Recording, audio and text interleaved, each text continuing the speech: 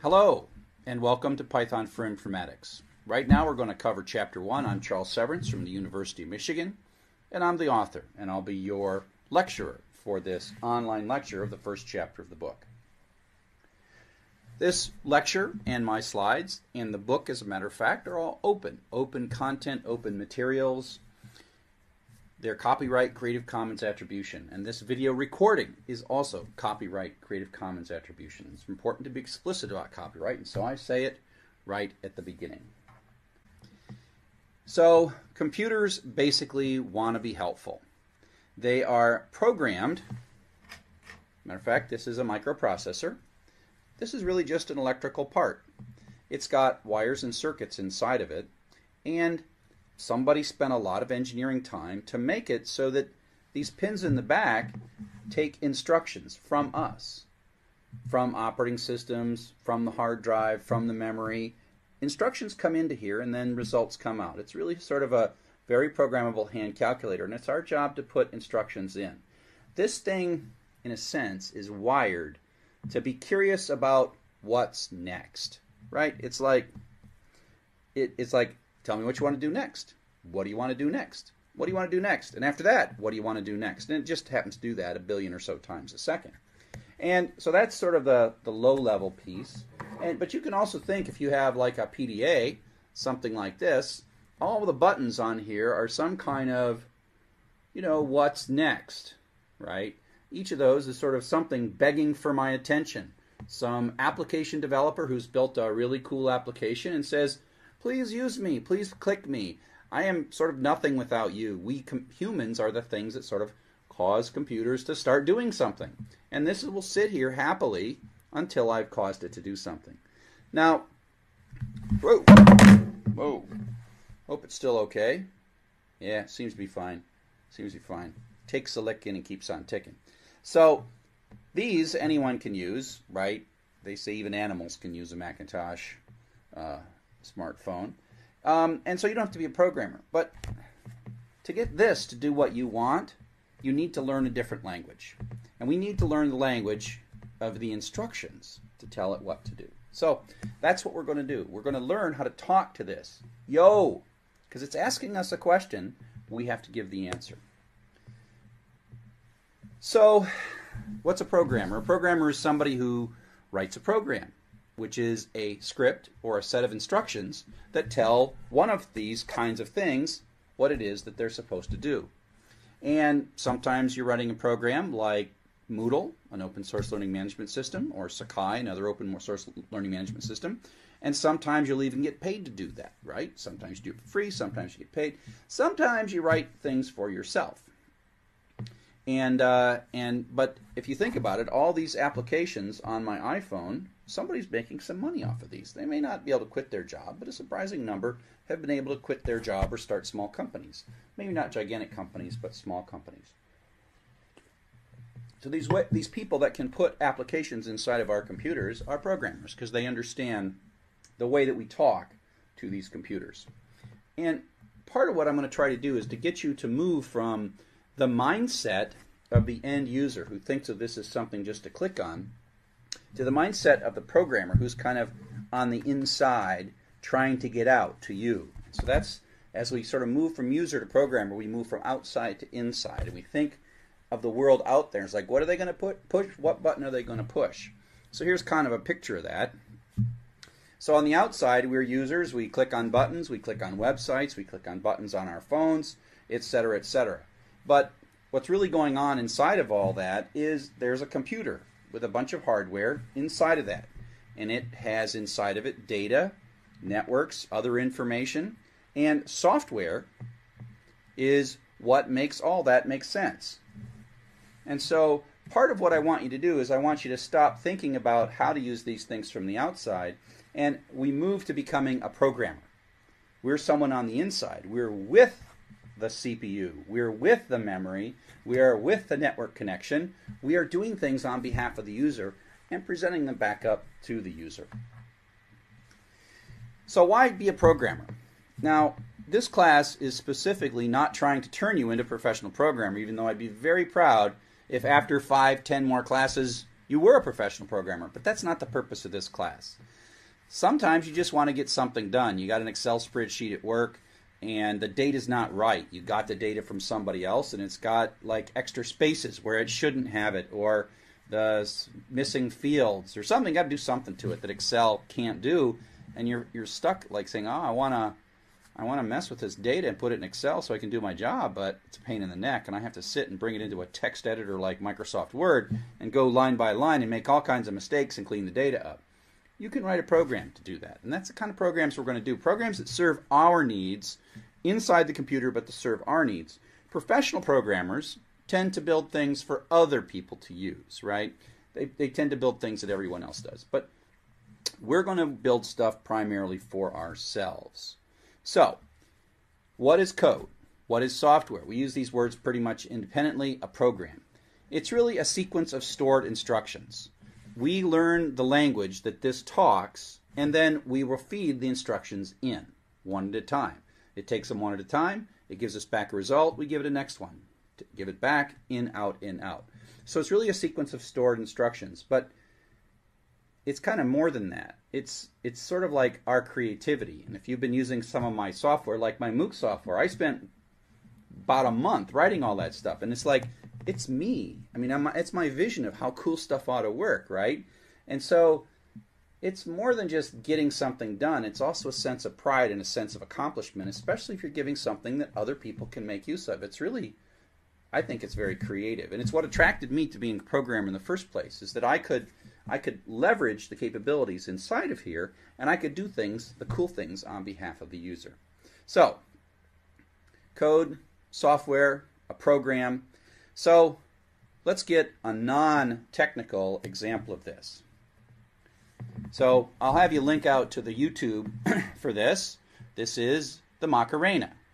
The Macarena is a song that has with it a well known dance that everyone seems to know or either get taught very quickly. So I'll I'll stop and let you uh, watch the Macarena and then come back. So welcome back. I hope you enjoyed that. Um, in a sense, what we've got there is a program, a program for human beings. Um, and maybe you learned that at a club or something, and they told you what to do next. Well, I can teach you how to do the Macarena by writing a simple program right now. So here's my Macarena. While the music plays, means you do it over and over and over again, to the beat, that's kind of like computers. They do things in a beat. They happen to have 3 billion beats a second, but as it were. So we're going to do this multiple times. So we have this whole group of instructions that we're going to do, right? Uh, left hand out and up, right hand out and up, flip left hand, flip right hand, left hand to right shoulder, right hand to left shoulder, etc., etc. Now, this particular little program has a mistake in it. Actually, several. I want you to look and see if you can find the mistakes in the program.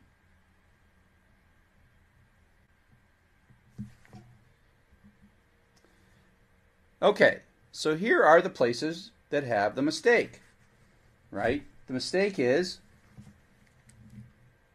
right ham to the back of the head and left hand to right hit not hip. Now, if you're in a bar and you take a ham and you hit somebody in the back of the head, that's not very nice when you're dancing to this song. These are what's called bugs. Now, a human reading this would say, oh, I think they meant to say hand here. But a computer is much more literal than people. We'll, we'll see a couple of exercises where we'll see that people can correct little mistakes like this, but computers, they cannot, right?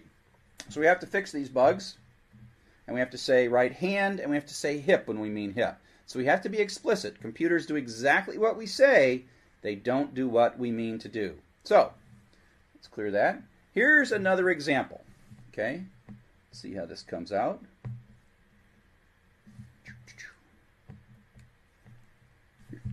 You're supposed to count the number of times the word the appears in this sentence.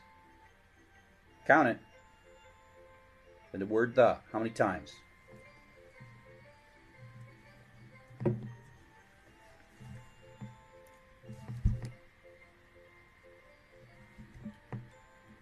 Okay. It's your turn.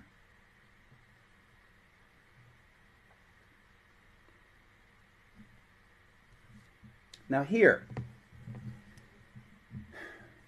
this is not something humans are good at. I moved it around, I played a little music, I confused you, I put a picture of a clown car in the upper left hand corner, etc., etc., etc.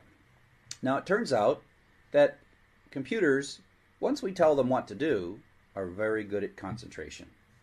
It can easily go through 30 words and find the most common word, or 3 million words and find the most common word, and it'll never make a mistake. But we first have to give it a set of instructions. So I don't want you to learn this right now, but this is a Python program. Let's say that I wanted to let you count words in files. Okay?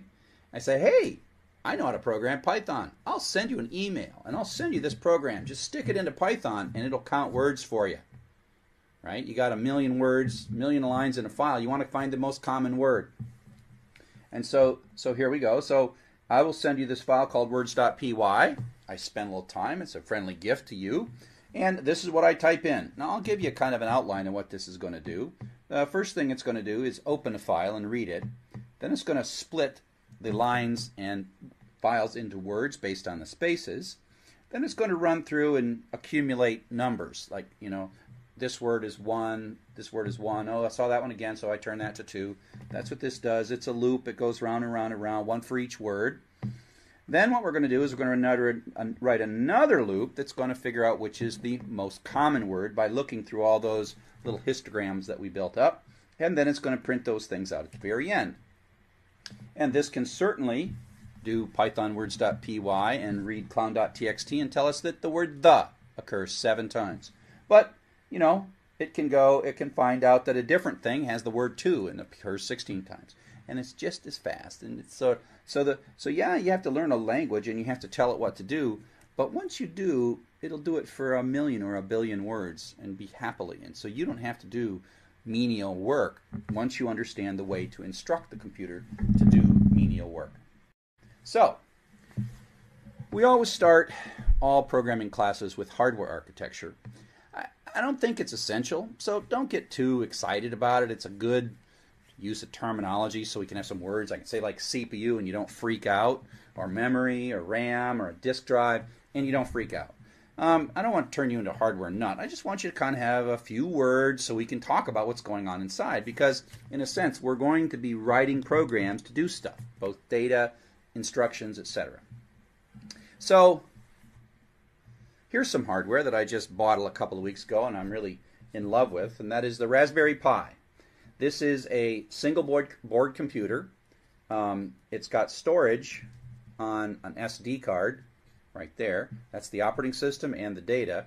And it's got the uh, uh, um, both the microprocessor and the memory is in here as well. And it hooks up with USB and HDMI and various things. And if you want, in this course, you probably can do all of the homework using a Raspberry Pi if you so desire. So this is what hardware really looks like. It's kind of the inside of something. Normally it's in some kind of case and you don't get to see it. And that's what it looks like. It's kind of got this green and little silver and gold. It's, I think they're very beautiful. They're very pretty. A lot of engineering goes into making these things. And, uh, and so we kind of have a block diagram of what's going on in here. And there's some just some terminology. The, the brains of it all, well, we draw this block diagram partly because, and here's is a, a from a, oh, parts are coming off of this. Yeah. I don't know what that was. It's okay. It's broken anyways. And if you have a desktop computer, this is more like what it looks like inside. This part is called a motherboard, and it's kind of like the thing that connects and brings everything together. It's got a bunch of wires. Each one of those little lines here is wire. It's covered with sort of a lacquer. And then there are things that penetrate the board and then connect to various chips.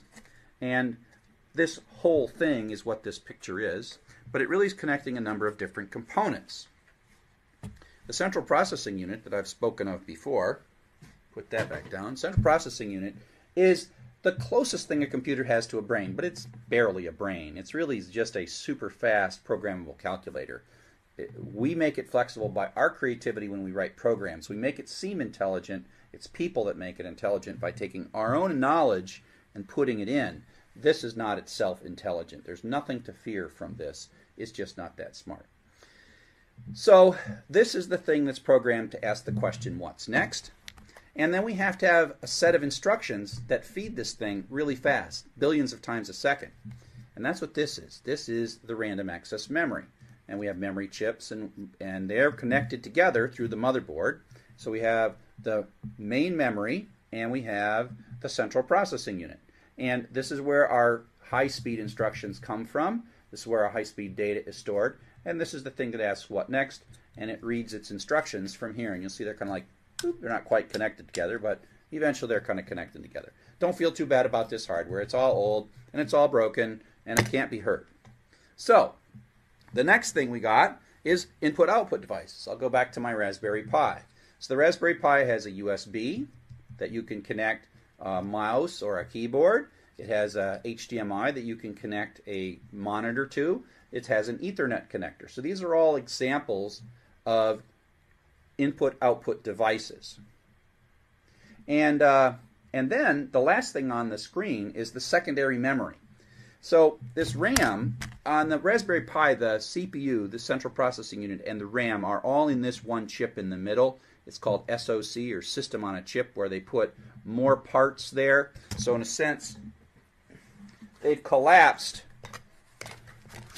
this and this and a lot of this all down in a Raspberry Pi to one little guy. But it's still architecturally the same thing. There's a central processing unit, there's main memory, there's graphics cards, etc. So, input output devices. Oh, and this big this guy has input output devices too, like USB and keyboard and monitor, etc. So they're they're very similar. It's just this is new and this is old. Everything gets smaller when it gets newer. Okay. Okay. So the last thing we got to talk about is the secondary memory. Oh. When the power goes off, these things sort of go away. The data in this RAM goes away. It's just designed to be really fast, but not permanent. So we need a place that's permanent. That's what secondary storage is. That's what that's what this secondary storage is for. This is permanent. This is fast, and it cha cha cha cha cha really fast.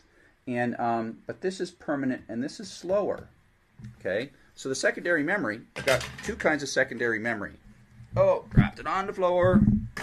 Two kinds of secondary memory. I'll start with the Raspberry Pi. The secondary memory of the Raspberry Pi is this SD card. It's like a disk drive. It still is permanent, does not require power to maintain its data. The data stays permanent. So in the future, we will see more of these flash style drives and SD style drives. So the Raspberry Pi is kind of alluding to the future. There's a disk drive in here. It's not really a disk, it's also flash memory. But in the old days, in the good old days, back when I was a kid, we, our secondary memory was a disk drive. And it had platters and it spun and it made a satisfying noise and it would move in and out to read data. And I'll show you a video of this just in a bit.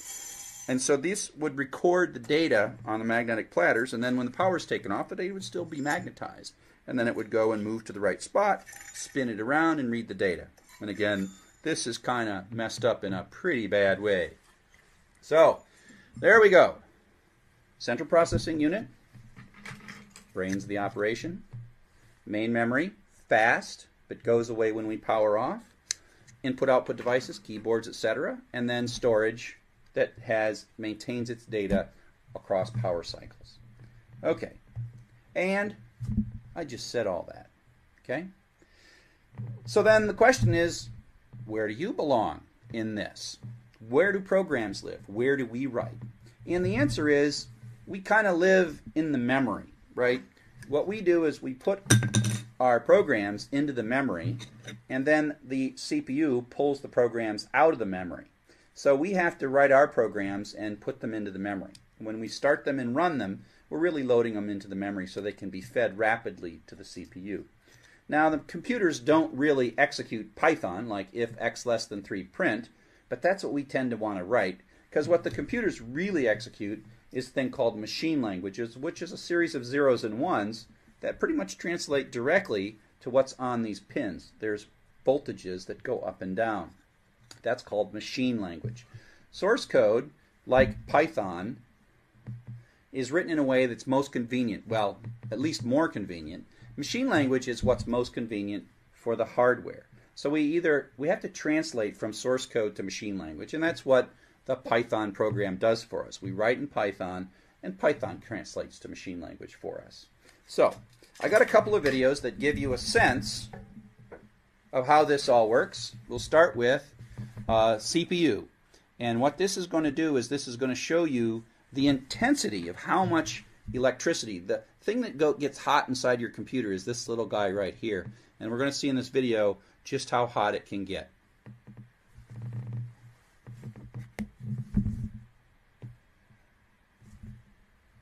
Okay, so welcome back. So the next thing I'm going to show you, I showed you a hard disk that sort of didn't work, but we're actually going to show you a real short video on how a hard disk works that someone took the cover off and actually applied power to it. You don't want to do this yourself if you have a hard drive. Um, I've read, and some people say that you can do it for a, for a few minutes and then the drive kind of destroys itself if you run it with the, the cover off. So let's take a look at this. Okay, so that's sentences. Now Paragraphs. Let's talk about paragraphs. Paragraphs are the combination of sentences to make sort of a thought together. Multiple sentences, multiple lines. So the interactive Python that I just showed you is fine for running one, two, or five or six commands. But ultimately, we're going to write much longer bits of Python. And so we write what's called a Python script or a Python program, and we put these in a file and we and and if you went through the prerequisite, you will see have seen me edit in a text editor, save the file, and then run from the Python file. Okay, and so we call these files put .py on the end of them, py on the end of them, and we're giving Python a script to execute.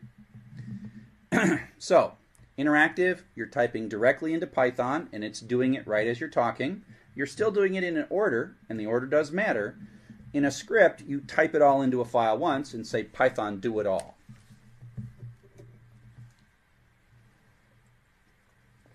Now, when you write one of these things, there are patterns for combining these. There are things that we do to these lines that sort of treat them differently.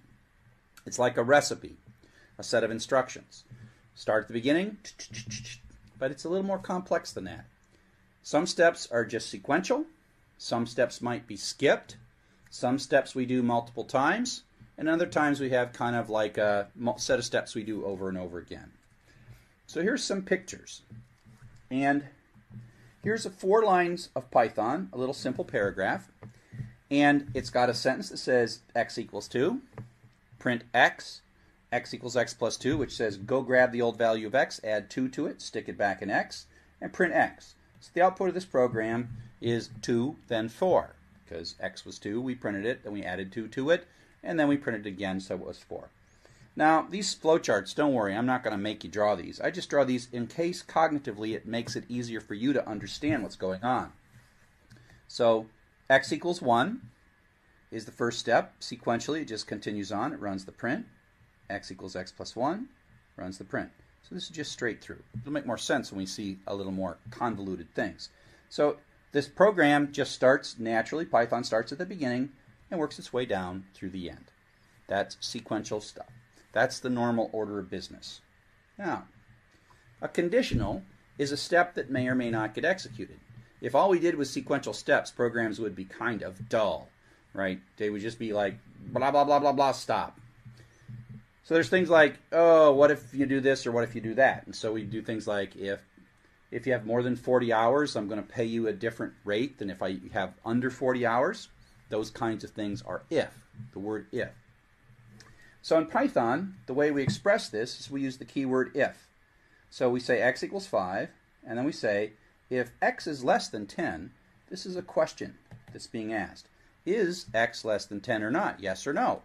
If it is, we execute the indented bit. If it's not, we skip it. In this case, since x is 5, we execute it. And then we come back here, and we're going to do another one. if x is greater than 20, well, this turns out to be false. So we skip that. So bigger does not run. That line never runs. So we, the output is smaller, fini. Now, here we can take a look at it sort of in the picture diagram. We run x equals 5. We ask a question. This doesn't hurt x to ask the question. Is x less than 10? The answer is yes, so we kind of drive down this little path. We print smaller, and then we rejoin the freeway. Is x less than 20? No, so we skip and we continue. So this never gets executed. So you can think of it either way. You can think of it either sort of like gestalt, say, if this is true, do what's indented. Or you can imagine sort of a little car driving down a highway, making turn choices as it goes. They're equivalent. Over time, it's probably you'll just start seeing this and start thinking this way, but sometimes it helps to think about it this way for a little while. Okay. Now, the next thing I want to show you is repeated steps, steps that happen over and over and over again. Okay? And that again, when I said, oh, computers are good at handling a billion words, well, that means it has to have a loop or a repeated section, one for each word. It's going to do something for each word. And so, um, so here we go. And in Python, let's pick a different festive color. Let's pick purple as a festive color. So here's our program. Starts at the beginning, sets the variable n to 5, and then a keyword, reserved word while. While n greater than 0, again, this is asking a question. This is asking a question. Is n greater than 0? That's a question. If yes, we're going to do this. If no, we're going to do that. Over here, if it's true, we're going to execute the indented part and then come back and do it again. If it's false, we're going to skip down. So it's kind of like an if, except it keeps doing it over and over and over again. So it comes in, sets n to 5. Is n greater than 0? Yeah, sure. So we print n, out comes 5. Then it says n equals n minus 1, so n becomes 4. we can change colors. Then it goes back up. Goes back up and asks the question again. n is 4. It's still greater than 0, so it comes through. Prints out 4, subtracts 1, so n is now 3. Goes back up, is n 0? Is n greater than 0? Yes, it is. Print out 3. Subtract 1. Now it's 2. So out come 3 and 2. Then it goes back up. Still greater than 0? Yes, it is. Print out 2. Or wait. Now it's 1. now we subtract 1. It becomes 0. Is it greater than 0? No. And we finally leave and we finally drop down. And so the last thing that comes out is the print of blast off. So this is a loop. The notion that we're going to run this little bit of code five times. Excuse me. We're going to run this little bit of code five times. And loops have these things we call iteration variables. And that is this n. It's a variable that specifically is changing each time it goes through the loop. And that way we can sort of control the loop. We can decide when it starts and when it stops. We can tell if we're at the beginning or the end, or the first one or the last one. We'll do a lot of stuff with loops. This is an iteration variable because we iterate, repeatedly iterate through the loop. Okay? Any questions? Can't do questions. Okay. So now, if we go back to the little story that I you got several chapters to understand. Don't worry. You actually got like through chapter 9. So don't try to understand this program right now. I'm just trying to give you a sense of what the picture is going to be, right? So so here are some sequential statements because they aren't indented. Those five lines are sequential. They just go one after the other. Then we have for, and it's indented. This is a loop. This is going to run a bunch of times. Then we're done with that. We do some more sequential stuff. Now we have a for loop, and that's going to run a bunch of times. And then we have an if, which may or may not run. So these this little block of code is conditionally executed based on something, and here's the question that we're asking. So that's the question. And then at the end we do a print. Now, again, don't try to make too much sense of this. I'm just trying to show you sequential, repeated, repeated, conditional. Okay? Just those concepts show up in every pretty much every program that we build. So, let's do a couple more little exercises that get you sort of in the mindset of being a programmer and how programmers tend to have to think about problems a little bit differently. So here we go. This I call this an animated short story. And your job, I'm going to give you several sets of numbers, and I want you to find the largest number in the list of numbers. Now, it's not so important to know what the large number is, but also to think about how your mind attacks the problem. What your eyes are doing, what your mind is doing, how you break a bigger problem down into smaller problems, how a human solves this problem. And then we'll focus on how a computer might have to look at the problem differently. Okay? So don't just like get the answer. That's not so important. Think about how you get the answer. So don't just like scroll ahead in your YouTube and cheat and go get the answer. Think about actually solving the problem and then monitor what your brain is thinking as it goes. So, here we go. So I'm going to give you a list of numbers, and you are to tell me what the largest number is. Ready, set, go.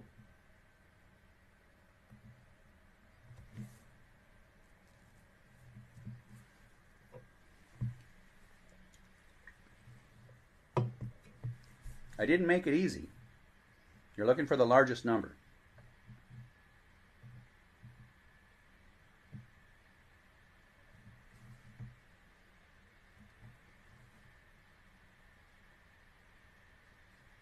Did you get it? Did you get it? Did you have to go back a couple of times? Actually, I don't care what the answer is. The question is, how was your brain solving? Okay, you probably want to know what it is.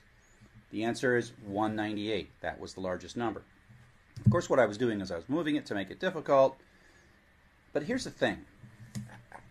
How do humans look at this? Like, do humans like, did you look at 25, then you looked at 1, then you looked at 114, and did you just look at them slowly one at a time, like this? Or no? I doubt it. If you are, maybe you're a computer. Maybe I'm talking to computers. Maybe you're all computers. I'm certainly not a computer. Maybe you're all computers. Okay, enough of that. No, that's probably not how you did it. What you probably did was you had your eyes move around the whole thing very rapidly, and the first thing that you figured out is that there were one digit blobs. There were small, medium, and large blobs of purple. And the first thing you knew right away was there was no point at looking at any of the small blobs. Your brain just threw the blobs away really quick. Then you say, okay, given that it, there's no four digit numbers, they're three digit numbers. Then what you probably did is you started looking for the first digit. You say, look, there's some ones. Is there any twos? quickly you decided there are no twos. So you knew that you had to look for the big blobs, and the second digit was probably the thing that mattered. Then you start getting to the nine. Say, okay, there's some nines. So that means it's it's one nine something. Then that was the part that you probably had to go check to find the oh where the heck was the 190 ah! Oh 198 right there. Yeah I color coded. I couldn't even see it. Okay? But the point is, is humans are great at eliminating sort of bad solutions really fast. And you probably looked at how big, how much purple was on the screen, eliminating the areas that were less purple because you knew that your brain quickly and instinctively knew that the more purple meant a larger number. Computers don't do any of that. They don't do any of that. So, in order to make you feel a little more like a computer, I have another test. And again, the goal is not just to find the largest number, but to, to monitor as you go what your brain is thinking while you're doing this. Okay? Do you get it? How are you attacking the problem? What is your feeling as you're attacking the problem? Are you a computer or not? Here we go. I'm only going to give you a few seconds.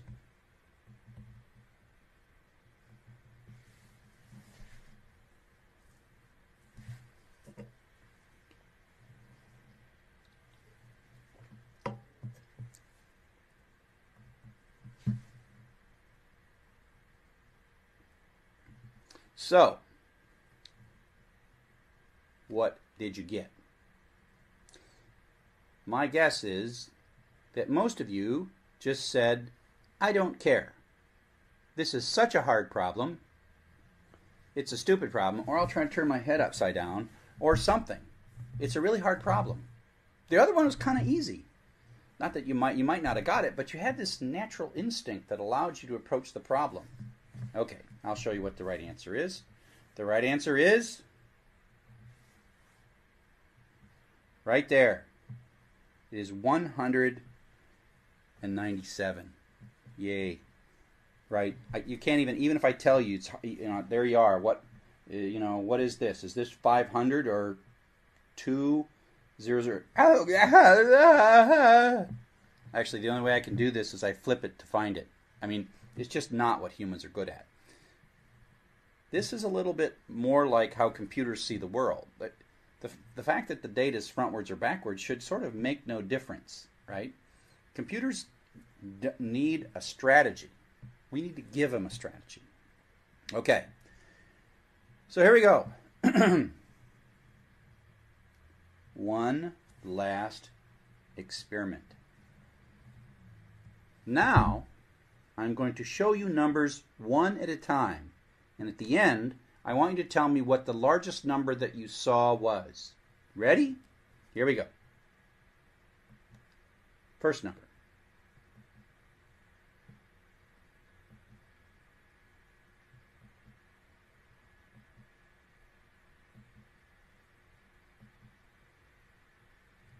What was the largest number?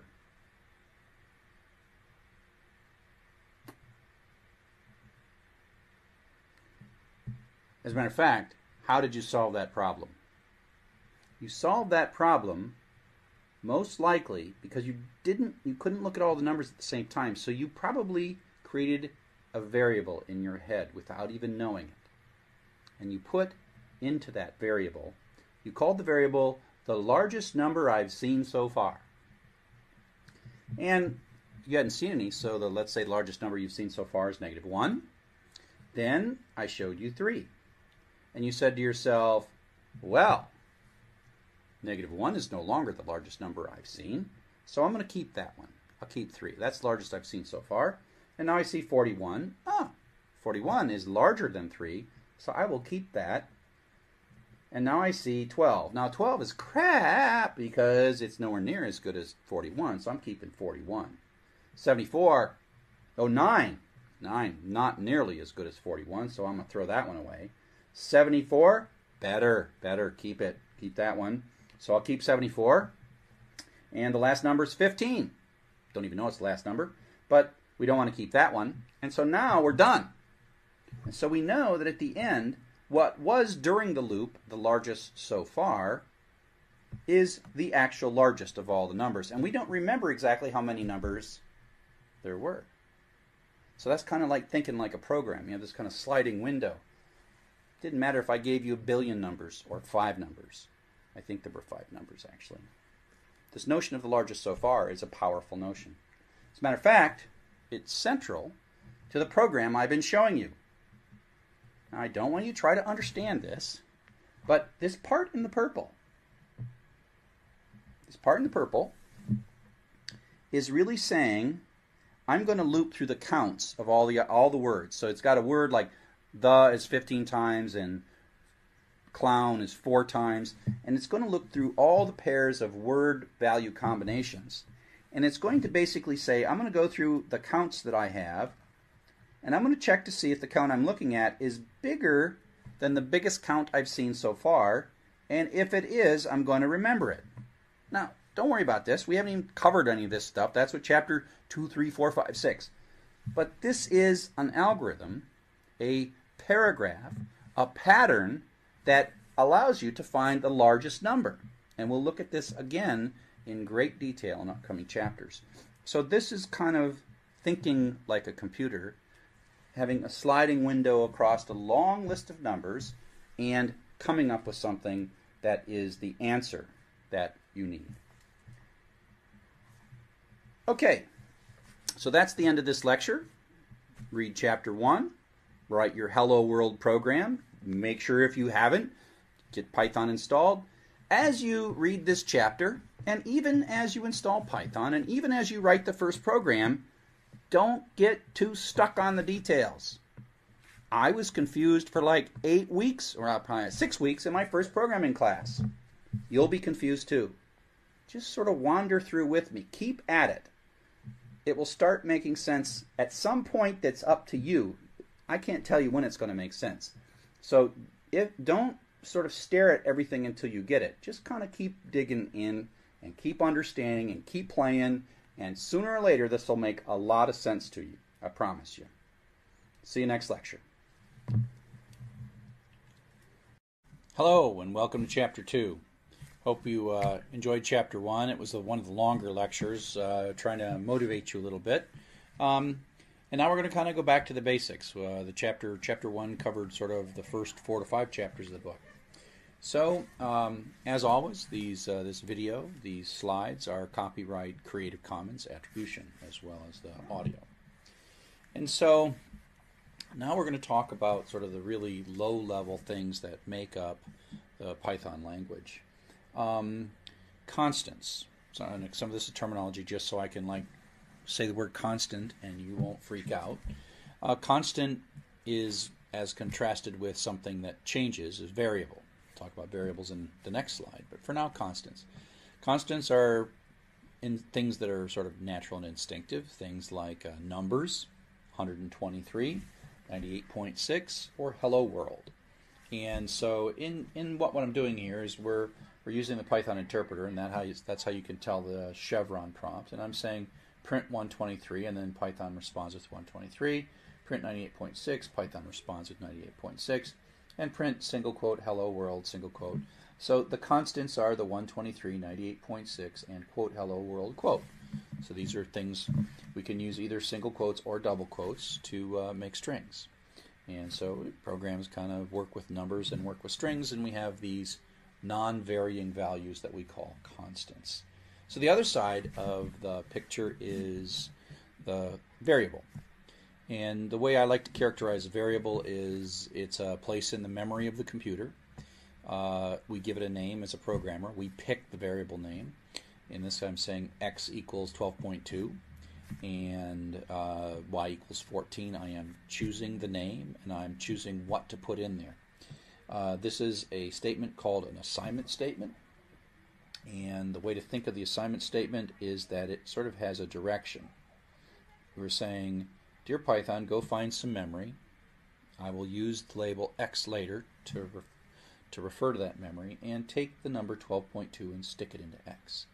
Then this is sequential code. Then the next thing I want you to do is I'd like you to go find some more memory, call it y. I will call it y later, and uh, stick 14 in there.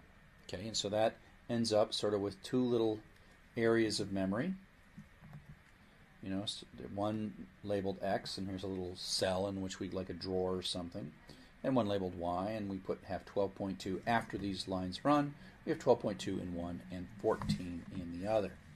Then, for example, if there's another line that's down here, so there's this third line after this has happened, after this has happened, x equals 100. Remember, this has kind of got an, direction to it. Say, oh, remember that x that I had?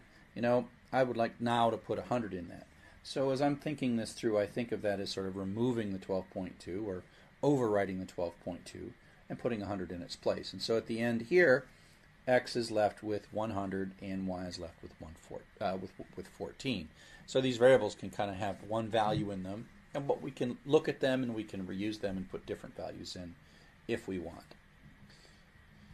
There's some rules for naming your variables. Again, you get to pick the variable names. Um, often we pick variables that make some sense. We'll talk about that in a second.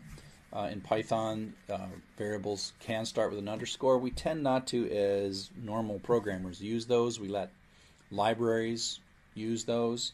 Um, it has to have letters, numbers, and underscores, and and uh, start with uh, start with a letter or an underscore. A case matters, so uh, Spam is good. Eggs is good. Spam 23 is good because the number is not the first character. underscore speed, that's also perfectly fine because it starts with an underscore or a letter. 23 spam starts with a letter, uh, starts with a number, so that's bad. This starts with something other than a letter or a underscore, and you can't use uh, dot in the in the variable name. Turns out the dot has meaning to Python that would confuse it. That would confuse it and wouldn't understand what we really mean there, and so that would be a syntax error. That would be syntax error. Um, because case is sensitive, that means that things like all lowercase spam is different than uppercase s and all uppercase. These are three distinct variables that are unique. Um, most people don't choose variables that might be so confusing. So this to you as you write it and as to anybody that might read it would find three variables named as very confusing. So it's a bad idea. Don't do it. But I'm just showing you as an example that case can make a variable name distinct. And again, this variable is a place in memory that we are going to store and retrieve uh, information, whether that be numbers or strings or whatever. These are things that we control. Now, Python also has a set of reserved words, and what it really means is you can't use these for variables. These words have very special meaning, and for, is, raise, if.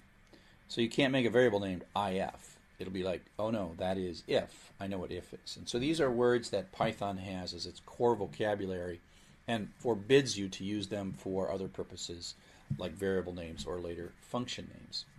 So that's kind of the vocabulary constants, variables, and uh, reserved words. Now, we take these and we start assembling them into sort of sentences, statements, Python statements that do something. So we've already talked about an assignment statement. It has kind of an arrow here. It says, hey, Python, go find me a place called X. Take the number 2 and stick it in there for later. Then continue on. Now, because there's a, there's an arrow, the right side of this is done first. And so it said, so this right side, you can kind of ignore for the moment the left-hand side, and it calculates the right-hand side by looking at the current value for x, which happens to be 2. Then it adds these two things together, and then gets 4. And then, at the point where it knows 4, that this number is 4, it will then store that back into x. And so then later we print x and we will get the 4. And so again, this is a sequence of steps and the, the variable x changes as these steps continue. And when we're saying print x, that really means print the current value for x. So operator, we can do a number of different operators in assignment statements. We calculate this right-hand side. This is sort of all calculated, whatever this is, based on the current value for x does this calculation, and then when it knows what the answer is, it assigns that into the variable that's on the left-hand side of the assignment statement.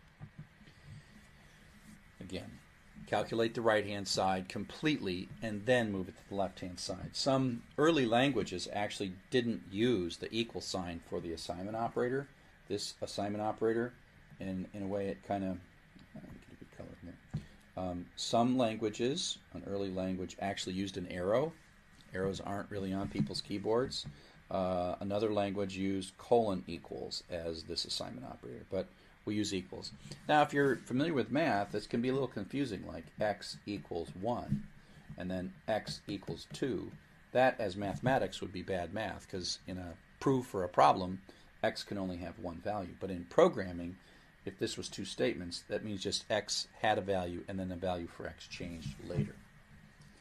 Okay, so just kind of go through this. Because it's working from the right-hand side to the left-hand side on assignment statements, it is pulling out these x values. So x may have 0.6. It pulls the values out before it's sort of ignoring this part right here, and it's just going to try to resolve this expression. And it has multiplication in parentheses and things like that. So it basically pulls the 0.6 into the calculation, does the 1 minus x, which gives you 0.4, then it multiplies these three things together, giving 0.93. And then when it is all done with all of that, it takes that, oops, takes that 0.93 and then puts it back into x. And so this is just sort of emphasizing how the right hand side is computed to produce a value, Then it is moved into the variable, in, and that is why you can have sort of x on both sides, because this is like the old and this is the new. This is the old x participates in the calculation, and then when the calculation is done, it becomes the new x. Hope that makes sense. So this on the right hand side here is a numeric expression. So we have a number of different operators. Some of them are instinctive, intuitive, um, the plus and the minus. The reason some of these are so weird is in the really old days we didn't have too many things on the keyboard and a, a, lot of programs were very mathematical. And so they figured out what was on the keyboard of the computer equipment of the day and then they had to uh, fake certain things. So it turns out that plus and minus were on the keyboard and so plus and minus are addition and subtraction respectively. There was no kind of times operator for multiplication and dot was used for decimal points, so they used asterisk for multiplication. So in computers, languages, nearly all of them, uh, they basically use uh, times for multiplication. Slash is used for division, so we say like 8 slash 2, which is 8 divided by 2. Um, raising something to the power, like 4 squared, that is double asterisk. And then remainder is if you uh, do a division, uh, that gives you the remainder rather than the divisor. So 8 over 2 is 4, remainder 0. So the remainder is what you get with this particular operator. There's a few cool things that we can do with remainder that we won't talk about right away, but uh, it's there. And so here's just a couple of uh, sample expressions. Um, let's give me green. Okay. So so again, I'm using the Python interpreter, so you can kind of just is just the prompt. These chevrons are the prompt. Uh, create the variable xx and assign it to two. Uh, retrieve the old value in an addition, then print it out, put it back into xx, so xx has 4. yy, this is a multiplication, 440 times 12 is 5,280. yy over 1,000, now this is a little counterintuitive. This, because yy is an integer, it then does it in a truncated division. And so 5,280 divided by 1,000 is 5. Now, if and and so that's that's an integer division. We'll see in a second about floating point division. Um, now we take the variable jj and we set it to 23, and now we're going to use the modular or modulo or remainder operator to say what is jj, what is the remainder when we divide this jj by 5. And so if you think about this, we take old long division, 23 divided by 5, you end up with 4, and then remainder 3. The modulo operator, or the percent, or the remainder operator, gives us back this number, and so that's why kk is 3.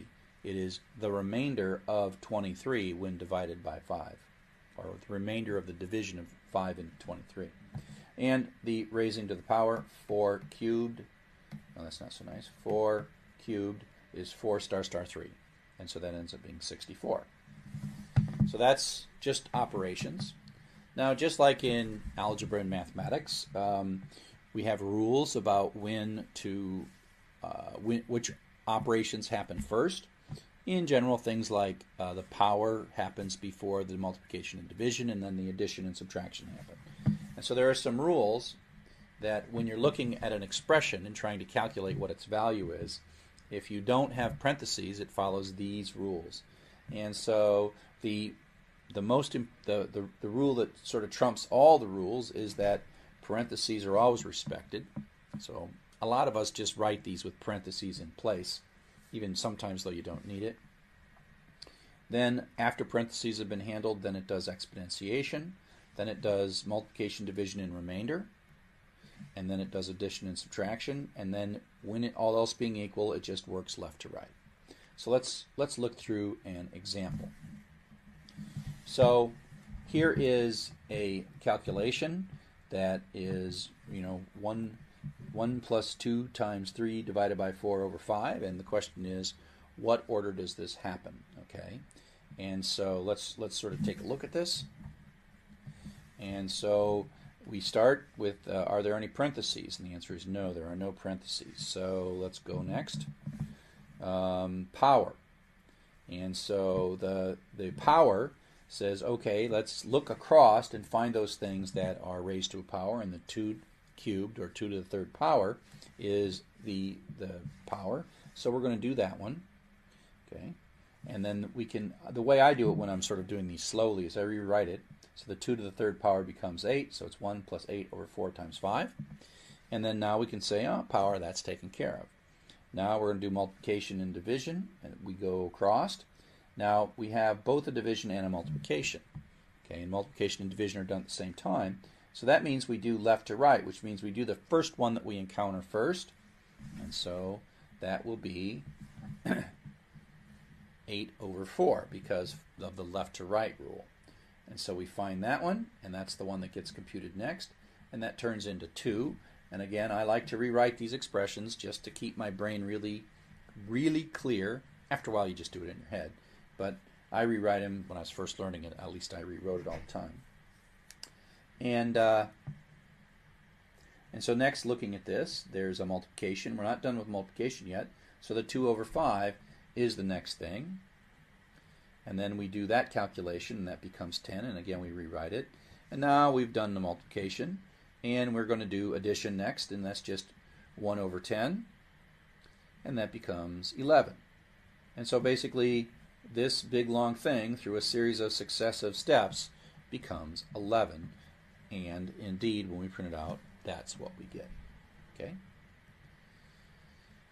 So there's the rules that are parentheses, power, multiplication, addition, and then left to right. But smart people usually just put parentheses in. You know, so here's this, here's an exam, oop, go back, go back. Here's an exam question. Now, I wouldn't write this code, right? I wouldn't write this code this way.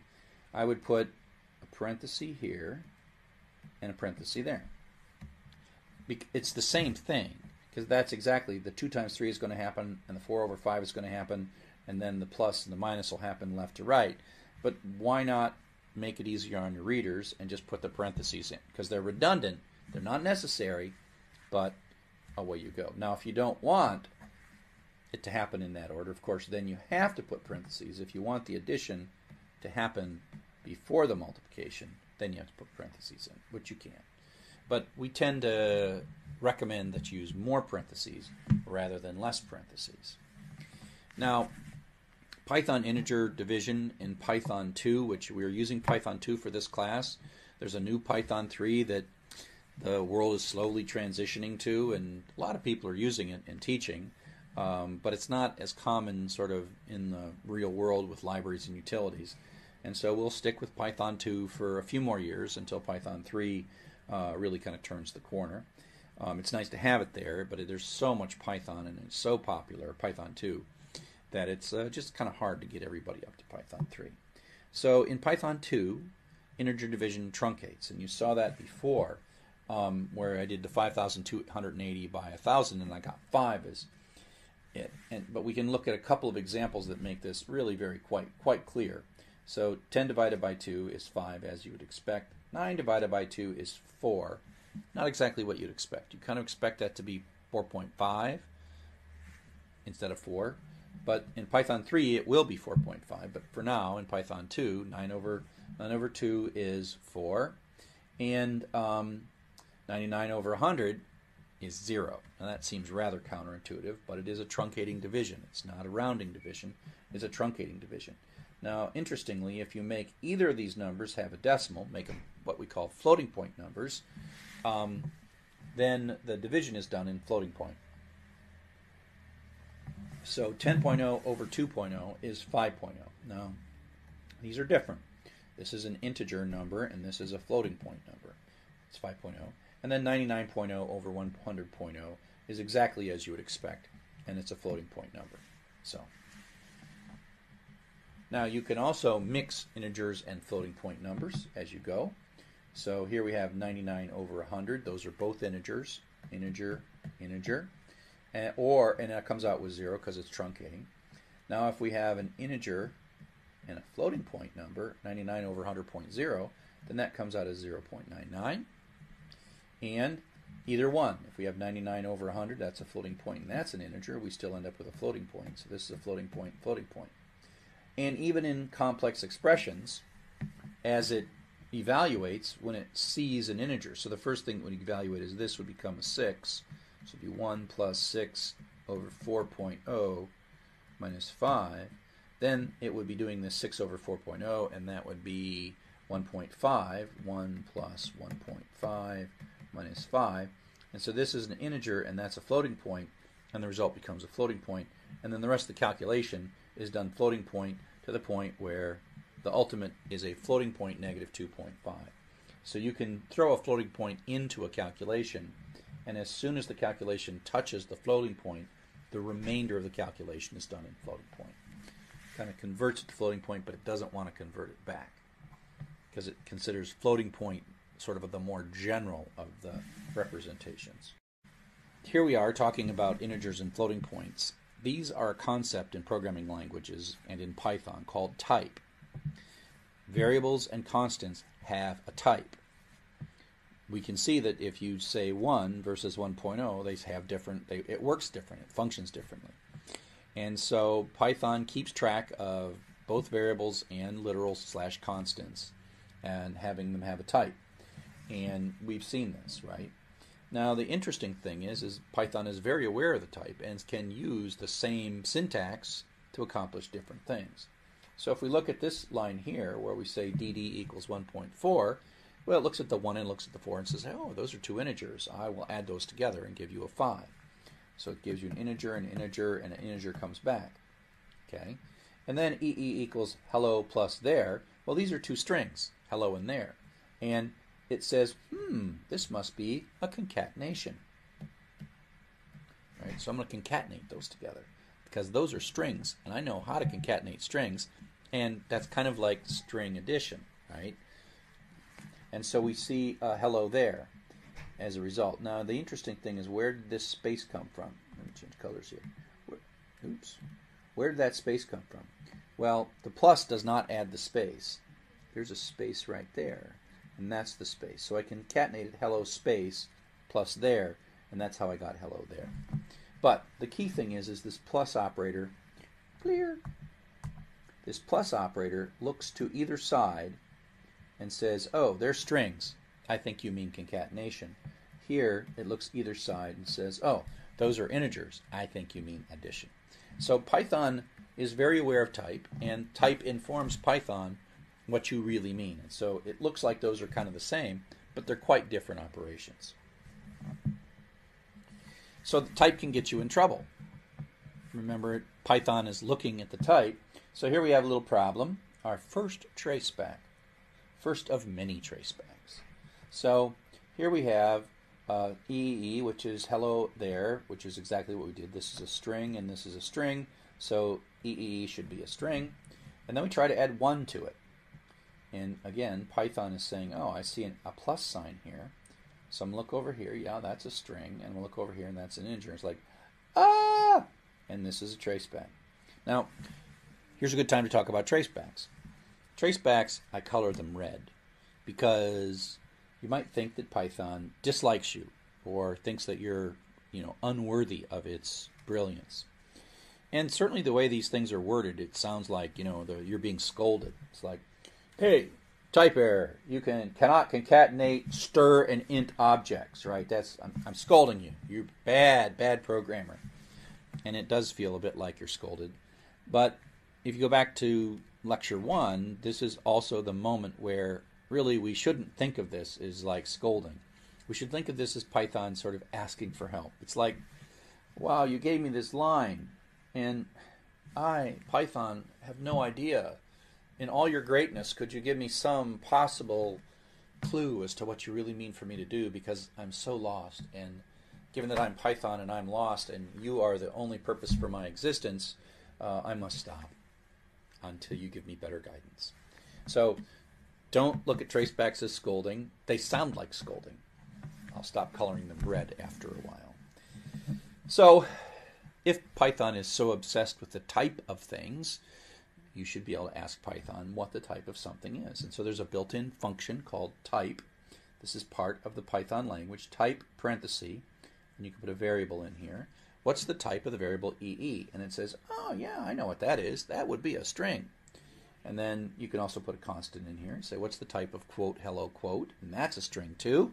And what's the type of the number 1? Well, that would be an integer. So it's picky about the type, but it'll also share with you what it believes the type is. And there's several types of numbers. As I've already mentioned, there are integers, which are the whole numbers. They can be positive and negative and zero. And then there are the decimal numbers, the floating point numbers like 98.6 or negative 2.5 or 14.0. Python knows these as well because it does division different if it's presented with two integers or an integer and a float or a float and a float. And so here we have x is 1, and we say, what is it? It's an integer. And we say it's 98.6, and we say, well, what's that? It's a float. And you can ask for both variables and constants. So what's the type of 1? It's an integer. And what's the type of 1.0? And it's a float. You can also convert types. It has a bunch of type conversion functions built into it. So there's implicit conversion going on when you're sort of saying, you know, divide an integer by a floating point. It says, okay, I see, I look to the sides and I will make the, I will make the conversion for you. But you can also be explicit. So in this case, we're going to say, take this 99 and convert it to a floating point version of itself, which is 99.0 and then do the division. So Python looks out here and goes, oh, after that, that's a float, and that's an integer if I look over here, and then that means that the result is a float, and the division is done as a float. So we are force converting the 99 integer into a 99.0 float.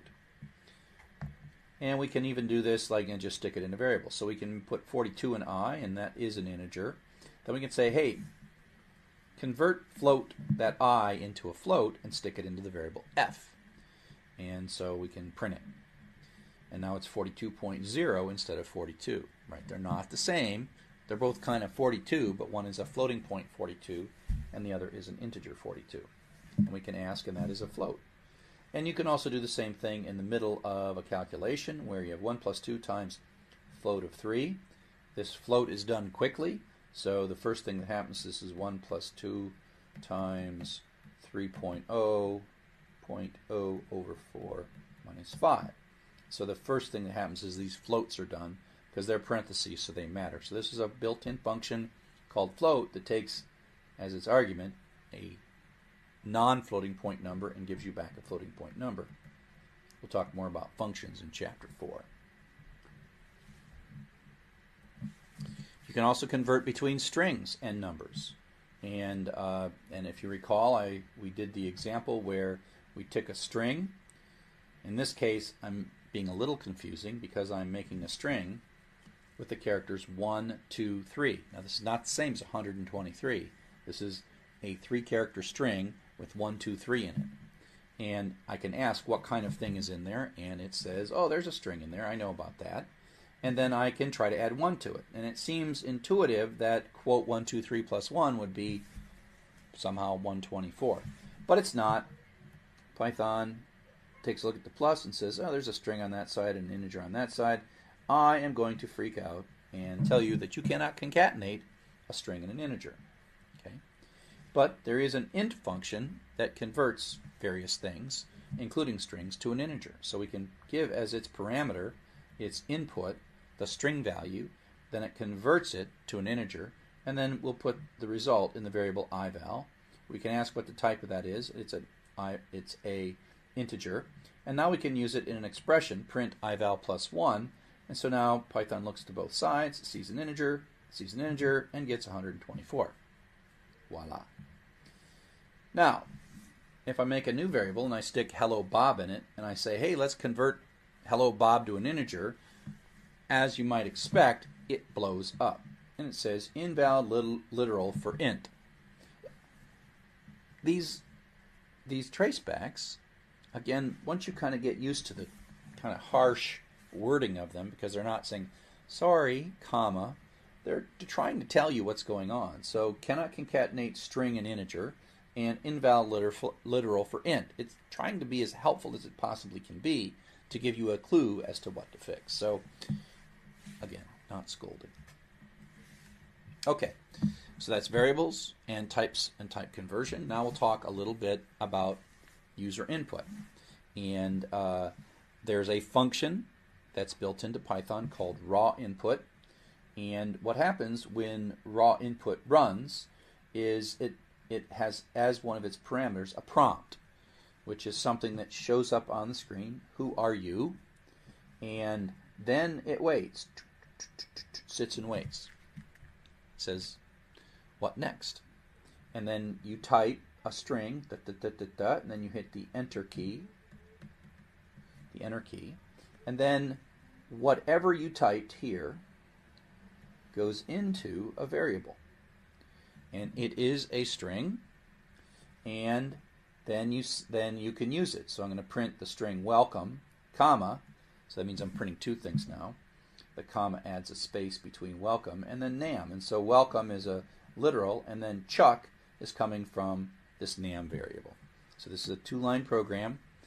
And I think this is one of your assignments actually to, uh, well, it's one of the exercises in the book, to uh, prompt for a user's name and then welcome them. Okay? So raw input is a function that issues a prompt, waits, and then takes whatever string that's entered and then returns it and then puts it into that variable. So now we're going to create kind of the first useful program. It's not a powerful program. It is a an interesting problem of uh, the fact that for some reason um, there's a difference in the numbering scheme of United States elevators and European elevators. Uh, European elevators, uh, the floor that you walk out on is the zero floor.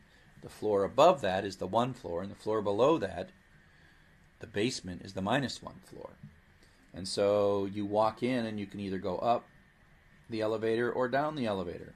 Of course, in the United States, the floor that you walk in is the one, and then there's the two floor above that, and then there's like the basement. So this is the this is the imagination that the Americans have as to how to number floors. Right? The Europeans go 0, 1, minus 1. So children who go to hotels learn instantly the notion of zero and the notion of positive and negative numbers and the symmetry between positive and negative numbers. I mean, I just wish the United States hotels would switch to this to teach young people zero immediately and negative numbers. So we somehow think that numbers all in the United States start at one, and then there are no, no negative numbers. There's the basement. I wonder why that is. But whatever. For people who travel a lot, they may be confused by this. They need a way to convert back and forth between the US and European numbering system. So this is a simple program that demonstrates a real classic pattern of input, processing, and output. It's just three lines, but it has the essential things that all programs that are useful, they generally read some data, do some work with the data, and then produce some kind of results. And so, so the first line is a raw input that effectively that puts out a prompt, and then it waits. It says, please enter your Europe floor. It sits there we type a 0. Then 0 goes into inp, but it is a string. It's not a number. It is a string. So we can't add to it. But we can take and convert it to an integer with the int function. int of inp. That's a string being converted to an integer. So now it's a real numeric 0. And we can add 1 to that. And we sum that together. And we put it in to the variable USF. And then we print US floor, comma, and then whatever the variable for USF is, and out comes US floor 1. So we've written a very simple elevator floor conversion from a European floor to a United States floor. Don't ask about negative numbers. It's not really good at that. But from zero and positive numbers, it works great. So another thing to uh, think about in any programming language is comments. Comments are like commentary come you know and and and basically it's a way for us to uh, add notations for ourselves or for other humans interspersed in the code. And so in python anything after a pound sign is ignored You can have a pound sign at the beginning of the line and then the whole line is ignored. There are two or three reasons why you can do this. One is sort of like paragraph headings where you can say what's going to happen in English um, or, or your language. And you can write documentation says this code was written by Charles Severance, December 2010. Um, and you can also just hide a line of code to test and, and turn it on and off without actually deleting the line of code. It's a real common thing in, in debugging. So for example, here is a here is a the program that we've been playing with. This is our word counting program that we've been talking about from the beginning. And here is an example of four comments. One, two, three, four. Four comments that basically tell us what these paragraphs are going to do. Now they don't have any effect on the program whatsoever. But this one says get the name of the file and open it. Kind of helpful, right? Count the word frequency. That's what this little bit does. Find the most common word. That's what this little bit does. And all done, print this out. So it's really can be very helpful just to add a little tiny bit of stuff. You don't want to overuse comments. You don't want to say like x equals 12. Take 12 and put it into x. Sometimes people teach you and try to say, oh, you need a one comment every three lines. I don't believe in any of those rules. I basically say, if it's useful to describe it, then describe it. So that's comments. So uh, some Operators apply to strings. We've already talked about plus. It's kind of silly, although useful in places. You can actually multiply strings, where this is the the asterisk looks and says I got a string and an integer, and it prints out the string five times. Not a lot of use for that. Now, let's talk a little bit about choosing variable names. This is something that is really confusing. So I said like x equals 1, x equals x plus 1. What does x mean? And the answer is it doesn't mean anything. I chose it. I wanted to make a variable, and so I picked x. We pick x a lot, probably because we learned in algebra in sixth grade that x was a variable. So, and it's short, and so why not call it x? But as your programs get larger, this gets kind of frustrating to have all your variables like x and y and z. And so the notion of mnemonic, it means memory aid, we choose our variable names wisely so they remind us of what the variable's going to do internally. And so it, as I go through this lecture, in the beginning, if I choose a variable that's so, too clever, you're going to think that it's part of the language. And so I sort of switch back and forth between well-chosen variable names and stupid variable names to kind of re-emphasize the notion that I can choose. Mnemonic is a good practice, Okay, so here we go. Let's take a look at a bit of code. So the question is, what is this code doing? What will it even print out? Is it syntactically correct? Now you could probably cut and paste this into your brow uh, into Python and figure out that it is syntactically correct. There are three variables this one here and this one here match.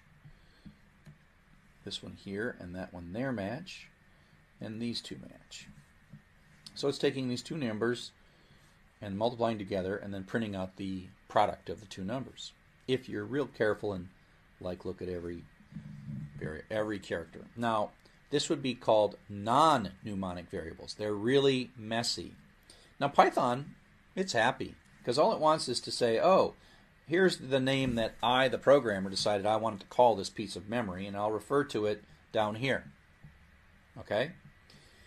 And so Python's happy. Now, if you hand this to another human being, they're going to be really unhappy because they're going to be like, what are you doing? So, one better way to write it would be to make the variables very simple. And then cognitively, we humans can figure out which is which. Because again, it's still only about matching.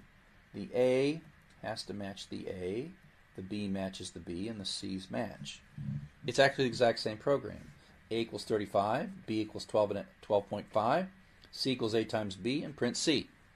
It is these Python sees these as the same program. It doesn't care what we name them. Now, a human will be much appreciative If you say, here, you can either have this one or this one, this one will make them a lot happier. Woo. Okay? So that is certainly cognitively easier, but it's not really giving you any sense of what's going on here. Right?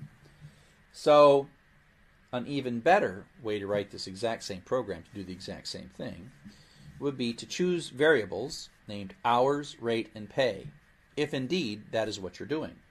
Now you can look at this and you go, oh, well, shoot, 35 is the number of hours, and 12 and a half is the rate, and the pay is the number of hours times the rate. And then we're going to print out the pay. That makes a lot of sense. So this is really a awesome and wonderful characterization. And this, if that's what you're doing, and if those are hours, rate, and pay, it's a great thing to name your variables. But this is where beginning students get confused. And so sometimes I'll write it this way, and sometimes I'll write it this way. Because you look at this until you get a little more sophisticated, a little more skilled, and you say, like, does Python know something about payroll? Is hours a reserved word? Is rate a reserved word and pay a reserved word? Are these things that Python knows about? And the answer is no. Python sees these three programs as exactly the same name. It's just this person really made a very bad choice of variable name. This person made a less bad choice of variable name. And this person made a really awesome choice of variable name. So the only difference between those two things is style. They are the exact same program. And Python is equivalently happy with these. But humans are most happy when the variables are easy to remember and they are somewhat descriptive of what their expected contents will be. That's mnemonic, to help you remember what you were meaning to do when you write the program. This is still a bit cryptic. Having these really short one character variable names is still a bit cryptic. So, you have a couple of uh, assignments at the end of the chapter. One of the assignments is to write a program to prompt the user for hours and rate per hour and compute pay. So I won't do this here, but just a couple of sort of uh, things. Um, you're going to be using raw input. But remember that hands a string in. So you're going to have to use float, function to convert it to a floating point number so you can actually do a calculation. And then you're going to have to use multiplication and print. So multiplication and then print. So some combination of raw input, float, multiplication, and print constructed to, to make your program do exactly this. So this is the end of uh, chapter two. We talked about types, reserved words, variables, the mnemonic, how you choose variable names. We'll hit this a couple more times because choosing variable names is always problematic. Operators, operator precedence, which just means like does multiplication happen be- before plus, parentheses. Integer division is a little weird because it truncates, oops, truncates, right? 9 over 10, 9 over 10 equals 0. That's the integer division truncating. Conversion, this is like the int, float, and then user input, which is raw input, and then comments, which are ways for you to add human readable text to your program. Okay? See you next lecture. Hello, and welcome to Chapter 3 of Python for Informatics. Chapter 1, Chapter 2, now we're going to get to something kind of programming. I mean, assignment statements and reserved words, that's just kind of gurgling. Now we're going to start seeing composition. We're going to start seeing the conditional execution uh, gets us started sort of seeing the power of computers where you're starting to make decisions. So as always, this lecture and uh, audio, video, and slides are also available. Our copyright Creative Commons attribution. So um, conditional steps are steps that may or may not be executed. So here's here's a bit of code. So and and I draw these pictures. I, I won't draw too many of these pictures on the left-hand side. If you've taken a programming class, you may have seen these. They're sometimes called flowcharts. Uh, sometimes people really think these are important. I, I, don't think they're all that important for understanding. I, the the Python code is here on the right-hand side, and this picture's on the left-hand side. And and the reality is is that this may initially make more sense cognitively to you than this. But this part on the right hand side is what's important. I like to call these like road maps so you can sort of trace where the code is going by driving down a little road. Um, that's kind of a something that you do once or twice and then pretty soon you just start reading the code. So I'm going to start on the right hand side here and just walk through the code. Remember code operates in sequence. Well, there is a if which is a special reserved word. It's one of those things that you can't you can't name a variable if. And it is our indication that uh, to Python that the uh, next statement that we're going to do may or may not be executed if. And the thing that comes on the same line as the if, up to including the, the little colon, the, is a question. This is a question. You're asking a question. So an assignment statement is moving a value into a variable, and a if statement is asking a question. In this case, we're asking a question about a variable. So always think when you're sort of here that this is a question to be asked. And you'll notice when I'm doing the same thing over here, I put a question mark there. Is x less than 10? Yes or no? It's a question that has a yes or no. And so the way this works is this statement that's indented after the if is either executed or not executed based on the result of that question. So the way to sort of read this in English is set x to 5. If x is less than 10, which it is because x is 5, then we're going to execute this. So print smaller comes out. And then we come back out and we continue and say, oh, okay, now I have another if statement. And then a bit of a block of indented code. If x is less than 20, that's the question. The answer to that is no, and so it does not run that line, and so it runs fini. So the printout of this program is smaller, followed by fini. What happens is this line never executes because the answer to this question is false. Okay? So let's go through that a little faster. Set x to 5. If x is less than 10, print smaller. Then if x is greater than 20, which it's not, skip that, and then print fini. That's the short version of it. Okay?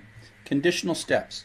This step is conditional, this step is conditional. They may or may not be executed based on the result of the question. Now, if we're thinking of this as like a GPS roadmap or something, we can look at this right hand side. So the, the CPU comes roaring down here, x equals 5. Okay, I'll run that. Then it's faced with a choice. Do is x less than 10? Yes or no? If it is yes, and it is, I will go this way. If it was no, I would go that way. So if it's yes, I go here and I run this little thing and print smaller. Great. And I follow the little road. And now the road takes me to here. And it's asking another question. Is x greater than 20? This time the answer is no. So I'd come down here. Right? And so this bit of code is never executed. Now, this is a very simple example, but you get the basic idea. Okay? So that's conditional execution. Now there's a number of conditional operators that we want to use, just like we had multiplication, division. Um, some of them are, are uh, pretty uh, pretty intuitive, and the others you just kind of have to memorize. Like less than and greater than make a lot of sense. Um, the one that probably the easier, like less than or equal to or greater than or equal to, those kind of make sense too. They're less than or equal to. Um, just because we don't have a less than or equal to sign on a symbol or a greater than or equal sign, which we would use in mathematics. Um, equality, asking the question of whether something is equal to something else or not, is double equal. And that's because we're already using single equals as assignment. So when we say x equals 3, that is an assignment and sticks a value into x. This is the question. Is x equal to? If I was building a language, I would make it be equal question mark or something like that. It'd be like, huh? Is it equal? Kind of a question mark. But that's not what we do. I didn't invent this, so we are double equals is the question is something equal to another. A single equals changes something. x equals 5 changes x. Okay, and then not equal, exclamation is commonly used to mean not in computer context. So if something is not equal to something, it is exclamation equal. Here are some examples just kind of running through them. Uh, they're all they all turn out to be true because I set x to 5. If x equals 5, print equals 5. Come out here. If x is greater than 4, which is true, print greater than 4. If x greater than equal to 5, yeah. If x less than 6, print less than 6. Now here's a, there are two sort of syntaxes to, to the if statement. One is where the if statement is down here on a separate line and it's indented, and the other is where there's a single line and it's right on the same line. If x less than 6, print less than 6. So this is true, so this whole thing executes. Then it continues down. If x less than or equal to 5, yep, print less than or equal to 5. If x is not equal to 6, which is true because it's 5, then not equal to 6. So all those will turn out to be true, and all those will execute. And so the the tricky bit here is, you know, just knowing, seeing this syntax for an if statement where it's all one line, and this syntax where you end the first line with a colon and then indent the second line. This you can only do one line. We will soon see that you can put more than one line in an indented block. Okay. Here we have more than one line in the indented block. These are called one-way decisions. And so we say x equals 5. We print out before 5, so that prints out. If x equals 5, remember the double equals is the question mark version of equality. Single equals assignment. It says yes. So we indent, and the convention is to indent four spaces, although it doesn't really matter as long as you're consistent. Then it's going to run all three of those. Is 5, still 5, third 5. These lines all come out. And then it comes out and prints and the de-indenting, the fact that this print has been moved to line up with the if, that's what indicates that this little block of conditional executed code is uh, is finished. So then it prints out afterwards 5, some more, before 6. Then it asks another question. If x is equal to 6, again, that's the question mark version of it. And if this is false now, because x happens to be 5, so the answer to this expression, the logical expression, is false. Then it skips all of the indented bits, so none of this executes. So since it's false, it skips all of the indented bit, but then it, this print lines up, and so then it picks back up with afterwards 6. So we call this a one-way decision where you have the question, and then you have a couple of things that you're going to do on this true, true thing. Or if it turns out that you're false, you're going to skip all those things. So Python uh, is actually one of the few languages that uses indentation as syntactically significant. Uh, we like to indent code to for ifs, and in a moment we'll see you learn about loops. We like to indent code as a way to make sense of stuff. It makes it easier to read. Um, you know, if this thing's inside, and so it, it's really quite nice. And then we sort of use it as a matching to help us cognitively understand what's inside of, uh, of a program. But in Python, it's really, really important, and it's almost it's it's you have to think of like when you are moving in, you mean something, and when you move back out, you mean something. So you can increase the indent, which you do after like an if statement or any other statement that ends in a colon. You increase the indent, and then when you're done, you decrease the indent. You maintain the indent sort of for sequential code. Now, blank lines and comments are ignored. So you can have a blank line and it, it, the indentation just goes right past it and the comments don't affect it. And so while we're here, we'll interrupt us for a, uh, a, a recommendation. In your text editor, Notepad Plus or TextEdit or Text Wrangler or whatever you're using, um, it may be set when you hit the Tab key to move in four spaces. Sometimes you also might move in four spaces by hitting spacebar four times. Python will see that as different. And it is possible in all of these word processors to say, hey, don't actually put tabs in my document. When I hit the tab, put in four spaces. Then, whether you're hitting the spacebar or hitting the tab, at least you are putting the same thing into your document and don't and not freaking Python out. If you don't, you may get indentation errors. Indentation errors are syntax errors to Python. And what's really frustrating is if you it looks good to you in your text editor, you have an if and the block goes in and it comes back out, but one of them is four spaces and one of them is a tab, then Python will yell at you. And this is really frustrating when Python yells at you about that. So what I'd like you to do is go into your text editor, whatever it is, uh, into the properties or the settings. And here is, you know, your your may be different, but here is where you set this.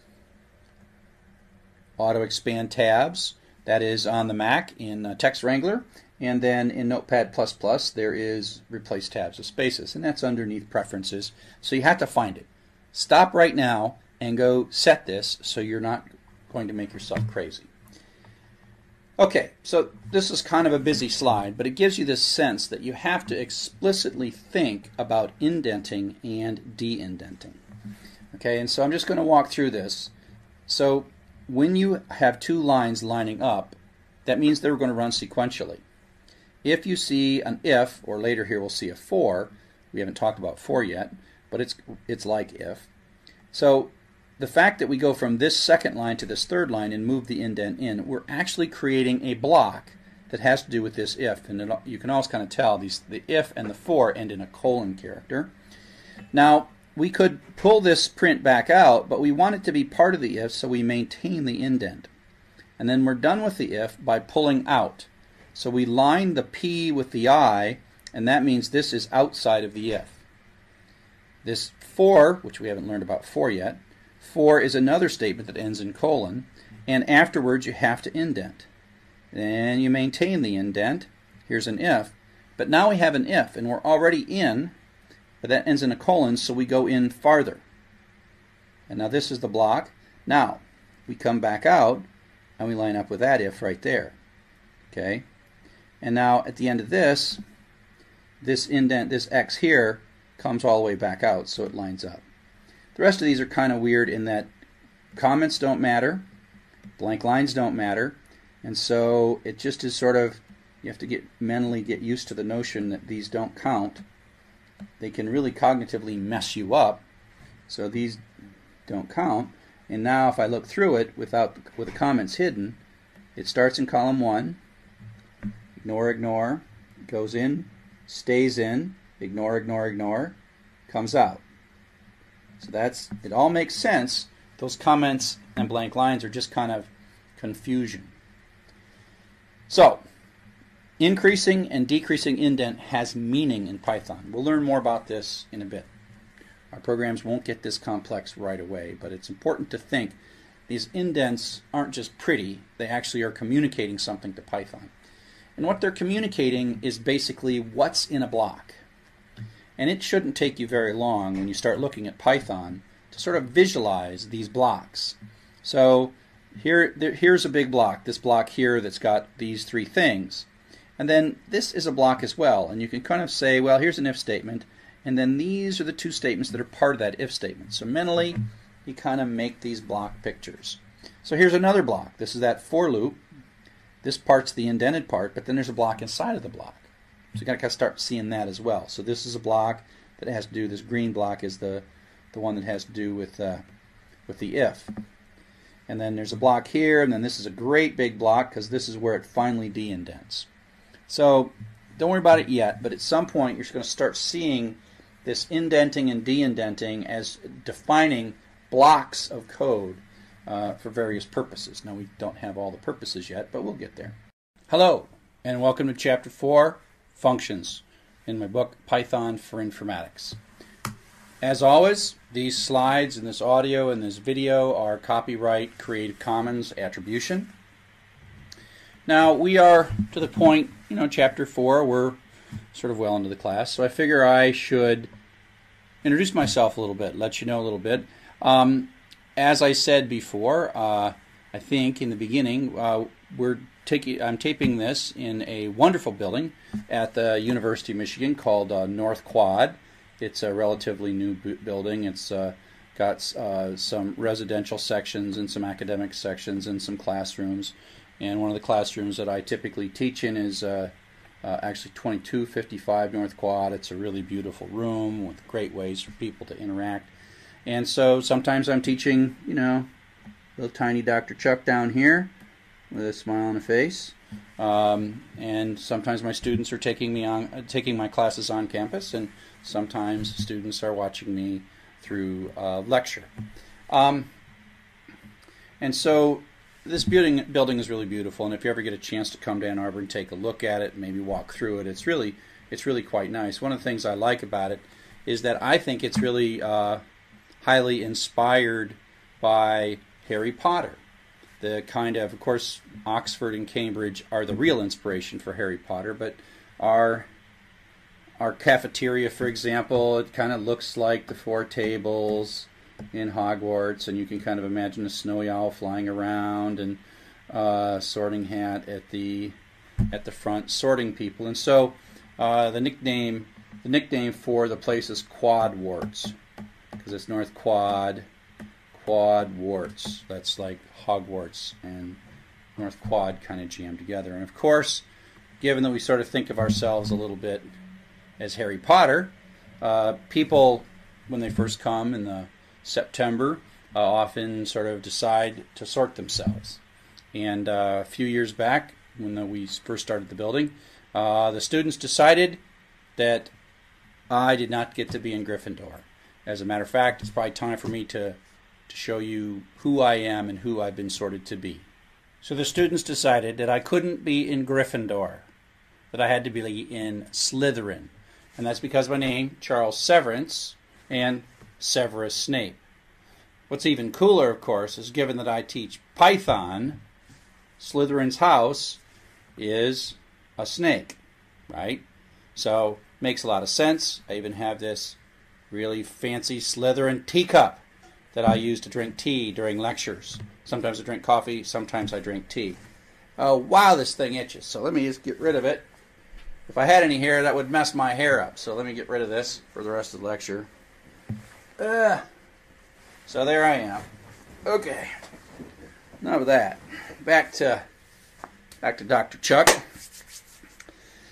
So, with that sort of brief brief interlude, the um, the topic of the actual topic of this lecture is functions.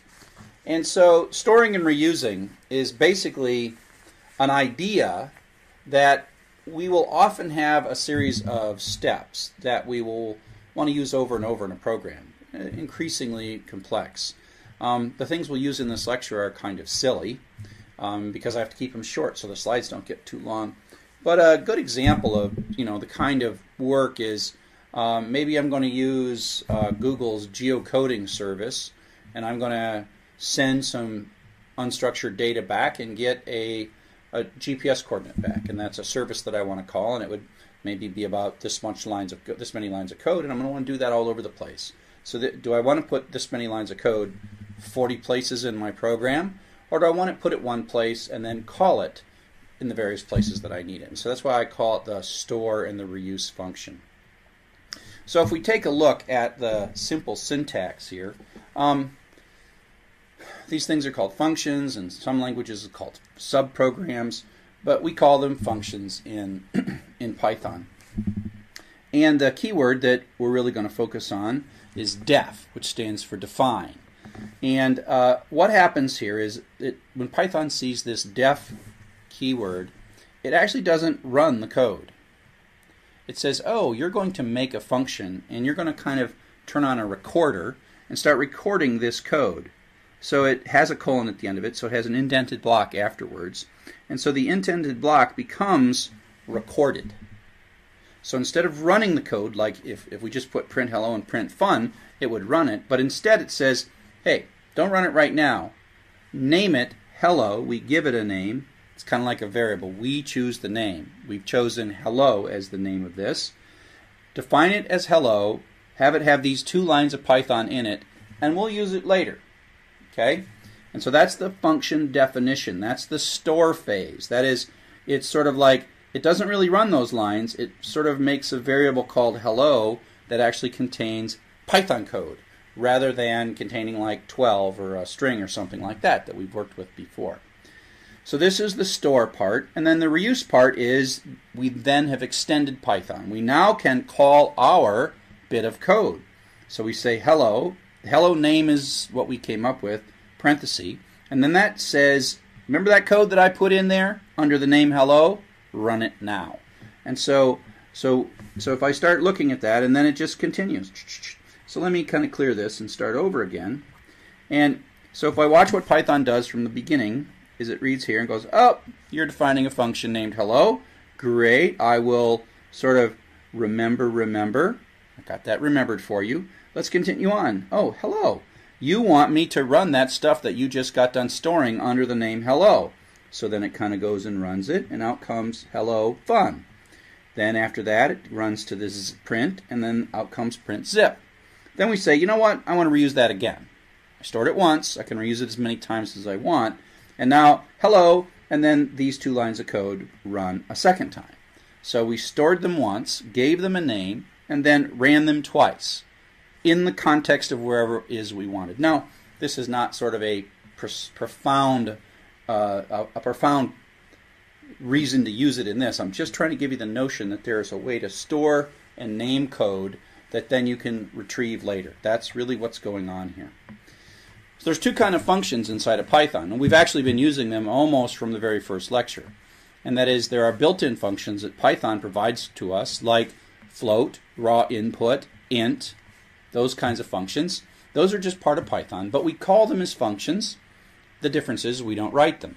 And then there's user-defined functions, functions that we write, functions that create functionality that we want to make use of, like encapsulating the ability to compute pay for time and a half for overtime. And so we name these things and we treat them as new reserved words that we've created. They're kind of an extension to the language, as it were. So when we're coming along, we define a function with the def keyword, right? The def keyword is a reserved word. It's one of the many reserved words back in chapter 1 that we talked about, and it indicates to Python the beginning of a function. We define it, and then when we call it, it's called invoking. It's like we're building it, and then we're invoking it. And you can build it once and then invoke it many, many times. So, for example, here is a built-in function called max that finds the largest character, the sort of lexicographically largest character in a string. And so it's like, okay, tell me the maximum character. And so max is not some code that we've written, but we are invoking a function here. And we're passing in an argument to that. So the argument is the stuff in between the parentheses. So the max function can find the maximum of many different things. At this moment, we wanted to find the maximum of that particular string, the highest character in that particular string. So this is a left hand, a right hand side of an assignment statement too. So that has to be evaluated to a value. So it goes into the function, does whatever things the function wants to do, and then the function gives us back a value that becomes the value for max parenthesis hello world. And that value in this case is the letter W okay, because the letter W is decided to be the highest letter, and that's what max gives us back. And then we're done, when we're done with that, then that W ends up being assigned, the assignment statement completes. And so you can think of the function evaluation as happening as part of the right-hand side expression calculation. There could be a plus here and other stuff, and it's just at some point a big expression. In this one, it's a simple expression with just one function call. Now, if we look at this, there's some code somewhere. Somebody wrote some code. It's part of Python. You didn't write it. There's a max function somewhere, and you can think of a function as having some input. It's kind of like a program. That's why some languages call these things subprograms, because they have an input, they do some kind of useful works, whatever that useful work happens to be, and then they produce some kind of an output, right? So hello world is the input, the string, the arguments, the thing we're passing in, hello world is what's being passed into the function. The function is running, and then something comes back and is sent back. So it has input, processing, and output. Input, processing, and output. So that's how a function, some stored code, whether we wrote it or not, they, they work the same when we call functions.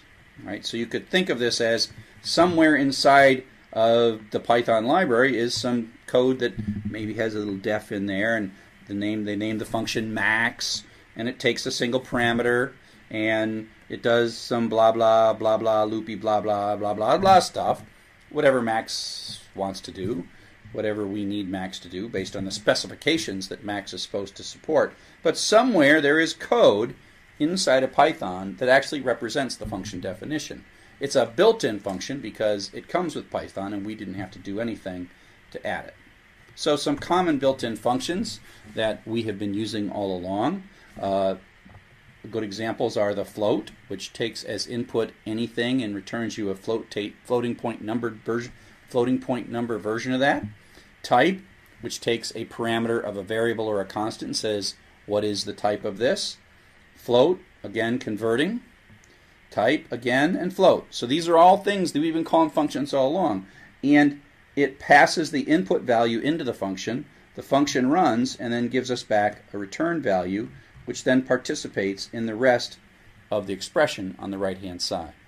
You can think of it pausing the calculation on the right hand side, calling the function, getting the result of the function back, and then continuing the evaluation of the right hand side, then coming up with whatever value, and then printing that value out.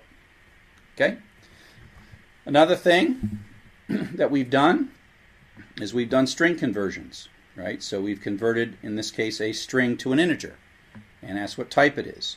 We've converted a string to an integer, so int converts its argument, whatever that happens to be, into an integer. So that's just some of the built-in functions that we have talked about so far. Now, this becomes more interesting when we can make our own own functions. Oops, there goes my tea bag right in the middle of the thing. Here, let me take the tea bag out. I think it's Whoa. Hang on, be right back.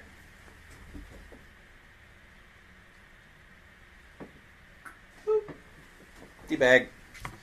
Okay, there's my tea. So, so we want to make a new function. Like I said in the other example, we use the def keyword. The def keyword here. And then we have some indented bit. We create a name for it and then have some parentheses. These parentheses will later tell the inputs that we're going to pass in, but this function has no input, so we just go parenthesis, and then the all-important colon character, which indicates the beginning of an indented block of Python that then is the, text of the function. So it's important to remember that while this is executing, when Python first looks at this, it doesn't run these lines of code. It just remembers them and names them print lyrics. So it doesn't cause any printout, it just causes Python to remember it. I've probably said that a few too many times. So, so here is a difficult problem, um, and I'll, I'll let you think about it for a while. I want you to kind of mentally go through and execute this code and ask what ask yourself what the output of this program would produce. How many lines? How many lines of output would this program produce?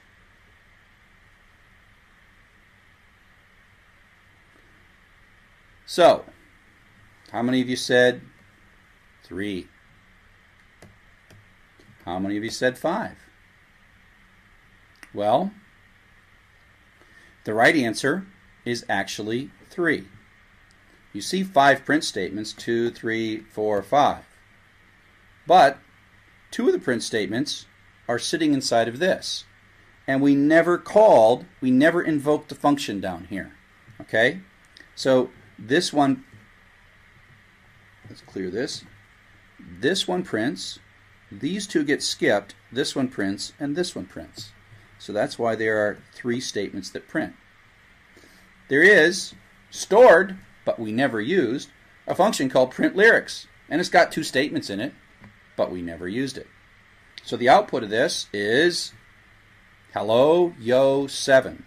And that's because we never actually invoked it. We had to say print lyrics parenthesis or whatever to cause it to call this.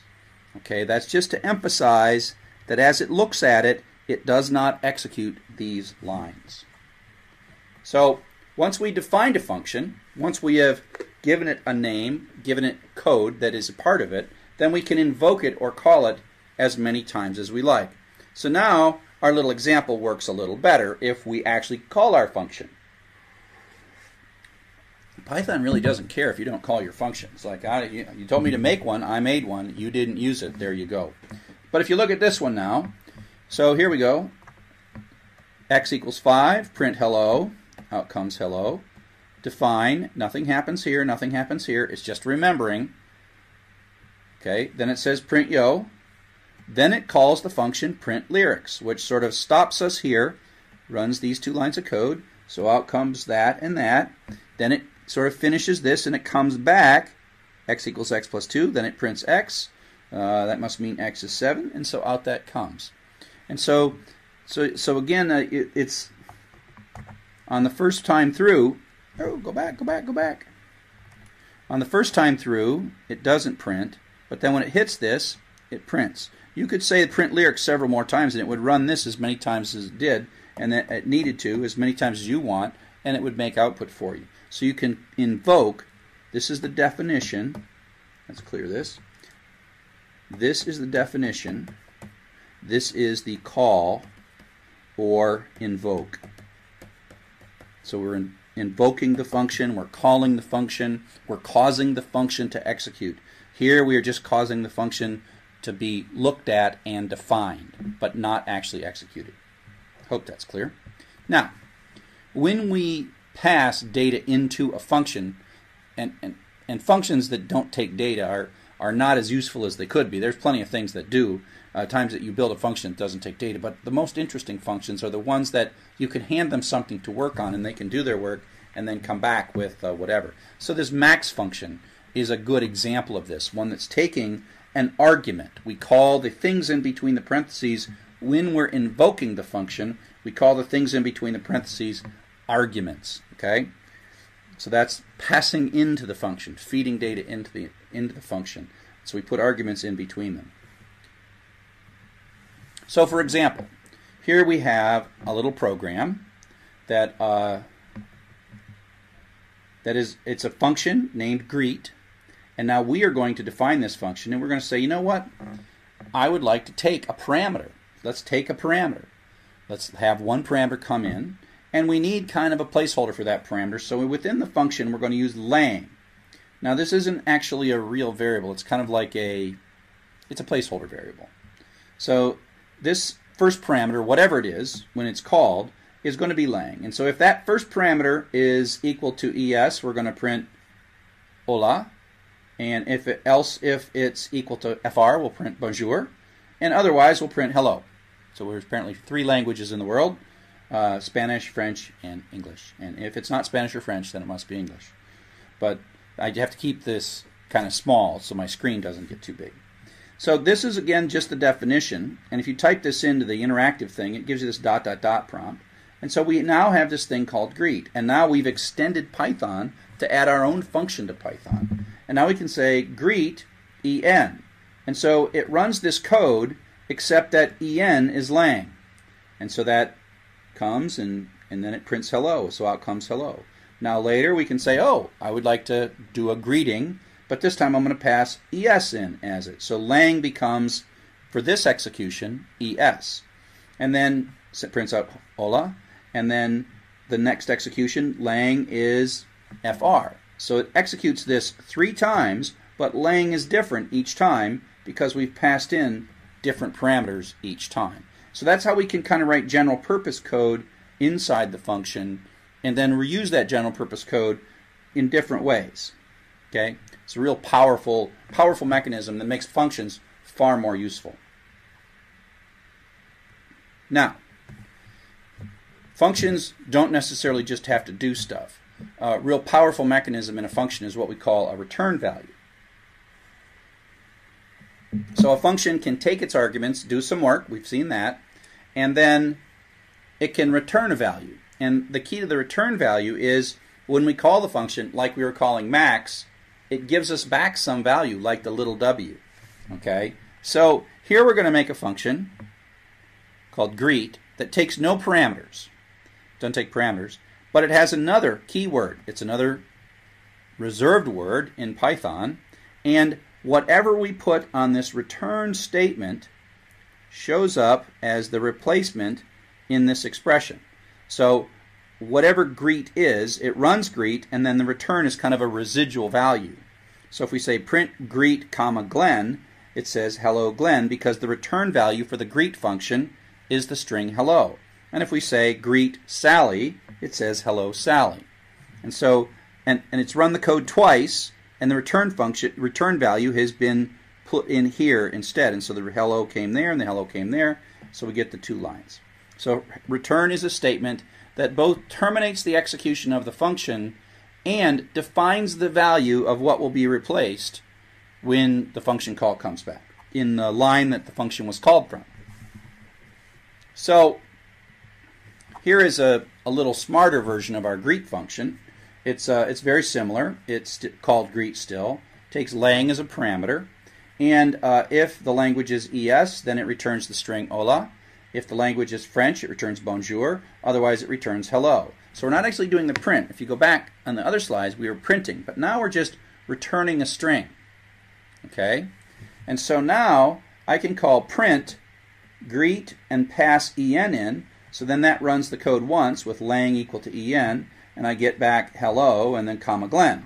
Then I call it again and I pass es in and then that time it returns the return value here becomes hola, a string hola, hola Sally. And then Michael, I pass in one more time. Lang now is fr, the string fr, and so it returns uh, bonjour. And so the, the residual that is here is bonjour, and so out comes bonjour Michael. So there's a lot to this, right? You're passing stuff in, you have this kind of placeholder variable, and you have this return that sort of appears where it was called from. It goes in, does its work, it comes back, and there's sort of this residual value that sits here. You don't have to have a return in a function, but if you want to do something with a value, then you have to have a return in the function. We call the functions that produce values fruitful, and the other ones are called void. so that's a good name for them. So to review sort of this arguments, parameters, and results, if we look at max, the original thing where it's looking for the largest, uh, largest lexicographically largest letter, um, it looks hello world is the argument that's passed in. We have this sort of formal parameter here called inp, which is not really a variable. It just happens to refer to whatever is the first argument when in the in any particular call.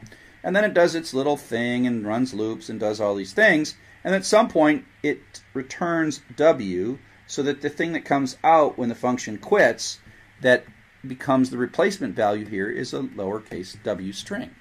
And then that is the w that goes over into big. So the return is what defines what comes back here. Because you think of this as it's looking at this, it suspends for the moment, it runs this code, it's holding it's holding itself here, it's running this code, and then it comes back to here. Okay? And the return value is what defines coming back. So, of course, you can have more than one parameter, and they are in order. So here we have an A and a B. Uh, these, the name of these things doesn't really matter. They're just relevant inside of the function definition. So we are going to add two numbers together by taking A plus B and then returning the sum. The added variable is just kind of local to this function. And now we can say, you know, add to 3 comma 5, and then this will come back as 8, and then 8 will get assigned into x, and so that'll print out 8. And so you can have as many of these as you want, and the order matters, and there's a one-to-one -one correspondence. Uh, 3 goes to A and 5 goes to B when the thing is called, and then the return value, again, comes back. Okay? So that's sort of arguments. And like I said, uh, not all functions have to return values. We call them void functions when they ret don't return anything. It's uh, totally fine for that to be the case.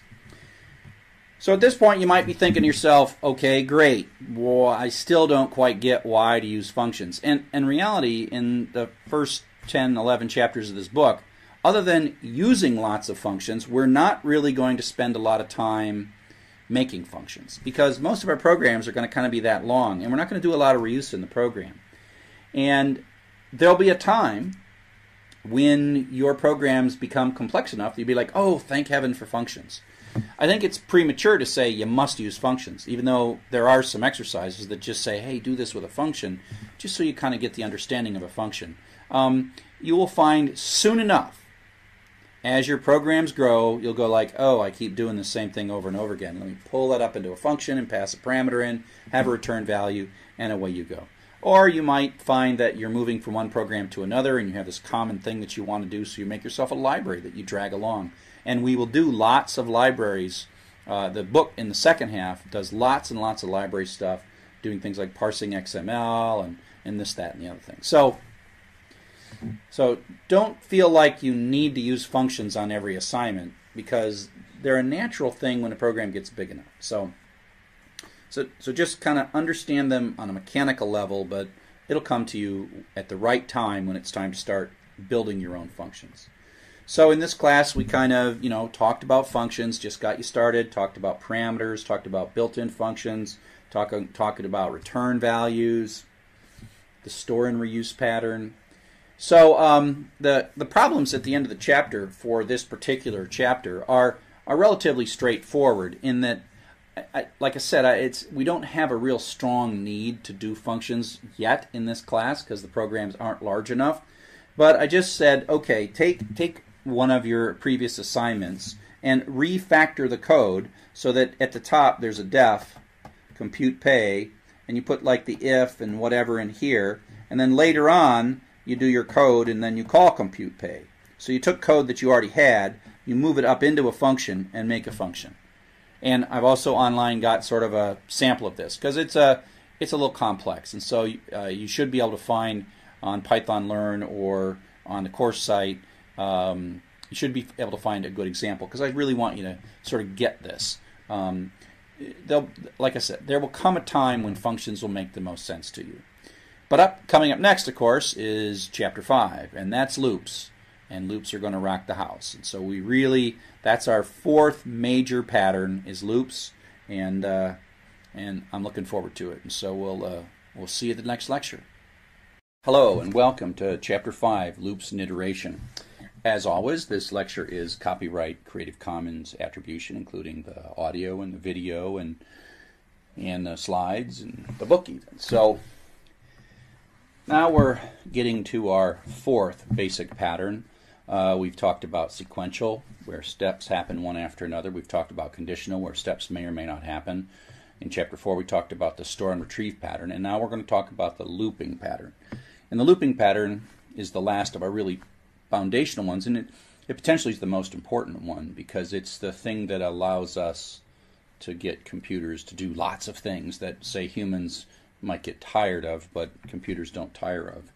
And so after this, we'll start sort of becoming a little more skilled in the basic language capabilities. We'll uh, talk about strings and and then start talking about files and start doing some real work um, after we get done with this. So bear with us. It's going to be a while, but uh, We'll, we'll get there. We'll get there. So, welcome to uh, Repeated Steps. This is the example that I had uh, in the first first lecture, chapter one. And the basic idea, just to review, is that you have this while keyword. The while keyword sort of functions like an if in that it implicitly has a decision that it's going to make. And it's either going to do the code in the indented block or not do it, or skip it, basically. Right? So you either do it or you skip it. The difference between the while and the if is that it's going to do it many times as long as this question that we have remains true. Okay? And so in this case, n is 5, while n greater than 0, it functions like an if, so yes, it's going to run it. Prints out 5, subtracts 1, so it's 4. Goes back up, goes back up, and asks the question again. Is n still greater than 0? Well, since it's 4, yes, we'll continue on. Out comes 4, then n gets subtracted three, two, three, two, and then we come through, we print one, print one, we subtract n to zero, we go up, we go back up, n is now not greater than zero, so we come up and we execute outside the loop, we leave the loop, and that really means in the Python code we skip to whatever's lined up with the while statement, the in same indent level as the while statement. And so that's how it works, and I just print n at the end here to remind ourselves that n ended up at 0, not at 1. The last thing we printed out in the loop, the last thing we printed out in the loop was the 1, but n ended up at 0 because it was this loop was going to run as long as n was greater than 0, so n had to sort of be not greater than 0 to get out of the loop. Okay? So that's basically a review of what we've done. Now, oh, wait, wait, wait, wait, wait, something else. Um, iteration variables. Okay, so the key to this is these loops can't run forever. We don't want them to run forever. We want them to run in as long as we want them to run. They may run a very long time, um, but not forever. There's got to be a way to get out of them. Otherwise, we call them infinite loops, which we'll talk about in the next slide. And so the iteration variable is generally some variable that is changing each time through the loop, and we are changing it by subtracting 1 to it from it. And and so this thing is going to keep running, and we can pretty much see that, oh, this is going to exit, right? Whatever n is, it could be a large number, but eventually it's going to get to 0, right? So the iteration variable controls how many times the loop runs, and it also allows us to do something different inside the loop. And of course, this is like a trivial loop where we're just printing the iteration variable, but it just means that this loop is going to run five times, and it's going to do something potentially different each time. Uh, if you just ran the loop that did the same thing over and over and over again with no data changing, that's kind of dull and pointless. So just because you have an iteration variable doesn't mean that you've properly constructed your loop. It's a, it's a common problem, or something we want to avoid, is an infinite loop. And here is a, a carefully constructed loop. We start n at 5 at the beginning. We have a good question at the end, while n greater than 0. It's going to run this as long as n is greater than 0.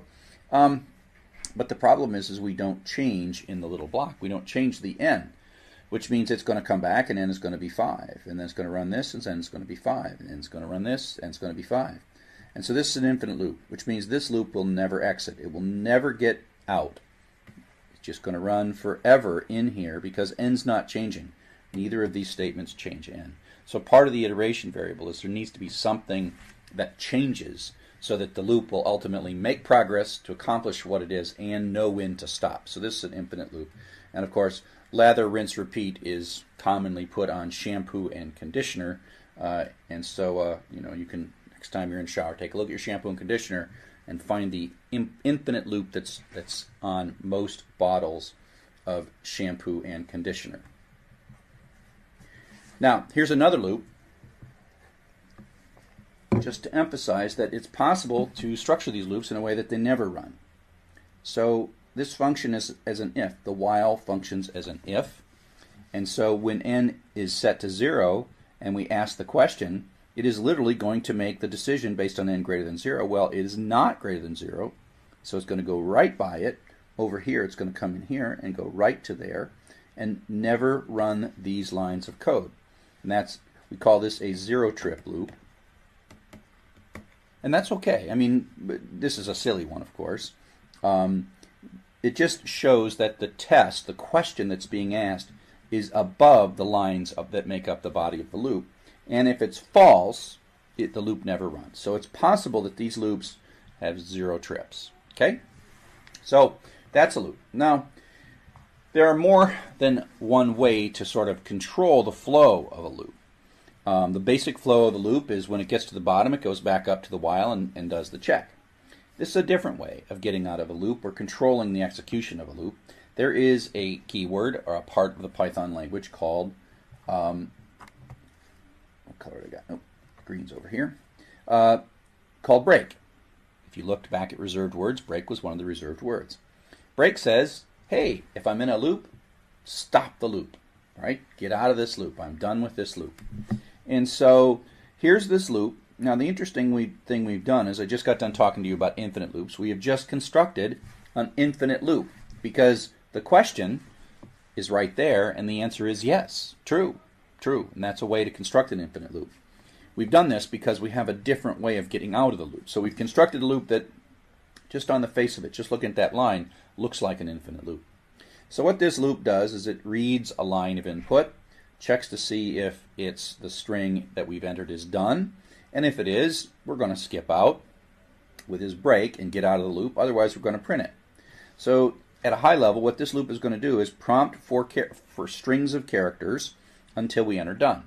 And that's exactly what it does. It prompts, we say hello there, it prints that out. We say, we say finished, it prints that out.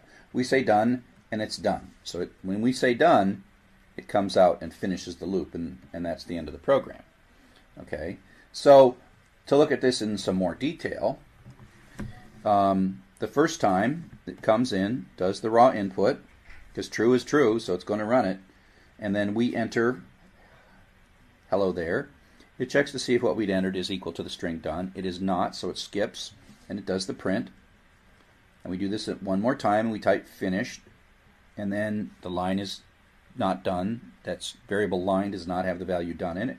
So we print that. We come in one more time, but this time this is true, and so it goes in and executes the break, and then it escapes the loop. And so you can think of, right, here is the body of this loop, because that's where the indentation starts and ends.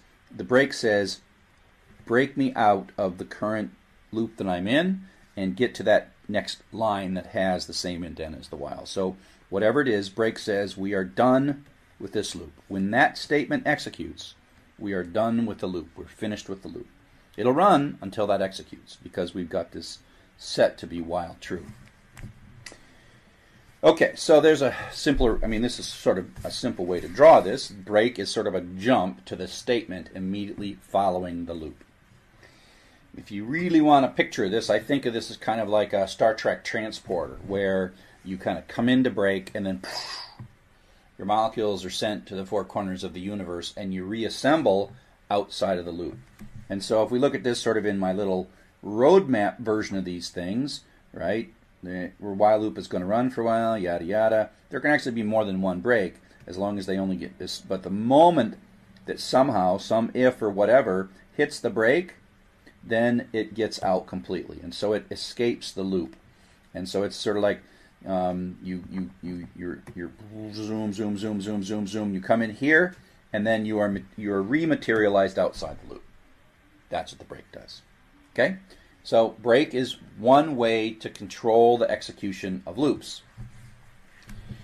Now, another way to control the execution of loops that doesn't actually exit the loop is called continue. Continue basically says, hey, I'm done with this iteration of the loop. Now, each time through the loop is we call that an iteration. Continue says, I don't want to stop the loop, but I want to stop this iteration and advance to the next iteration. And so what we have here is we have the same basic loop, a while true, which kind of makes us an infinite loop. Um, we're going to read a line prompting with a less than sign. Um, and if it's done, we're going to break. That code is down here, and we're going to print it if we fall through. So normally we'll be reading and printing, and if the line is done, we're going to break out. That's what we just got done doing. But the new part is right here. And this is, we'll learn this in the next chapter. If line sub 0, if the first character of the line is a pound sign, we're going to continue. And what continue says is it doesn't actually get us out of the loop, it jumps back up to the top of the loop, which means that it ignores, for that iteration, the rest of the loop, right? So if execution comes in here, uh, let me clear that. If execution comes in here and hits this line, it goes back up to the while, okay? Which means it, whatever this is, it's not coming out of this if. It's going back up to the while. Okay, so continue ends the current iteration and jumps to the top of the loop and starts the next iteration. And so if we look at how the code runs, hello there prints. Pound sign with first character doesn't print, so there is no printout right here.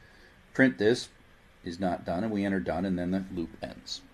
Now another way to sort of draw this is the continued jumps to the top of the loop.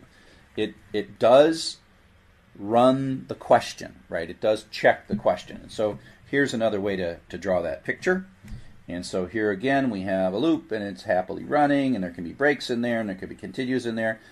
And as long as we don't hit a break or continue, the loop just sort of runs and goes up to the top. And at some point, some if, we hit the continue, and like a transporter, Instead of going out of the loop, we go to the top of the loop. But it's important that we go and we check the question, right? So the continue is not likely to exit the loop unless the question has become false. So the continue is likely to come up here, run some more, then we hit the continue, comes up here. Oops, oops, I did that backwards. Run some more, clear this out. So the continue could run many times, right? So we have the loop, loop runs a bunch of times. Then finally we hit the continue. Continue goes up to the top. If it's still true, we'll run the loop some more. Then you might hit the continue. Then you might go up to the top, come down, round and round and round and round, hit the continue again, go up to the top, yada yada. Now in this in this particular loop, this break eventually is down here, and that's how we get out. Okay. So the continue goes back up to the top of the loop. So these loops that we construct with the while keyword are what we call indefinite loops. I mean, looking at the ones that we've written, which are two lines or six lines, we can kind of inspect them and understand when they're going to stop. And we're going to know that they're possible to stop them. A loop that won't stop is an infinite loop. Um, sometimes these loops can be rather complex, and you may not actually be able to look at them because there are many lines and and uh, and and so we don't know. And so so it's real careful. You have to be real careful when you construct these to make sure that they stop as as things get more complicated. Now the cousin to indefinite loops are definite loops. And definite loops is something where we have a list of things or a set of things that are a kind of a known set of things, a finite set of things. And we're going to write a loop that's going to go through that set of things and do something to each thing in that set of things. And the keyword that we'll use for this is the for. So we use the Python for keyword that says we're going to write a loop, but instead of it just running until some condition becomes true or false or we hit a break, um, we're actually going to know how many times this is going to run. Now you can actually use break and continue in for loops. We call these definite loops because the how long they're going to run is kind of well known, basically. So here's a simple definite loop. And it's kind of like that while loop that we just got done looking at, where it's counting down and then saying blast off. And so the way we construct this loop is we have the for keyword, is part of the Python language, the in keyword, and then we have an iteration variable. I've chosen i as my iteration variable. And basically what we're saying is, dear Python, Run this indented block, and there's only one line in the indented block. Run it once for each of the values in this little list. This is a Python list. Square brackets make Python lists, comma separated values. So it says, I would like i to be 5, then run this code. Then I would like i to be 4, then run this code. Then I would like i to be 3, then run this code. i should be 2, then run this code. And i should be 1, then run this code. And so this is a, a pretty clear, and I like this word in it says, you know, doop, doop, doop, doop, doop, and then run this each time. And so out of that comes 5, 4, 3, 2, 1, and then the loop is done.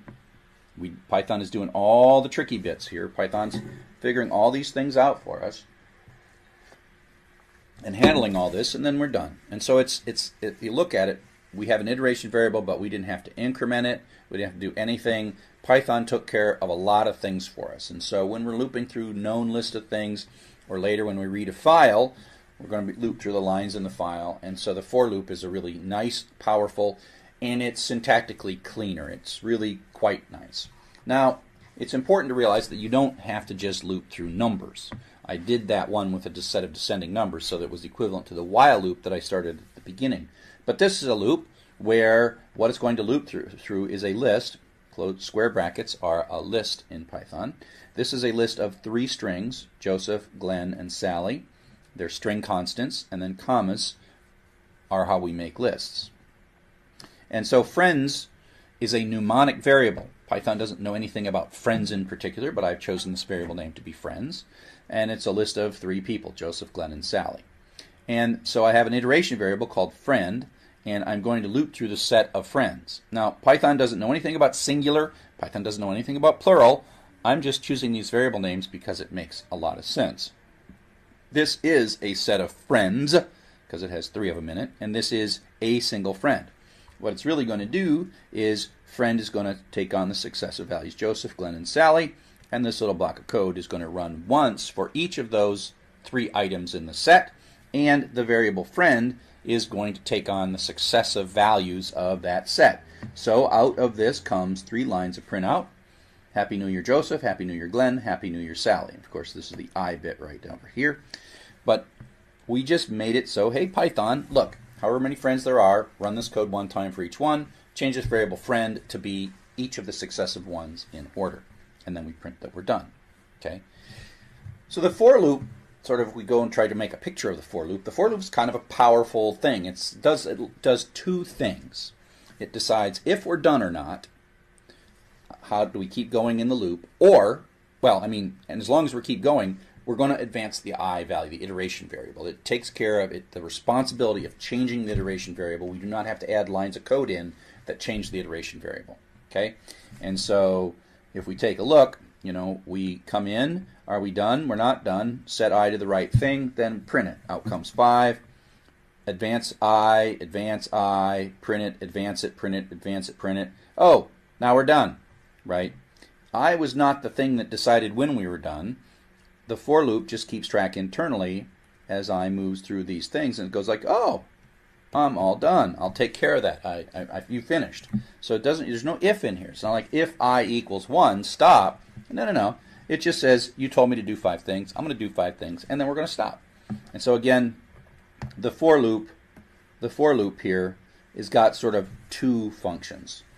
Decides how long the loop's going to run and changes the iteration variable based on what you've told it to in this in clause. Okay? So I think in is a real elegant construct. It's just a keyword, but it's sort of if you think about math math, if you're familiar with sets, it's like something inside of a set of something. I think it's a real pretty way to think about it. Um, and you can kind of think of it a little more abstractly that you say, well, here's a little indented block of code, right? And I want it to run some number of times for each of the i values in the set 54321. That's how I kind of think of it. So I, I think this is a real pretty syntax. Different languages have different looping syntax. I think this is really a very expressive, very pretty one. Yeah. So another way to think so so so one way to think about this picture is that you know the for loop causes sort of repeated execution and there's we're driving in the circle and then we stop, right? The other way to think about this is to to not to think about it a little more abstractly, right? To say, hmm, you know, at the end of the day, all I'm really telling Python is I want to execute this block of code five times, and I want the variable i to change from to these three values. So in a way, you could think of this as expanded as the for loop sets it to 5, then runs your code. The for loop then sets it to 4, runs your code. The for loop sets it to 3, runs your code. For loop sets it to 2, runs your code. Sets it to 1, runs your code.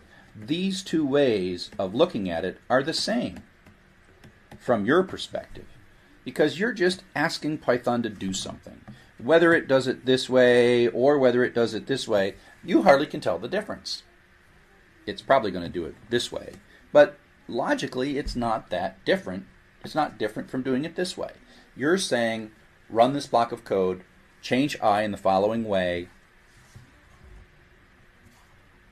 Cool. It's like we don't have to worry. I mean, we can use mentally either model of what's going on inside because it doesn't matter because they're the same. Okay, so these definite loops are really cool. Uh, starting in a couple of chapters, we'll mostly use definite loops to go through lists or dictionaries or tuples or files. Uh, and so it's a finite set of things. It can be a large set of things, but it's a finite set of things. Loop idioms are how we construct loops. And we're going to the, the loops kind of have some kind of a goal in mind. Finding the largest, we played with that. Finding the smallest, counting the number of things, looking for lines that start with pound sign, something like that. They they have a kind of a high level view of what they're supposed to do, and then we have to kind of build a loop to accomplish that. And and this goes back to how we have to think like a computer, right? We have to say, "Hey computer, do this over and over and over again, and then I'll get what I want once you've done that over and over again. You have to do something a million times. I'm not going to sit here and wait. At the end, I get what I want. So I call these kind of smart loops, or how, how to kind of build intelligence into loops.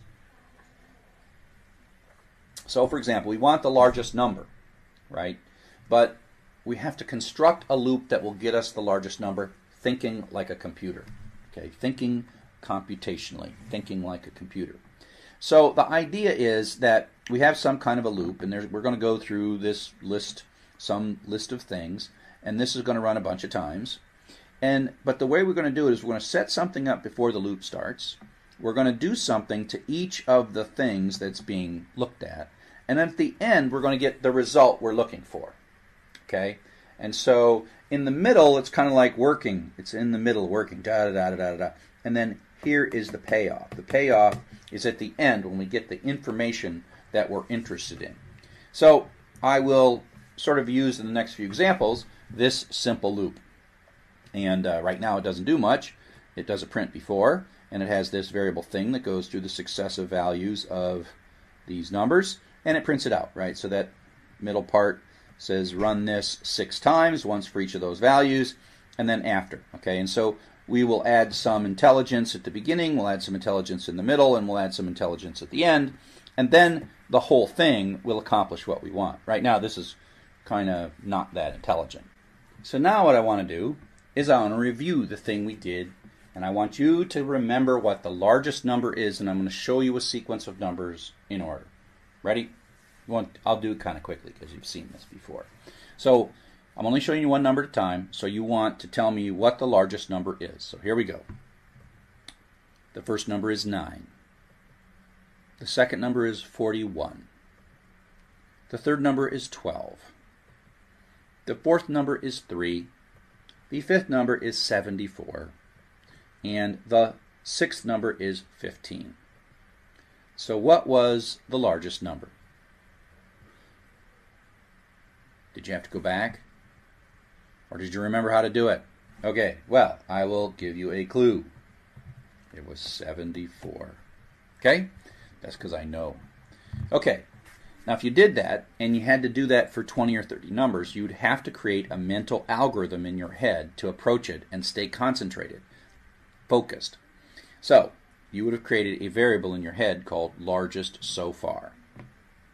I would show you the first number, which would be 9, and you would go, hmm, well, 9 is larger than one, negative 1, so I will keep that. That's the new largest I've seen so far. That's pretty awesome because it's way better than negative 1.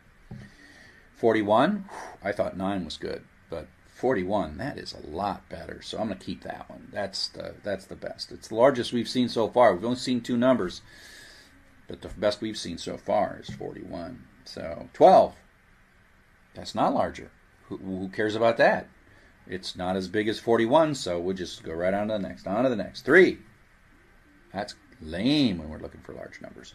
So we skip, whoa, 74, 74. That's a rockingly large number. So we're going to, that's a that's actually the largest we've seen so far because it's bigger than 41, and 41 was the former champion largest we've seen so far.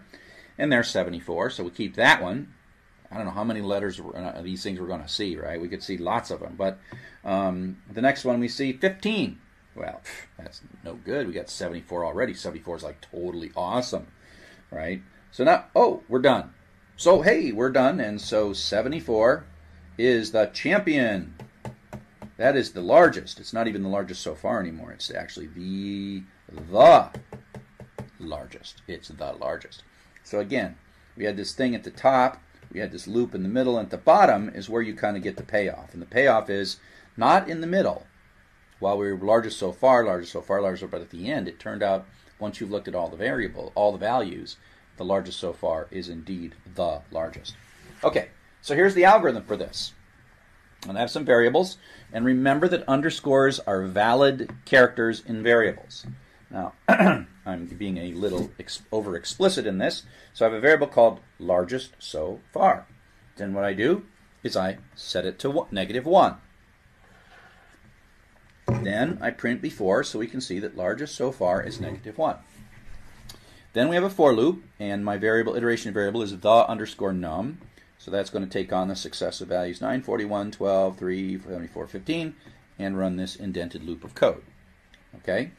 And so the num will be 9 first time through. If the num, 9, is greater than largest so far, then grab the num and assign it into largest so far. Then print at the end of the, each loop largest so far and the num. So, so in effect, the num is 9. We compare it to negative 1, and negative 1, uh, 9 is higher, so we make largest so far be 9. Next time through the loop, next time through the loop, num is 41. So we compare largest so far with 41, and we like it, so we store it. So we like it, we run it, and we print out 41 is the largest we've seen so far. Then we run again, we come in, the num now points to 12. The num, 12, is not greater than 41, and so we skip. So the largest so far stays 41, and we see 12. Similarly, the num advances to 3. We skip, so we saw 3, but the largest so far is still 41. Continuing, the num is now 74. It runs. 74 is greater than 41. And so we run this code.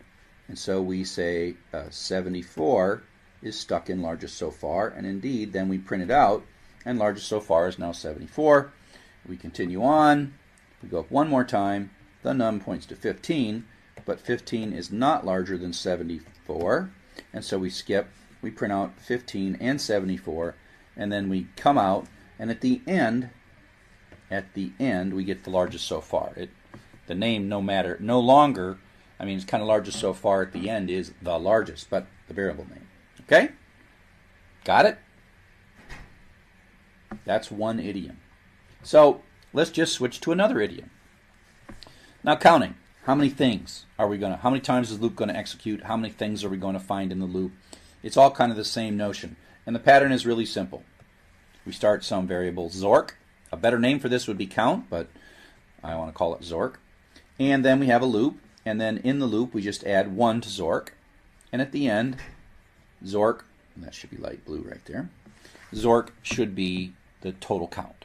Now, of course, we can look at it and say it's going to be 6, but assume this loop is looping through a million lines in a file or something like that. So it's so it's cheating to kind of look at it and say, "Oh, it's 6," because we want to actually compute it. So it's really simple. You know, Zork starts at 0. It's going to run Zork is 1 now, and two, three, four, five, six, and then we've run out of stuff, and then we print out 6. Okay?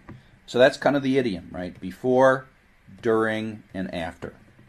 Right? We do something before, we do something during, and, it, and in a sense, this Zork here is the number we've seen so far. And at the end, it becomes kind of the total number. Summing in the loop, very similar. Again, you have to think of this as there's a whole bunch of variables here. We start a variable at 0. Each time through the loop, we add whatever it is that we're seeing. Instead of adding 1, we're adding 9, 41, 12, 3, 74, 15. And Zork would be best thought of as running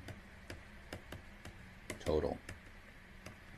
So Zork is the running total, and so if you look at the numbers 9 as it running total is 9, running total is 50, running total is 62, 65, 139, 154, and then we skip out, and at the end, the running total becomes the total.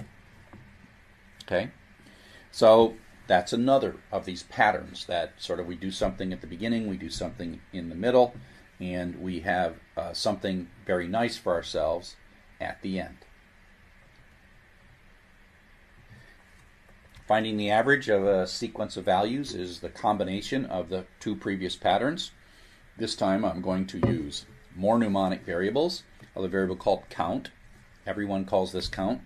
Sum, now the total would maybe be a better word for this, the running total.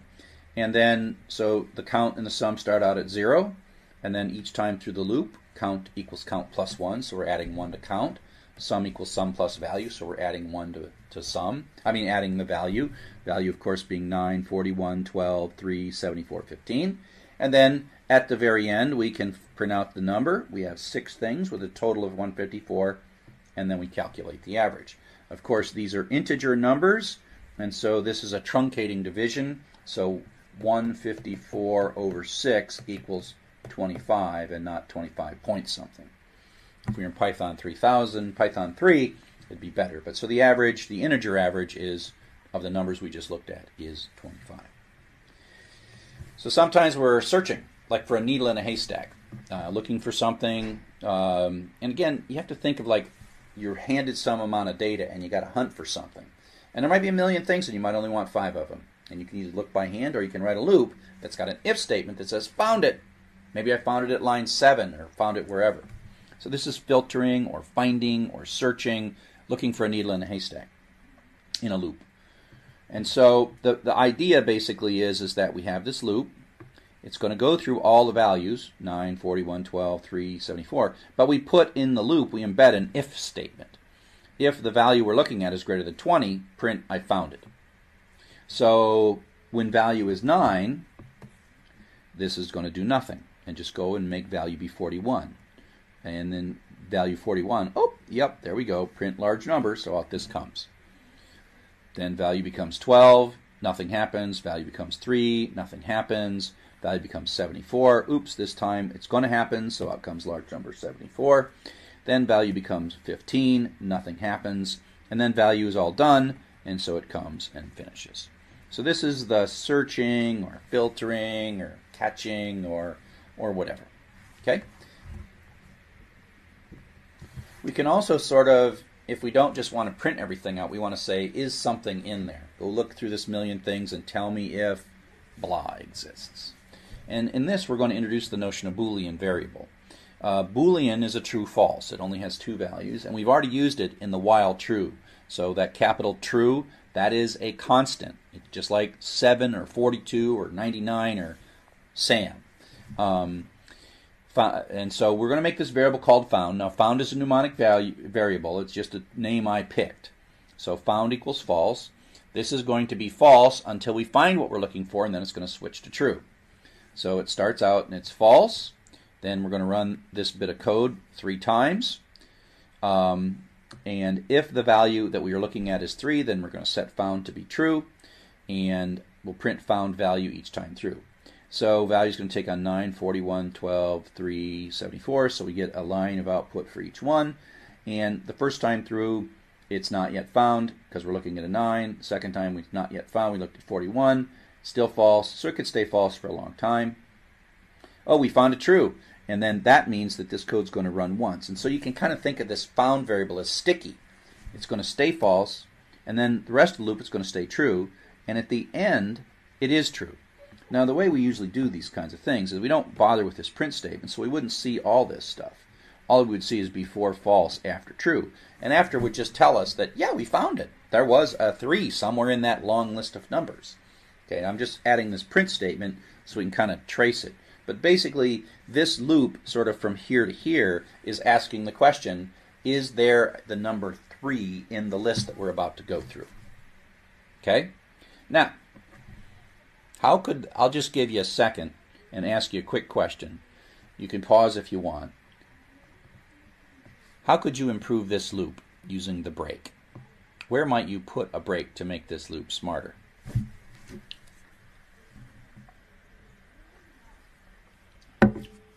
It's okay if you didn't if it doesn't jump out at you. So, if you think about it, once you hit true, there's really little point in looking at the rest of them. There just is no point. So we could put a break right here inside this block. You say, look, I'm looking for a 3. All I care is whether I found it or not. If I find it, I mark it to true that I found it, and I get out of the loop. Why bother? Why do all these things? Right? Just get out. Okay? So don't worry about it. I'm just pointing that out that that's one of the places where break could be used. The loop functions either way. It just it just looks through all the rest of them as well.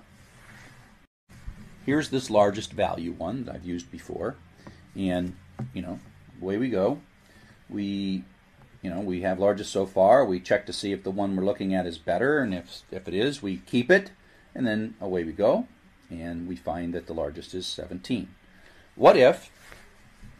What would you have to change in this code to make this search for the smallest of all the values. Like point, point where in the screen.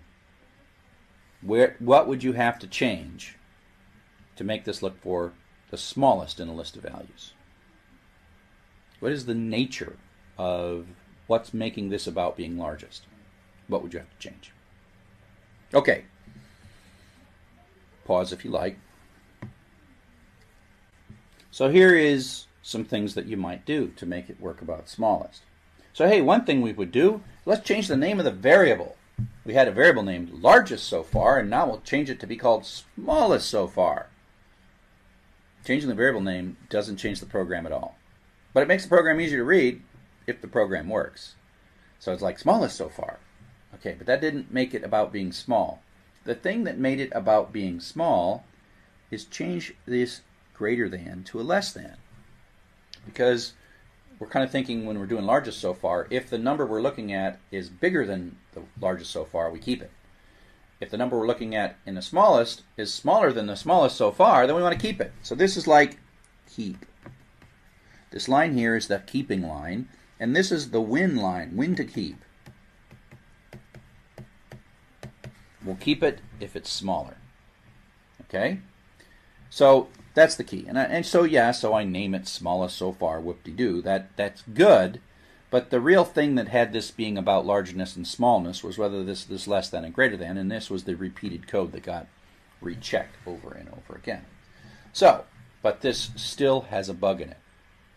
So let's run this visually. Okay, so now we've got a variable called smallest so far. We're going to check to see if a series of numbers that I'm about to show you are smaller than the smallest so far. So the first number is 9. Is that smaller than negative 1? No, it's not. Negative 1 is smaller. The second number is 41. Is that smaller than negative 1? No, it is not. The next number is 12. Is that smaller than negative 1? No. Negative 1 is smaller than 12. 3? No, not smaller. 74? No, not smaller. 15? Not smaller. So we're all done. Yay! And the smallest number we saw on the list is negative 1. Negative 1 wasn't even in the list. So that's not a very good program.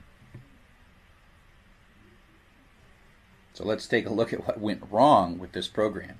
So we fixed it. We fixed it as best we could. All right, we made it. We changed the words largest to smallest. Yay, that'll fix. Just makes it more readable. Doesn't actually change the program. And we made this less than. So now what happens is it comes in. If 3 is less than negative 1, smallest so far, of course, is negative 1, it this just never runs. This never runs. And so as we print, smallest so far stays negative 1, and oops, that should be negative 1 right there. Sorry, I forgot to fix that. Here, let me magically fix that. Boom. So let's take a look at what went wrong with this. So here we have the code. Smallest so far is negative 1. We have it fixed so that we're checking, looking for smaller numbers rather than larger numbers by turning this to less than. But the first time through, smallest so far is negative 1, and the num is 3. 3 is not less than negative 1, so we skip through. And the printout at the first line is negative 1, 3. And it doesn't take long to realize it's just going to keep doing this. Smallest so far is going to stay negative 1, no matter what we look at on this side. And then we're going to come out the end, and we end up with negative 1 as the answer. Not very good. So the question is, what should we make this value be? Negative 1, it barely worked in the largest because we were working with positive numbers. And so starting with negative 1 as the largest so far was a reasonable assumption as long as the numbers were all positive. But what would be a good number to choose here? Think about that for a sec. Pause if you have to. Let me clear it. Let me make it real clear. What's the right thing to put here? Okay. So, what? A million? That might work. Or a million might work. But what if this number, you know, was, you know, what if what if what if all these numbers were um, larger than a million? Okay, then then that wouldn't work. So the problem is, is there's no real good value unless you could make this be somehow infinity. Okay, uh, you could make this be infinity. But there's a way to do this in Python, and it's a really kind of cool technique. It's sort of a way we signal ourselves, and that is we're going to use a special value not negative 1. It's not a number. And the special value we're going to use is none. It's a different type. It's not a number. It's itself its own type. So what we're going to do is we're going to mark smallest as none. And, and, and sort of at a high level, what we're really saying is um, we haven't seen anything so far. The smallest we've seen so far is none. We've not seen anything so far. Now we have to change our loop, our little if inside the loop. This is this intelligence in the middle. First we say if smallest is none. Is is an operator, part of the Python language. If smallest is none, exactly the same as none, then the smallest we've seen so far is the value. Now this is going to happen the first time. Because smallest starts out none, and then as soon as we set smallest to the value, it's going to be that first number. So it's going to be 9. Okay, so smallest is quickly going to become 9. Then we print out the new the smallest is 9 after we've seen the 9. Then we go up to the top and we say is smallest none? And the answer is no, it is not, because smallest is now 9. Then this else if is going to ask, is the value we're looking at, which is 41, is the value less than smallest? Well, no, it is not. 9 is smaller than 41. And so in a sense, after the first time that's executed, after the first time the statement is executed, this is going to always be false, right? Because smallest is no longer none. And this is going to be the thing that really is operating. And then it's going to work. And when we, you know, smallest will become 9. The smallest so far is 9, but then we see the 3 finally, and the value, the 3 is less than 9, and so then we take 3 and we stick it into smallest, and we end up with this, and then the loop runs some more times, and when we're all done, we have 3.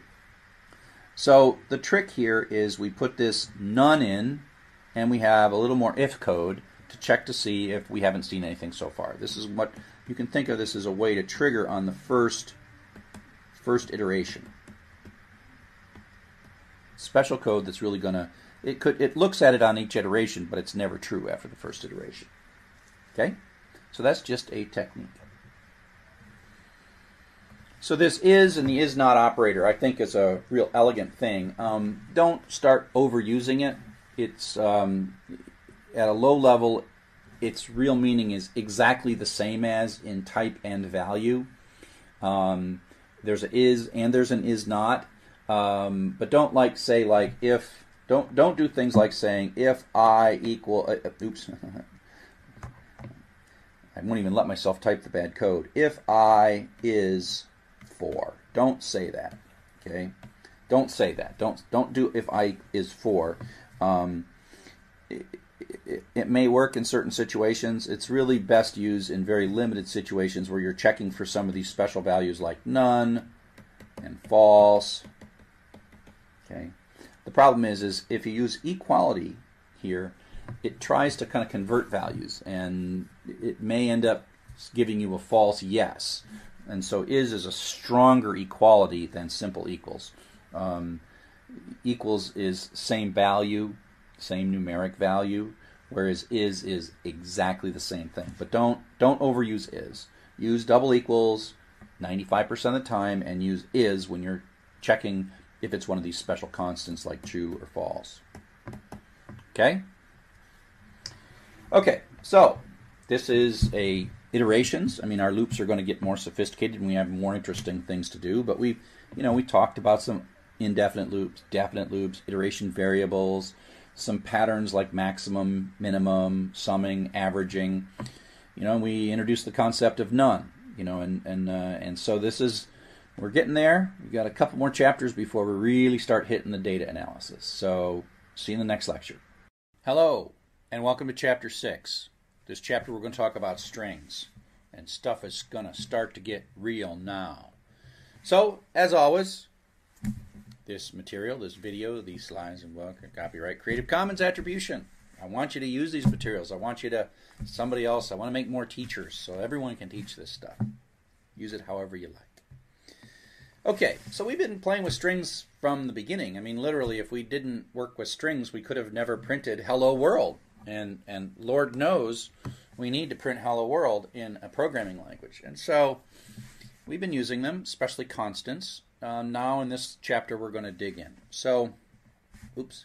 So a string is a sequence of characters. Uh, you can either use single quotes or double quotes in Python uh, to delimit a string. And so here's uh, two string constants, hello and there, and stuck into the variables stir1 and stir2.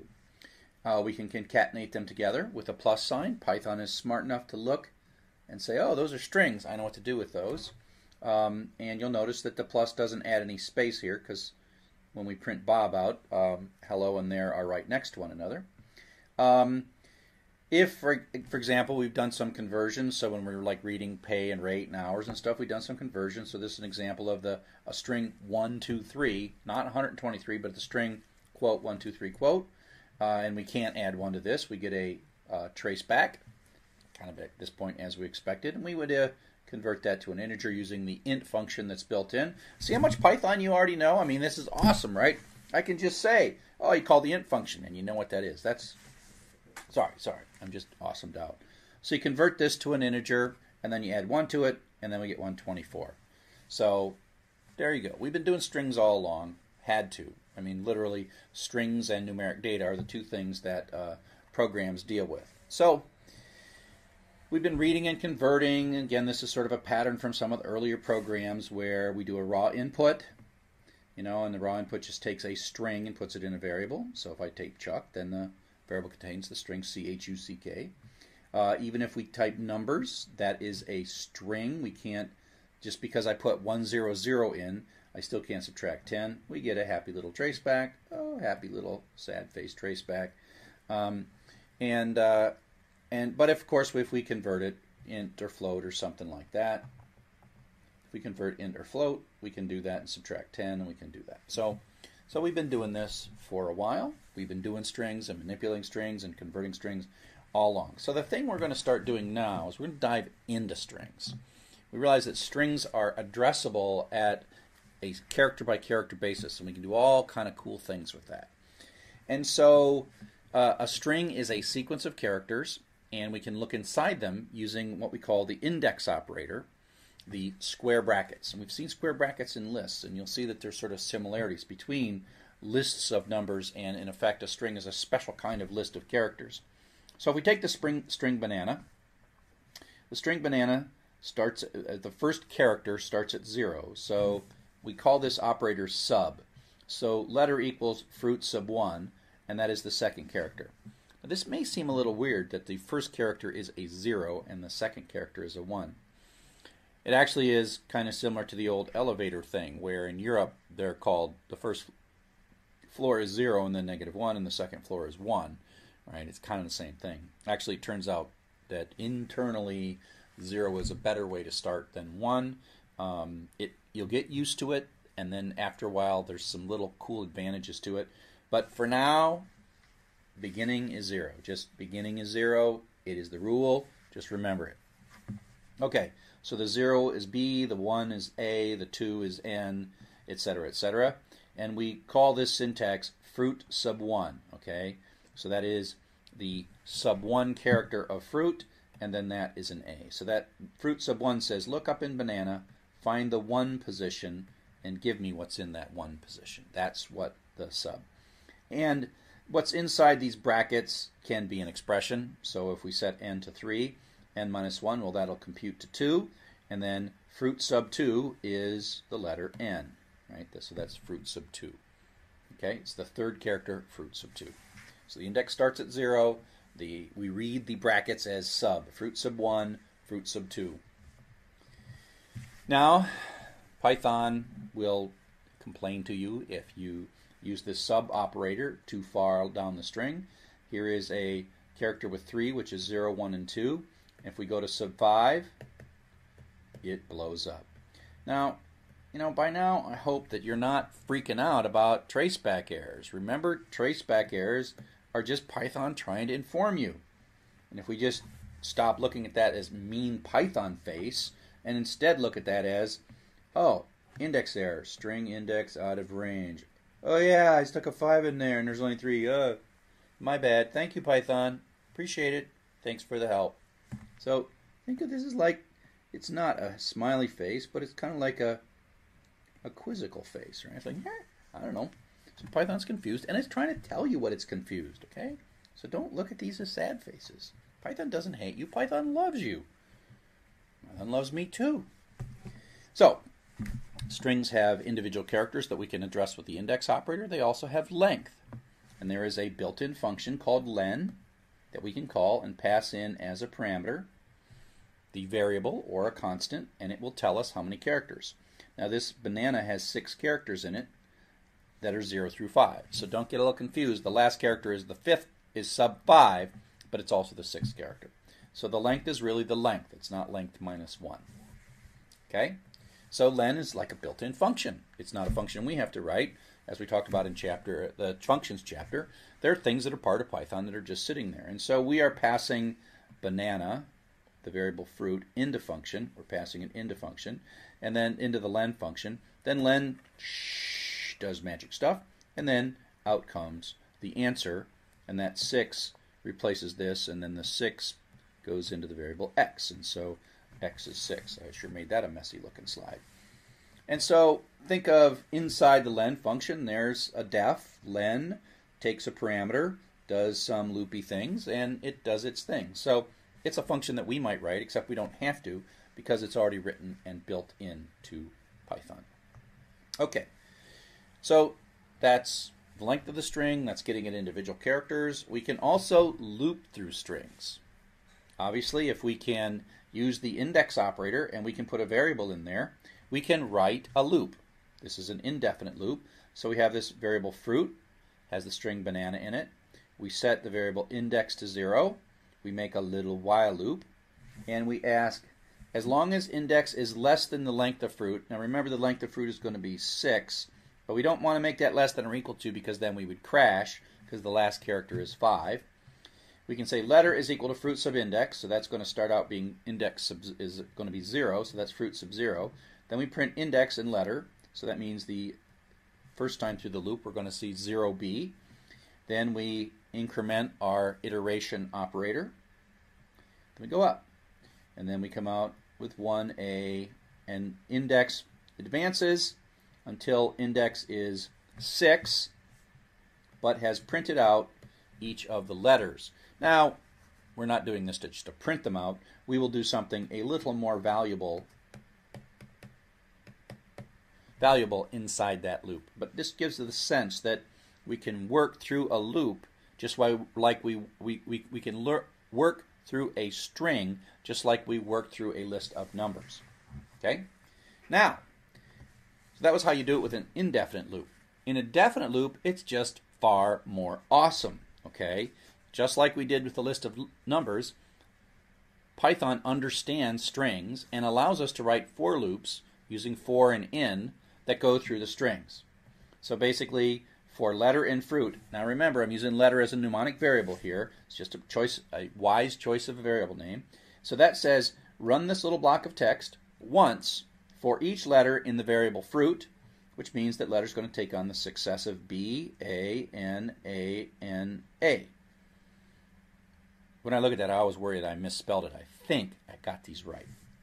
If I rewrite this book, I'm not going to use banana as the example because I'm terrified that I misspelled banana because I don't know how many N's banana has in it. But be that as it may, we are abstracting, we are letting Python say, run this little block of text once in order for each of the letters in the variable fruit, which is B, A, and A, and so it prints out each of the letters. So this is a much prettier version of the, the, the looping. So using the definite, the for keyword instead of the while keyword. And so we can just kind of compare these two things. They kind of do the exact same thing. And it also is kind of a gives you a sense of what the for is doing for us, right? The for is setting up this index. The for is looking up inside of fruit, and the for is advancing the index. So the for is doing a bunch of work for us, and I've characterized that sort of in the previous lecture, how the for is sort of doing a bunch of things for us, and that's it allows our code to be more expressive and and instead of so this is a lot of this just kind of bookkeeping crap um, that we don't really need, and so the for loop helps us by doing some of the bookkeeping for us. Okay, so we can do all those loop idioms. We can find the largest letter, the smallest letter, the how many times. So I think I what how many n's are in this or how many a's are in this. And so this is a simple counting pattern and a, and a looking pattern. And so our word is banana, our count is zero. For the letter in word, again, boop, boop, boop, that comes out like that. So it's going to run this little block. If the letter is A, add one to the count. So this is going to basically print out at the end the number of A's in banana it would probably be more useful for me to print out the number of n's in banana because I never know how many n's are in banana. but it looks like there's supposed to be two, or otherwise I have a typo on this slide. So the n, again, I, I love the n. I just absolutely love this n. I love this syntax. This for each letter in the word banana. I just to me it reads very smoothly. Cognitively, it fits in my mind what's going on. For each letter in banana, run this little indented block of text. Again, very pretty. I love in. It's one of my favorite little pieces of Python. So again, with the for, it takes care of all the iteration variables for us, and it goes through the sequence. And so here's here's an animation, right? Remember that the for is going to do all this work for us, right? Letter is going to advance through the successive value, the successive letters in banana. So letter is being moved for us by the for statement. Okay? So that's looping through now, it turns out there's a lot of common things that we want to do that are already built into Python for us. Um, clear the old screen there. Um, we call these slicing. So the index operator looks up various things in a string, but we can also pull substrings out using the colon in addition to the square brackets. Again, this is called slicing. So the colon operator basically takes a starting position and then an ending position, but the ending position is up to but not including the second one. So this is it's up to but not including, up to but not including. Just like the zero, you get used to it pretty quick, but the first time you see it, it's a little bit uh, wonky.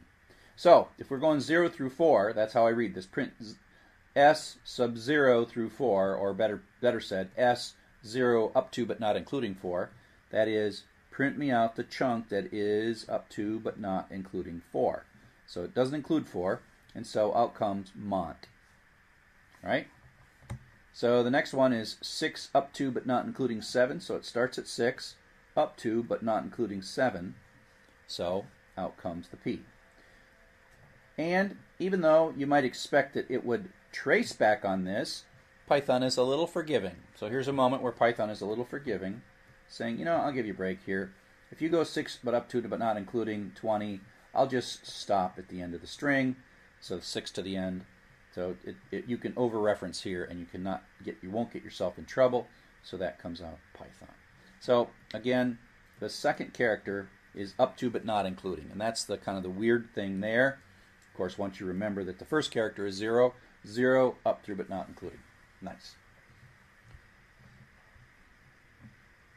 If we leave off the first or the last number, leaving off the first number, the last number, and both of them, they mean the beginning and end of the string, respectively. And so, uh, up to but not including 2 is MO. Um, 8 colon means starting at 8 to the end of the string. So that's thon. And then that means the beginning of the end, and so it's just the whole string, Monty Python. Now we've already played with uh, string concatenation. Just thing to emphasize here is the concatenation operator does not add a space. Does not add a space. If you want a space, you explicitly add it. So here there's no space in between the, the O and the T, but here there is a space between the O and the T because we explicitly added it. So you can concatenate more than one thing and you add your spaces as you want. Okay? Another thing you can do is you can ask questions about a string, sort of like uh, doing a string lookup using the in operator. This is a little different than how we use it inside of a for loop. This is a logical operation asking a question like less than or greater than or whatever. So here's an expression. So fruit is banana as always. Is n in fruit? And the answer is yes, it is. True. So this is a logical operation. It's a question. It's a true or false. Is M in fruit? No, false. And you can this can be a string, not just a single character. Is NaN in fruit? The answer is true. And you can put sort of, you know, if parts of ifs, etc., etc., etc. So this is a logical expression that can be on an if. You can have a while, etc., etc., etc. So it's a logical logical expression and returns true or false. You can also do comparisons. Now, the comparison operations equals makes a lot of sense, less than and greater than depend on the language that you're using Python. And so if you're using like a Latin character set, then alphabetical matters, uh, you know, the, the way the Latin character set would do. But if you're in a different character set, Python is aware of multiple character sets and will sort strings based on the sorting algorithm of the particular character set. So you can do comparisons like equality, less than, and greater than. And we've seen some of these things in previous lectures, actually. We've had to use them. So, in addition to sort of these sort of fundamental operations that we can do on strings, um, there's a extensive library of built-in capabilities in Python. And uh, so the the way we see these built-in capabilities are they're they're actually sort of built into strings. So let's go real slow here. Here we have a variable called greet, and we're sticking the string hello Bob into it. Now greet is of type string as a result of this, and it contains hello Bob as its value. But we can actually access capabilities inside of this value. So we can say greet dot lower parenthesis.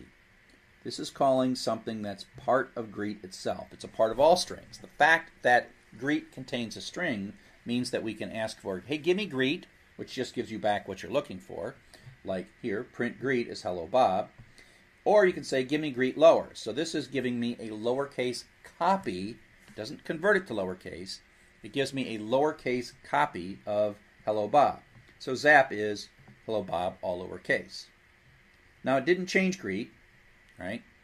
And you can even put this dot lower on the end of constants. So why you do this, I don't know, but hi there with H and T capitalized, dot lower comes out as hi there. So this bit is part of all strings. Both variables and constants have these string functions built into them. And every instance of a string, whether it be a variable or constant, has these capabilities. They don't modify it, they just give you back a copy. Now, it turns out there is a, a command inside Python called dir to ask questions like, hey, well, here's, you know, stuff is got hello world. We can say, uh, let me redo this. Come here. Stuff has a string. We can ask, hey, what are you? I am a string. dir is another built-in Python that asks the question, hey, what are all the things that are built into this that I can make use of? And here they are. That's kind of a raw dump of them.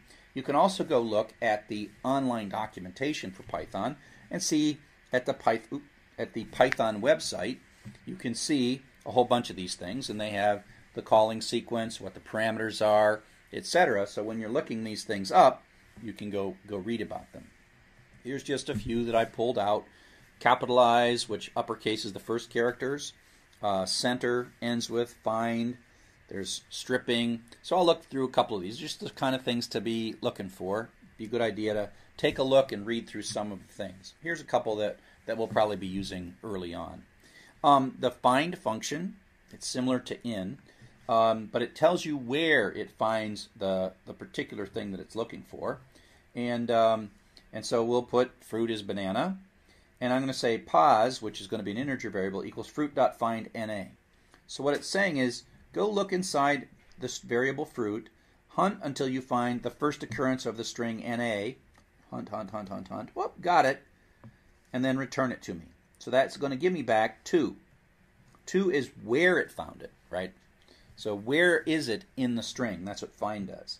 And if you don't find anything, like you're looking for a z, no, no, no, no, no, no, no, I didn't find the z, then it gives me back negative 1. So just, again, this is just one of many built-in functions in string. The ability to find a substring, okay? Or find, yeah, find a character or string within another string. There's a lowercase. There's also an uppercase. This might be better named shouting. Upper means give me an uppercase copy of this variable. So hello Bob becomes hello Bob. And then lower is hello Bob. Right? So these are both ways to get copies of uppercase and lowercase versions. Uh, you might think these are kind of silly, but one of the things you tend to use lower for is if you're doing searching and you want to ignore case, you convert the whole thing to lowercase, and then you search for a lowercase string. So you Depends if you want to ignore case or not. So that's that's one of the reasons that you have things like this. There is a replace function. Again, it doesn't change the uh, value. Uh, greet is going to have hello Bob, and I'm going to say greet dot replace all occurrences of Bob with Jane. That gives me back a copy in nster says hello Jane. So so greet is unchanged. This replace says make a copy and then make that following edit that you that that we've requested. now we can also say, well, I mean the replace is going to do all occurrences. So greet is still hello Bob. This is kind of redundant here. I'm just doing it so you remember what it is. Greet is still hello Bob. I put hello Bob back in it and replace all the occurrences of lowercase o with uppercase x. And then that happens. So this says go through the whole string doing all those replacing. Okay? Now, another common thing that we're going to have to do is we're going to have to uh, throw away white space. Sometimes you have a string that has characters, blank characters, or other characters at the beginning and the end, non-printable characters, and we can strip them. And there's three character, three functions that are built into to uh, to Python strings that do this for us. There is lstrip, which strips from the left. There is rstrip, which strips from the right, so throws away these white spaces. So hello Bob is gone. I mean the so it gets rid of these characters. Oops, these are the ones that are gotten rid of there. I need an eraser. And then well, let's use white. And then strip basically gets rid of all the white space both on the left and the right side and gets rid of that. So we're gonna we're gonna be using these a lot. It, one of the things you tend to do in Python is cleaning up data. Sometimes if you have spaces at the beginning or the end, you just want to kind of ignore them. So you strip them off, you throw them away. When we're looking for data, we sometimes are looking for a prefix, and there is a starts with function that gives you a true or a false. We're asking here, does this variable line start with the string please? And the answer is true, because it does start with the string please. Or, and the next we ask, does this start with the letter P? And the answer is false. It does not start with the letter P. Okay, so there's lots more of these things. And reading data and tearing it apart is one of the things that we're going to really focus on uh, for the rest of these first few chapters of the book. Okay, because that's one thing that Python's really good at. It's tearing data into pieces and pulling the pieces that you want. So so let's take a look at this line. So this line that we've got here is a line from an actual email box. This is what if you looked at your email sort of on your hard drive, email boxes would have this kind of a format. And there's actually many lines, and, and soon we'll be reading whole files full of email. But for now, let's just say we got this one line somehow. And we're looking for, we don't know how long these things are going to be, the first character, the first thing is from, then there's an email address, then there's some detail about when the mail was sent. But what we actually want is we want this part right here. And that's the domain name of the mail address, right? We want to extract this out. We're faced with this line in a variable, and we want to extract that out. So this is kind of putting all these things together. So let's walk through how we do this. So here's this line, and it's a big long string. Mostly we would have read this from a file rather than just put it in a constant, but for now we put it in a constant because we files is the next chapter. And so what we're going to do is we're going to say, you know what? I'm going to look at this line and I'm going to go find the at sign. And I want to know where the at sign is. So I call data.find at sign and put the result in at pose. And that gives me 21. It hunts until it finds the at sign and then tells me where it found it. Then what I want to look at is starting here for the rest of the string, I want to find the first space afterwards.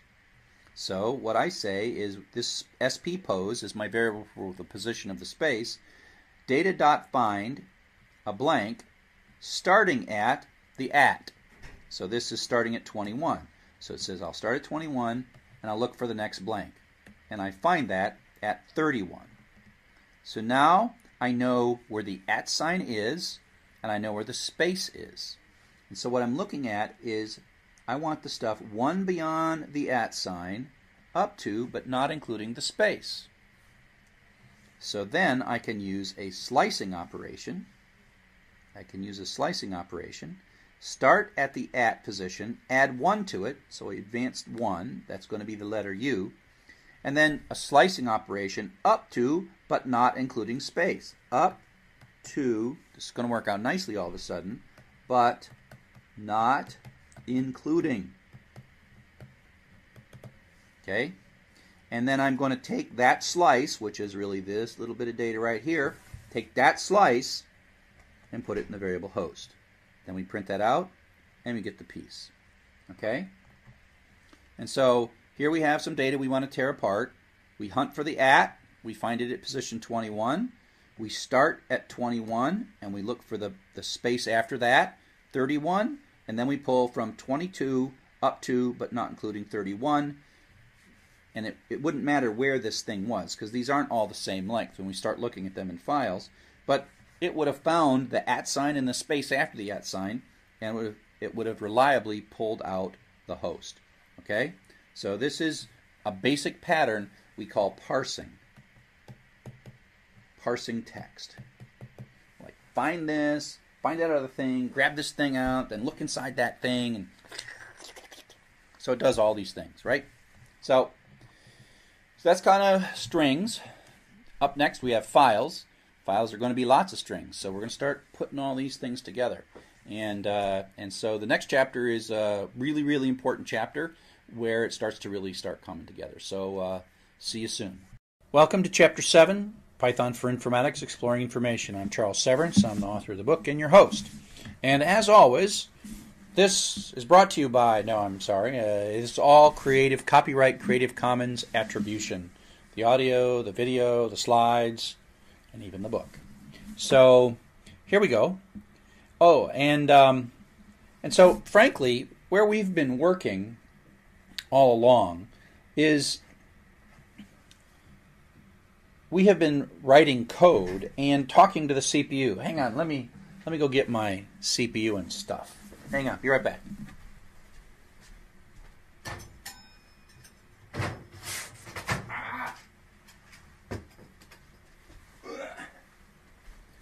Okay. Here we go. Here we go.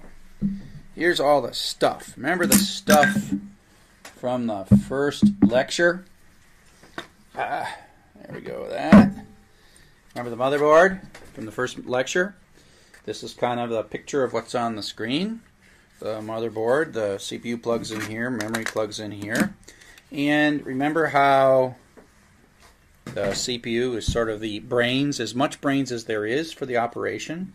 This CPU is asking what next. The instructions come in through these little pins. There's data inside, and it stores sort of semi-permanent data. Variables are all stored pretty much here in RAM. And we write our programs, and so your Python programs, they're sitting here in this RAM, and they're being fed to this CPU through those chips, uh, through those pins, right? The pins. I mean, it doesn't really connect like that. And so, so frankly, up to now, everything that we've been doing is just the Python programming language. And so the only place we've really been operating is here.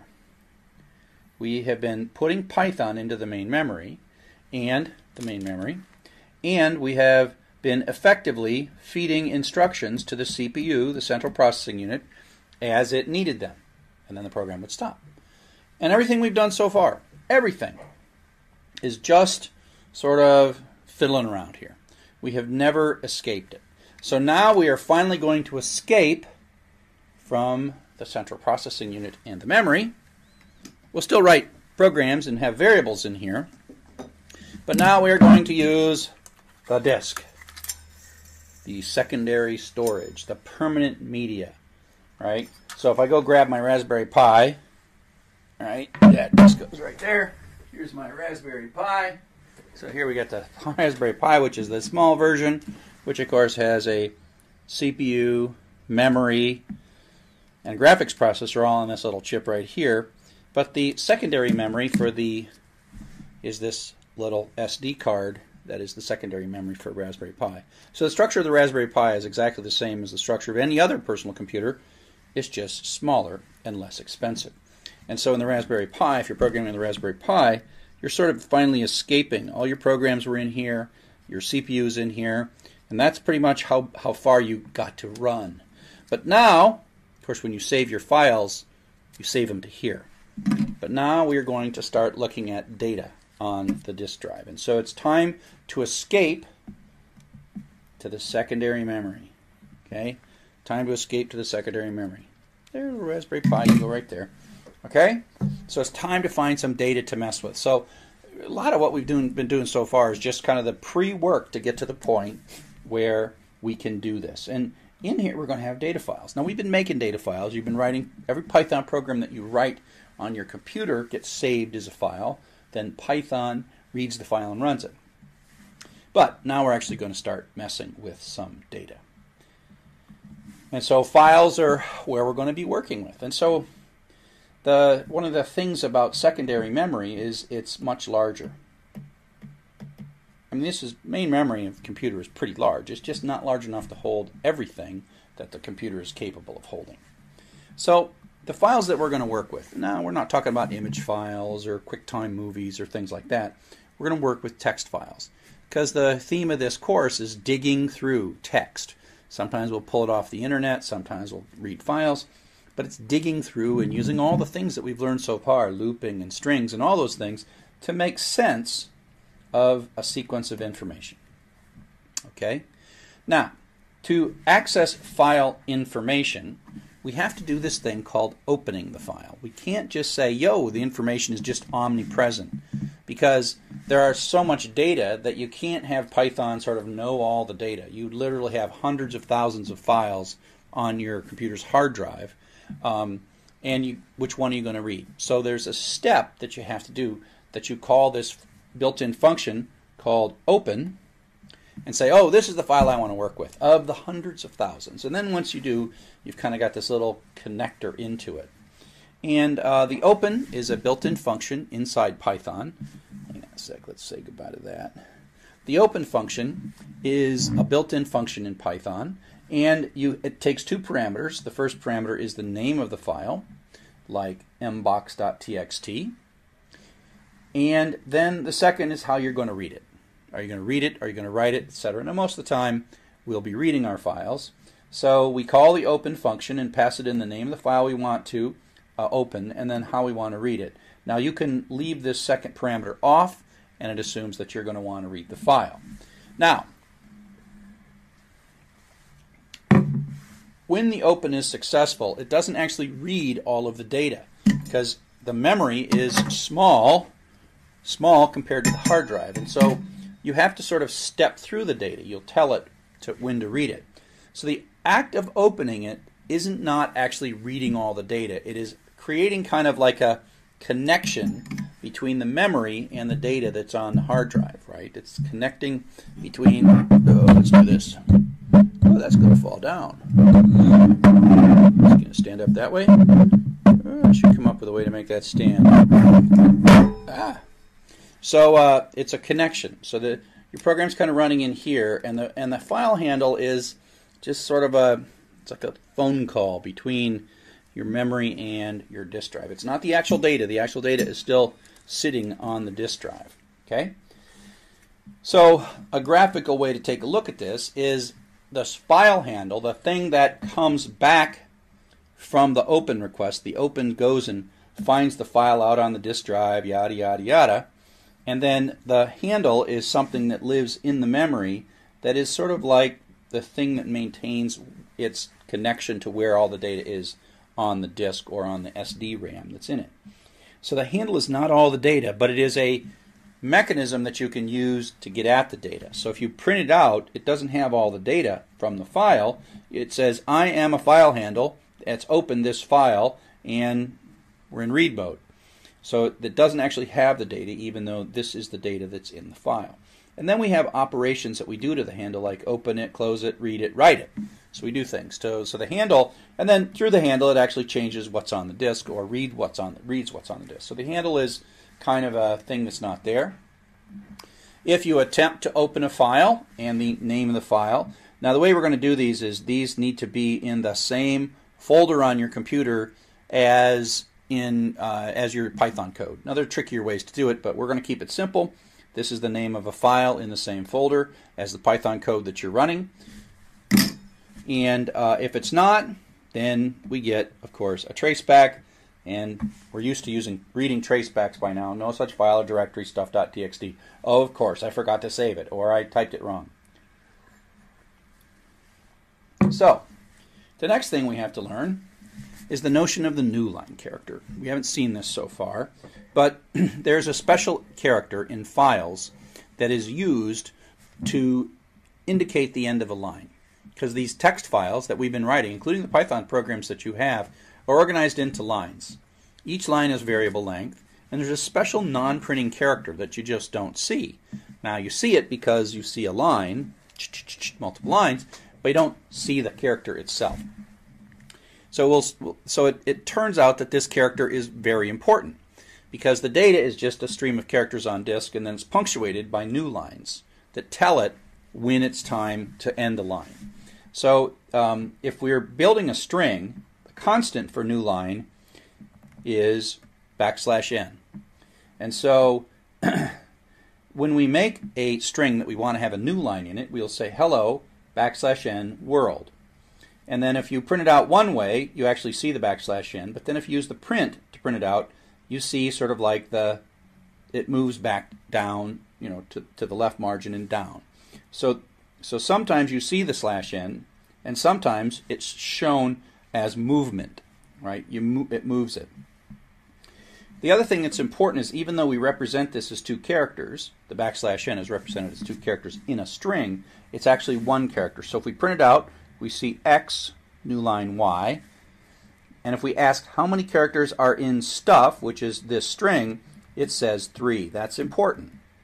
Okay, there is one, two, three. The new line is a single character.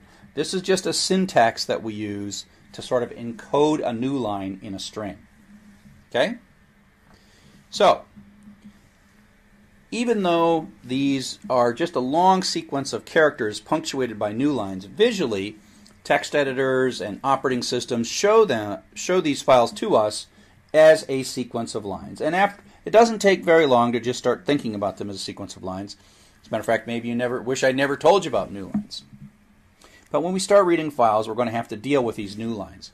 So the way that we sort of have to mentally visualize of what these text files look like is they have a new line that punctuates the end of the line. Now in reality, if we look at this, this R really comes right after it. Right? This is all a bunch of characters and the new lines are punctuation. Okay, to say this is first line, second line, third line, fourth line. So you got to think that each of these things is here, sitting at the end of the line. And so the number of characters in this line include that new line. Now the new line is one character. Okay? So, how do we read these files? Well, we've already talked about doing an open X file. And I'm just this X file again that's just a mnemonic name that I made up. This is a handle. Remember it's not all the data, but the handle is the way that we can read the data. We can use it as a access point. The coolest way to read a file, if it's a text file in multiple lines, is to use a determinant loop, a for loop. For cheese in X file. So this, remember we would put a list of numbers or a string here. Now we've put a file handle here. Python knows automatically that each time we're going to run this loop, it's going to go to the next line of the file. Automatically.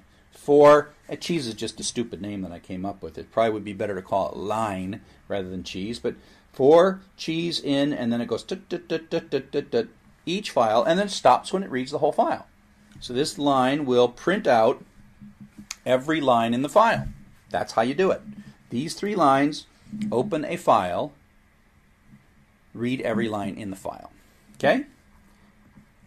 So a file handle itself is a special kind of a sequence, much like a list of numbers or a string is a sequence of characters.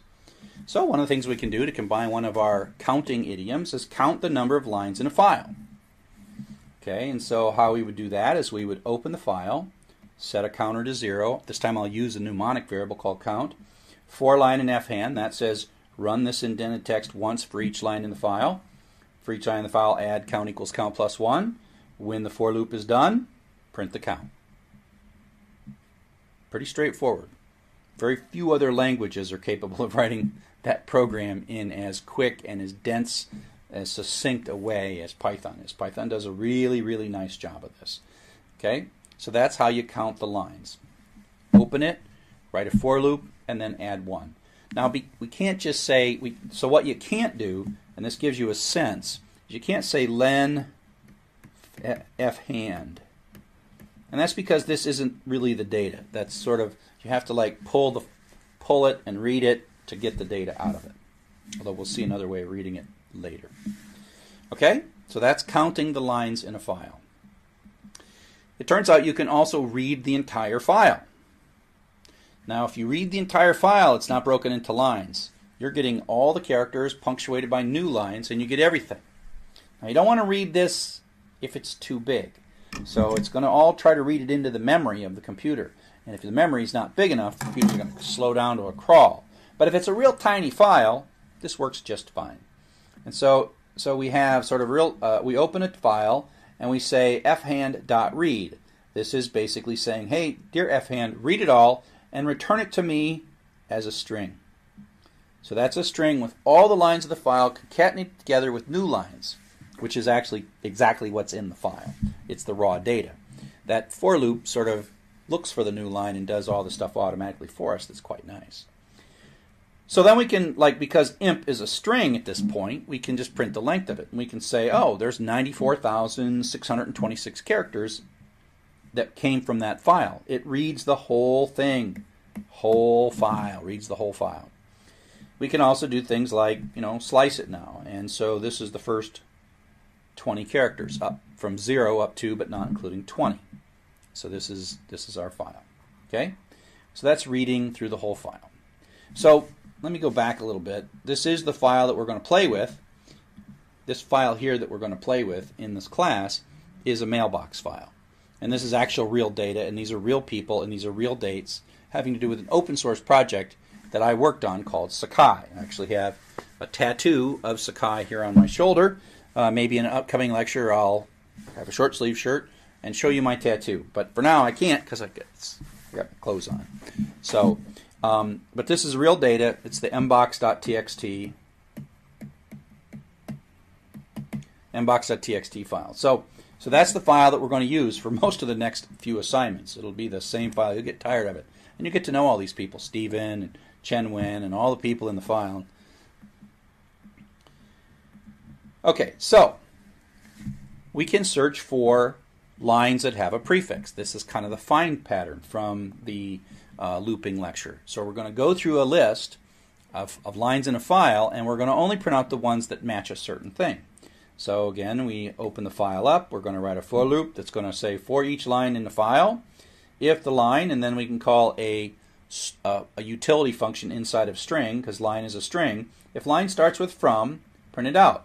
So this means it's going to loop through all of the lines of the file, and it's going to print the ones that start with the string from colon. Okay. Again, four lines, complete Python program to read this file and print the lines that have a prefix of from. So if you run this program, and I suggest that you do, this is what the output's going to look like. And it's like, wait a second. I'm seeing the lines seeing the lines that have the froms. But then I get these blank lines. And why is that? Why are these blank lines there? If I look at the program, I mean, I'm not printing blank lines. I'm only printing lines that start with from. I'm not doing that. So why? What do you think? give you a second. I've certainly done enough foreshadowing in this lecture. Well, it turns out these new lines are the problem. So it turns out that the print, we've been doing this all along, you just didn't, we didn't make a fuss about it. The print adds a new line at the end of everything that it prints. So these yellow new lines are coming from the print statement. But when we read the file, each line ends in a new line. So these green new lines are actually from the file. They're the ones from the file. So what's happening is we're seeing two new lines, and so that turns in to a blank line. So how do we deal with that? Well, we've got a string function that conveniently solves that problem.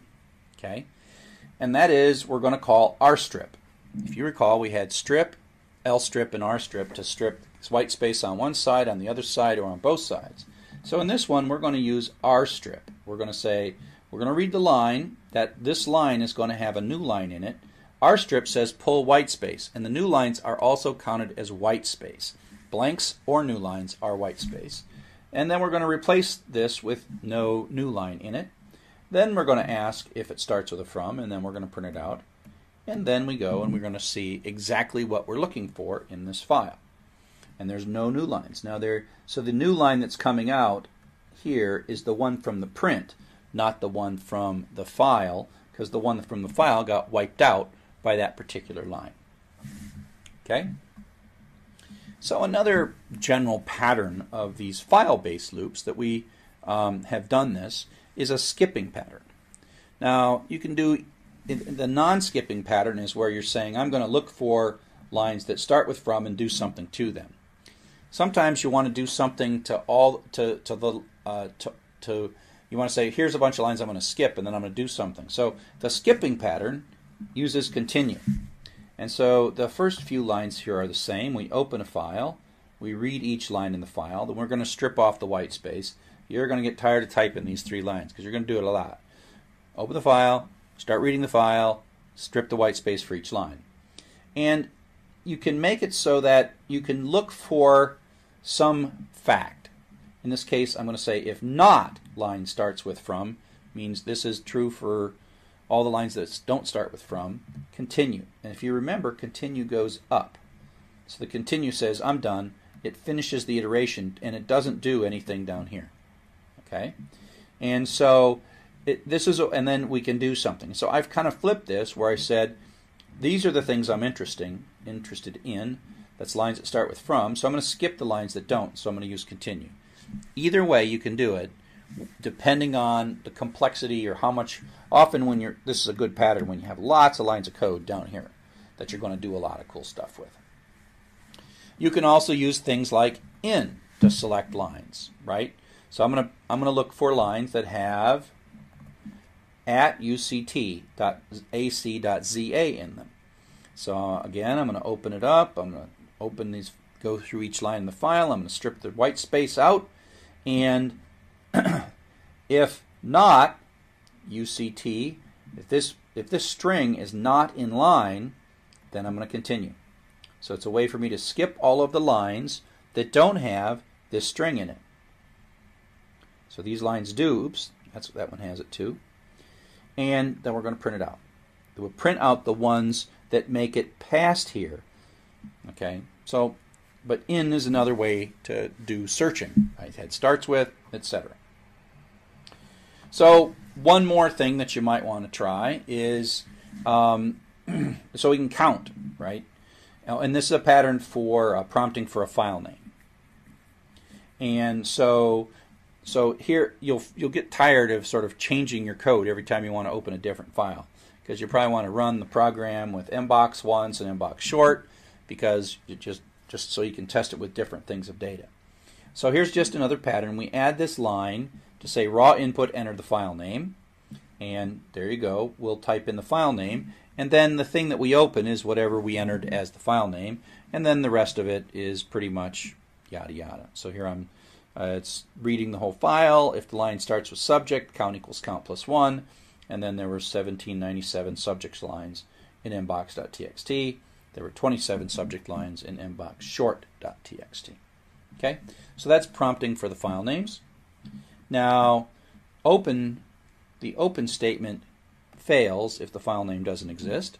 So you might want to add a try and except around that. If you want to, if you're just writing code for yourself and you assume that data is okay, then you don't have to write try except. But if you want to catch it and catch a bad file name, then you take the open, which is, and turn it into these four lines. So this is the code that we think might blow up. And it's going to blow up. We know it's going to blow up. If they enter a bad file name like Nana Boo Boo, right? This is going to blow up. So what do we do? We use try and except. We put try around that. We're going to take out some insurance on that particular line. And then if it fails, we're going to print this message and then say exit to get out. So if you get a good file, if you get a good file, it works, skips the except, then runs the thing, prints out the count. That's what's happening here. If, on the other hand, you get a bad file, it comes here, open blows up, runs the except, prints this out, and then quits. So that's how this one works with a bad file. And now we know traceback, right?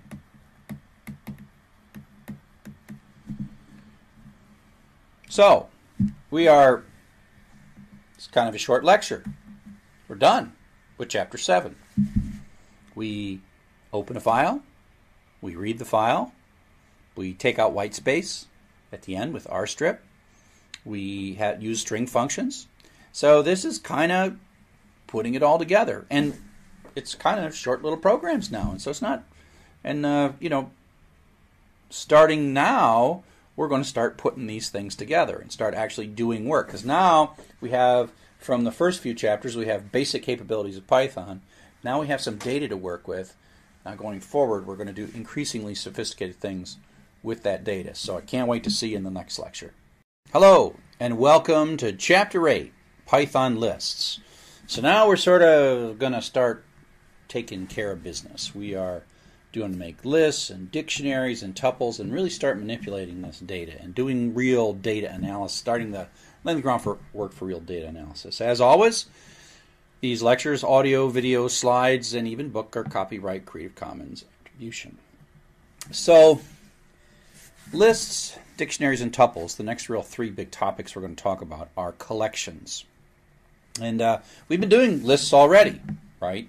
Um, we've been doing uh, lists when we were doing for loops. Uh, a list in Python is something that has a square braces. This is a constant list.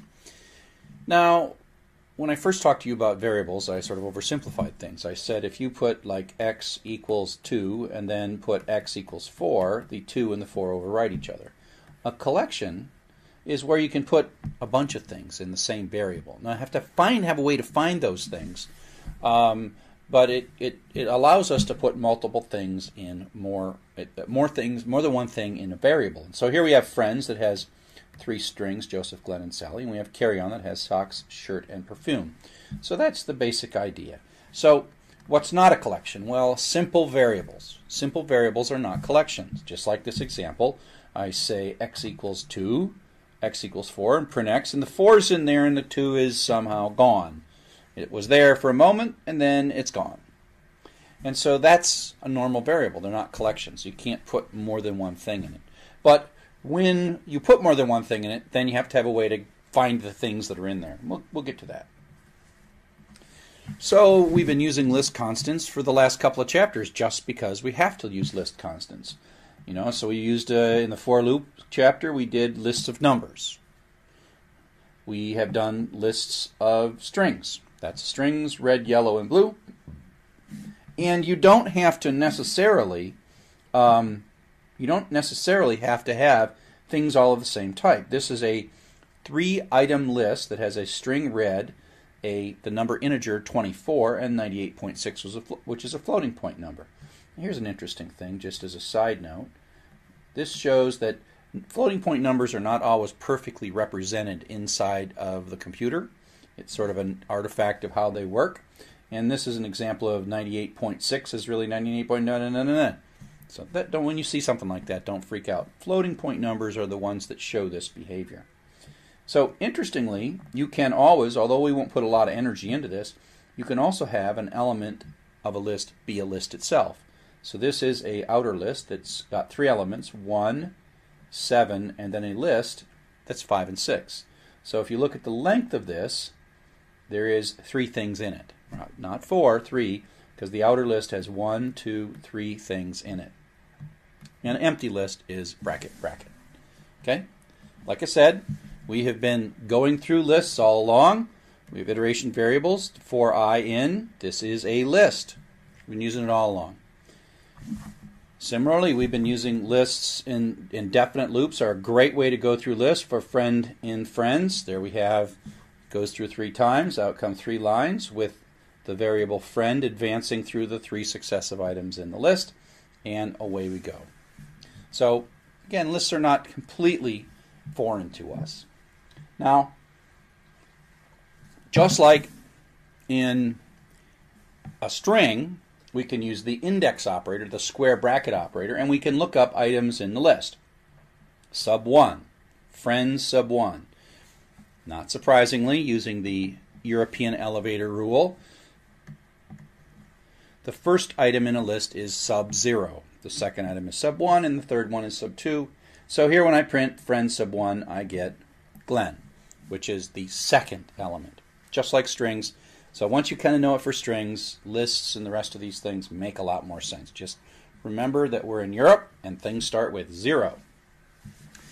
Some things in these data items that we work with are not mutable. So for example, strings. When we ask for a lowercase version of a string, we are given a copy of that string. And that's because strings are not mutable. And we can see this by doing something like saying fruit sub 0 equals lowercase b. Now you'd think that that would just change this to be lowercase b. But it doesn't. Okay? It says string object does not support item assignment, which means that you're not allowed to reassign. You can make a new string and put different things in that new string, but once the strings are made, they're not changeable. And that's why when we call fruit.lower, we get a copy of it in lowercase. And so x is a copy of the original string, but the original string once we assign it into fruit, is unchanged. Can't be changed. Lists, on the other hand, can be changed, and we can change them in the middle. This is one of the things we like about them. So here we have a list 2, 14, 26, 41, and 63. Then we say lotto sub 2. Of course, that is going to be the third item. Lotto sub 2 is equal to 28. Then we print it, and we see the new number there. So all this is saying is that we can change them, right? Strings no, and lists yes. You can change lists, but you can't change strings. So, the len function, we've used it for several things. We can say, you know, use len is used for, for strings, and it's used for lists as well. So the same function knows that when its parameter is a string, and when its parameter is a string, it gives us the number of characters in the string, and when it is a list, it gives us the number of elements in the list. And just because one of them is a string, it's still one element from the point of view of this list. So it has one, two, three, four, four items in the list. Okay? So, the range function is a special function. It's probably about time to talk about the range function. The range function is a function that generates a list, that produces a list and give it back, gives it back to us. And so you give the range function a parameter, how many items you want, and the range function creates and gives us back a list that is four numbers starting at 0, which is 0 up to but not including 3. Sound familiar? Yeah, 0 up to but not I mean 0 up to but not including 4. And and so the same thing is true here. So we can combine the len and the range to say, you know, to, to say, okay, well, len friends, that's 3 items, and range len friends is 0, 1, 2. And it also corresponds exactly to these items. So we can actually use this to construct loops to go through a list. We already have a basic for loop, right? We basically have a for loop that is our the the set the for each friend in friends and out comes Happy New Year, Glenn and Joseph. If we also want to know where, what position we're at as the loop progresses, we can rewrite the exact same loop a different way and make i be our iteration variable and say i in range len friends, that turns this into 0, 1, 2. And then i goes 0, 1, 2. And then we can, in the loop, look up the particular friend that is the particular one we're interested in using the index operator, friends sub i, and then print Happy New Year. So these two loops, these two loops are equivalent. These, oop, not that one. This loop and this loop. this loop is preferred unless you happen to need this value i, which tells you where you're at, in case maybe you're going to change something. You're going to look through something and then change it. So, but but for what I've written here, they're exactly equivalent. Prefer the simpler one unless you need the more complex one. They both produce the same kind of output. We can concatenate lists, much like we concatenate strings with a plus. And you can think of the Python operators looking to its right and to its left and saying, oh, those are both lists. I know what to do with lists. I'm going to put those together. And so that produces a two three long list become a six long list with the first one followed by the second one concatenated. It didn't hurt the original, A. C is a new list, basically. We can also slice lists. Feels a lot like strings, right? Everything's kind of like strings. For loops like strings, concatenation like strings, and now slicing like strings. And it is exactly the same. So 1 up to but not including. Just remember, up to but not including. The second parameter is up to but not including. So that starts at the sub 1, which is the second one, up to but not including 3, the third one. So this is 1, 2, and 3. So that's 41 comma 2. Starting at the first one, up to but not including the third one. We can similarly eliminate the first one, so that's up to but not including the fourth one. Z starting at 0, 1, 2, 3, but not including 4. So that's this one. If we go 3 to the end, and again remember that they're starting at 0, so 3 to the end is 0, 1, 2, 3 to the end. The number 3 doesn't matter, so that's 374.15. And the whole thing, that's the whole thing. So these two things are the same. So slicing works like strings. Starting and up to but not including is the second parameter. There are some methods, and you can read about these online uh, in the Python documentation. We can use the built-in function. It doesn't have a lot of use in uh, sort of how we run when we're running programs, but it's kind of useful. I like it when I'm typing interactively, like what can this thing do? So I make a list. List is a unique type and I say with dir, I say, what can we do with it? Well, we can append, we can count, extend, index, insert, pop, remove, reverse, and sort. And then you can sort of read up on all these things. Um, I'll show you just a couple. Um, we can build a list with the append. So this syntax here, stuff equals list, that's called a constructor, which says give me an empty list. You could also say bracket bracket for an empty list whatever, you got to make an empty list. And then you call the append. Remember that lists are mutable, so it's okay to change it. So we're saying, okay, we started with an empty list. Now append to the end of that the word book, and then append to that 99. Wait a sec. That's a mistake. That's a mistake. So I have to fix this mistake. So watch me fix the mistake. Poof!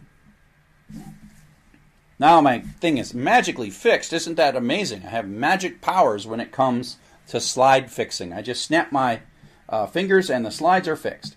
So here we go. We append a 99 and we print it out and it's got book and 99, emphasizing the fact that they don't have to be the exact same kind of thing in a list. Then later we append cookie and then it's book 99 cookie. Okay, so this append we won't do it in line like this so often. We'll tend to do it in a loop as we're building up a list. But that's a way you start with an empty list and then programmatically grow it. We can ask, much like we do in a string, we can ask if an item is in a list. So here's a list called sum with these numbers in it. It's got five numbers in it. Is 9 in sum? True. Yes, it is. Is 15 in sum? False. Is 20 not in? That's a legal a legal syntax. That is legal syntax. Is 20 not in sum? Yes, it's not there. Okay? They don't modify the list. Don't modify the list. They're just asking questions. These are logical operations, often used in if statements or while, some kind of a logic that you might be building. Okay, so uh, lists have order. So when we were appending them, the first thing went in first, the second thing went in second, etc., etc. And we can also tell the list to sort itself. So one of the things that we can do with a list, now we're starting to see some power here, is say sort yourself. This is a list of strings. It can sort numbers, it can sort lots of things. Friends.sort, that says, hey there, dear friends, sort yourself. This makes a change. It alters the list and puts it in this case in alphabetical order. Glenn, Joseph, and Sally. It is muted. It was. It's. It's been modified, and so friend sub one is now Joseph because that's the second one. Okay. So the sort method says sort yourself. Now sort yourself, and it sorts, and then it stays sorted. So you're going to be kind of ticked about this particular side because there's a whole bunch of built-in functions that help with lists, and um, there's max, there's min, there's len, various things. And so we could all those loops that I told you how to do. I was just showing you that stuff because I thought it was important. Um, this is the simplest way to go through and find the largest, smallest, and uh, sum, etc. So here's a list of numbers. We can say how many are there. That's the count. We can say what's the largest? It's 74. What's the smallest? That'd be 3. What is the sum of the running total of them all? 154. If you remember from a few lectures ago, these are the same numbers. And what is the average, which is sum of them over the length of them.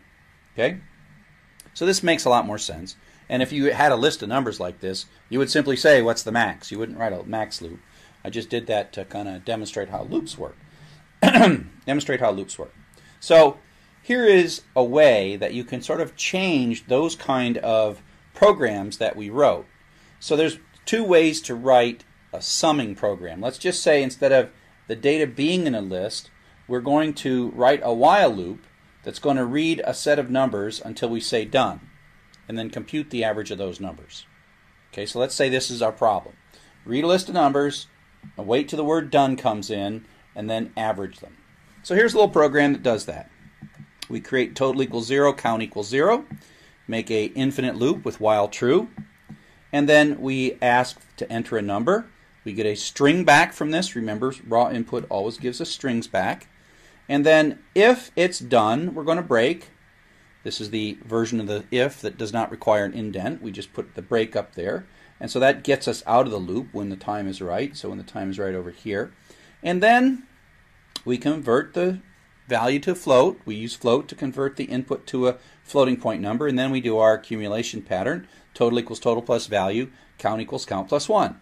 So this is going to run, these numbers are going to go up and up and up and up, and then we're going to break out of it, calculate the average, and then print the average, because that's a floating point number, so now the average is a floating point number. So that's one way to do it, right? That would be one way to write a program that does an average, is keep a running average as you're reading the numbers. But there's another way to do it that would exact, work exactly the same way. And this is when you can start using lists. So come in, you say, I'm going to make a list of numbers. Just a mnemonic name, num list, is an empty list. Then I create another infinite loop that's going to read for enter a number. And if it's done break, that kind of gets us out of it convert the value to an int, uh, convert the, the value to a float, the input value to a float, and then append it to the list. So now the list is going to grow. Each time we read a number, the list is going to grow. However many times we add the numbers, how many things are going to be in the list.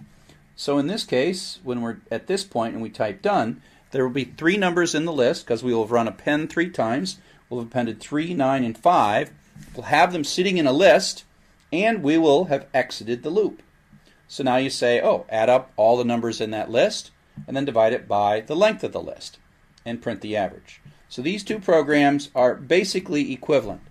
The only time that they might not be equivalent was if there was 10 million numbers, this would use up 40 megabytes of your memory, which is actually not a lot of memory on some computers, but if memory mattered, there, this does store all those numbers. This one actually just runs the calculation.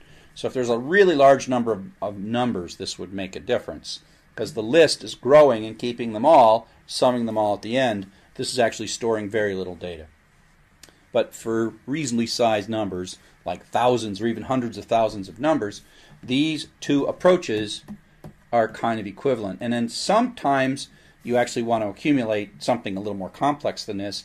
You want to sort them or look for the maximum and look for something else, who knows what. But the notion of make a list and then append something to the list each time through the iteration and then do something with a list at the end is a rather powerful pattern.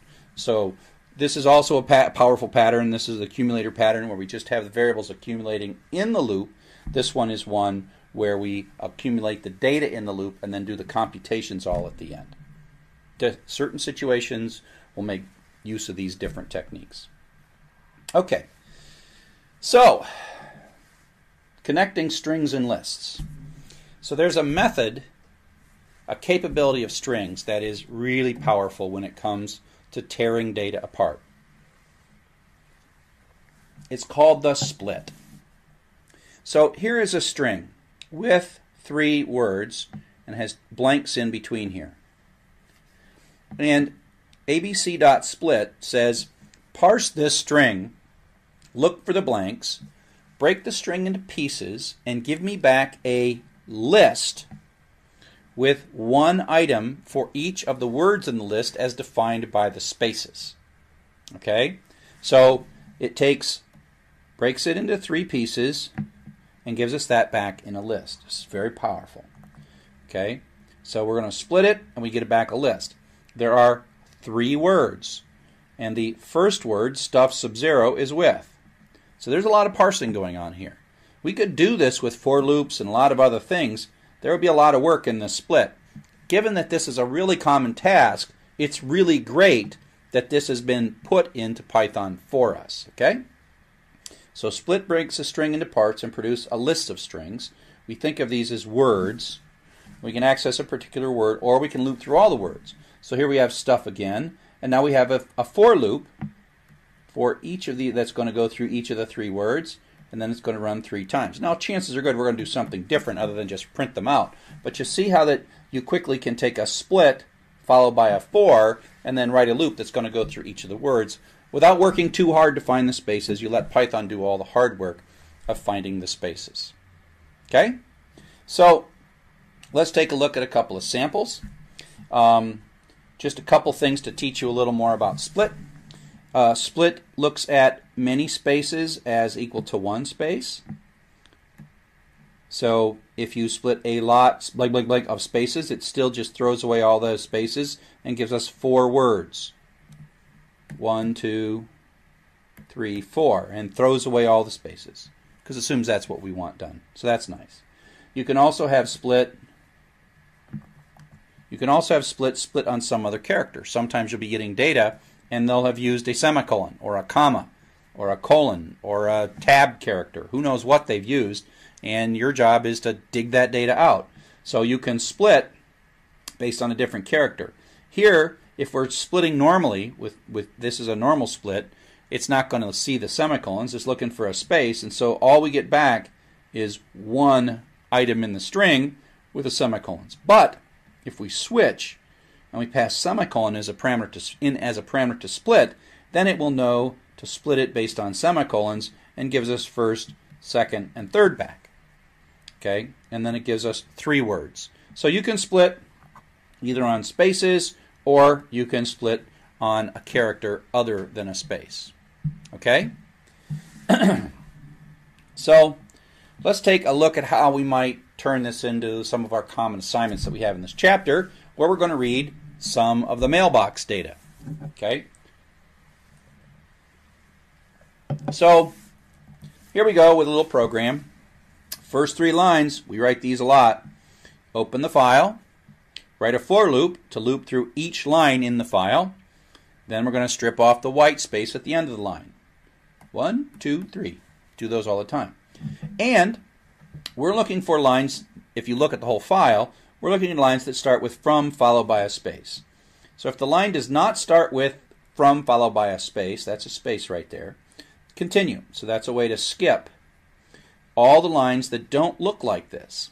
There are thousands of lines in this file and just a few that look like this. Okay? And so we're going to look and we're going to try to find what day of the week this thing happened on. So, so we're throwing away all the lines with this little bit of code. Then what we do is we take the line, which is all of this text, and then we split it. And we know that the day of the week is word sub 2. So this is word sub 0, this is word sub 1, and this is word sub 2. So this is word sub 0, sub 1, and sub 2.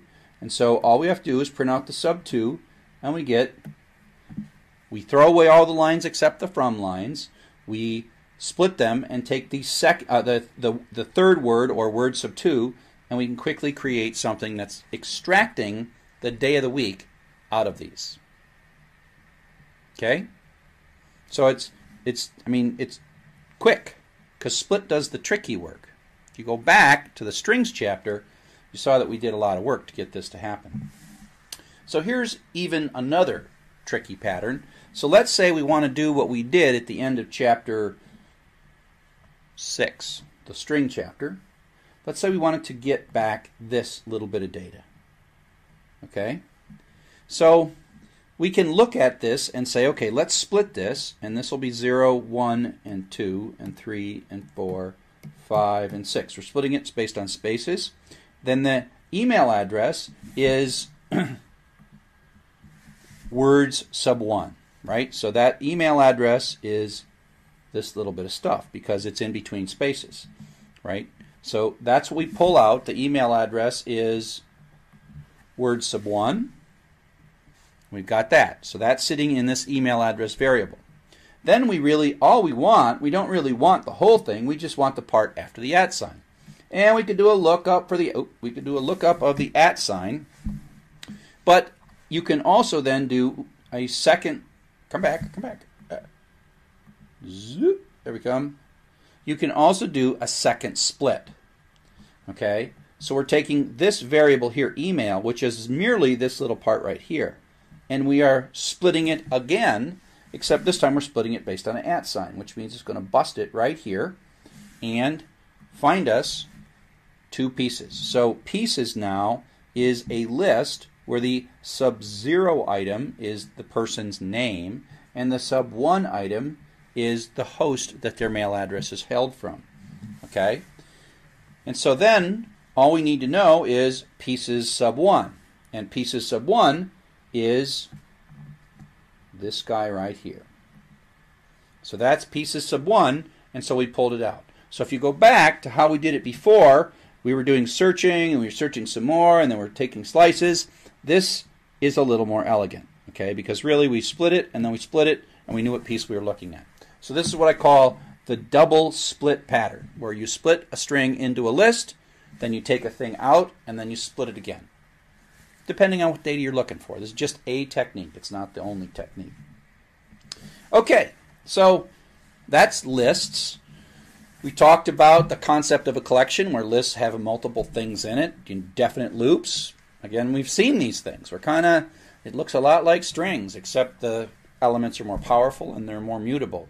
We still use the bracket operator and we redid the max, min, and sum except we did it in like one line rather than a whole loop. And, uh, and something we're going to play with a lot is using split to parse strings, the single split, and then the double split is a natural extension of the single split. So, see you in the next lecture. Looking forward to talking about dictionaries. Hello, and welcome to Chapter 10 of Python for Informatics, the chapter on tuples. I'm Charles Severance. I'm your lecturer, and I'm the author of the textbook. As always, this material is copyright Creative Commons Attribution including the video lectures, the slides, uh, and the book. So, tuples are the third kind of collection that we've talked about. We've talked about lists, we've talked about dictionaries, and in the dictionary lecture, we kind of alluded to tuples. Um, we don't have to talk too much about tuples, really shortening the lecture by telling you that they're a lot like lists. They're a non-change they're a non-changeable list and uh, and and the syntax of, of them is pretty much the same as a list, except that we use parentheses instead of square brackets. Okay, and so like here is a, a three tuple, tuple with three items in it: Glenn, Sally, and Joseph. They are numbered 0, 0, 1, and 2. So the second thing is 1. So x sub 2 is indeed Joseph.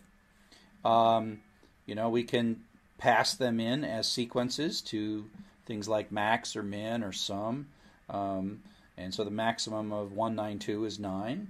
Um, and we can loop through them. So here is why it's a tuple. It's uh, 192, and iteration is going to go through the three, three values, right? And so it's going to print out 192. It runs the indented code once for each of the values inside the tuple. And so in this respect, they're very much like lists. But they're also different than lists in some uh, real valuable ways. Tuples are immutable. And so if you recall when we talked about lists, we compared them to strings because both lists and strings a sequence of elements where the first one is 0, 1, 2, etc. But if we if we look at a string, for example, and we have a three character string ABC and we want to change the third character, y sub 2 to D, it complains and says, no, you can't do that. But you can do it on a list. So if we have a list 987 and we say x sub 2 is 6, which is the third item, then the third item changes from 7 to 6.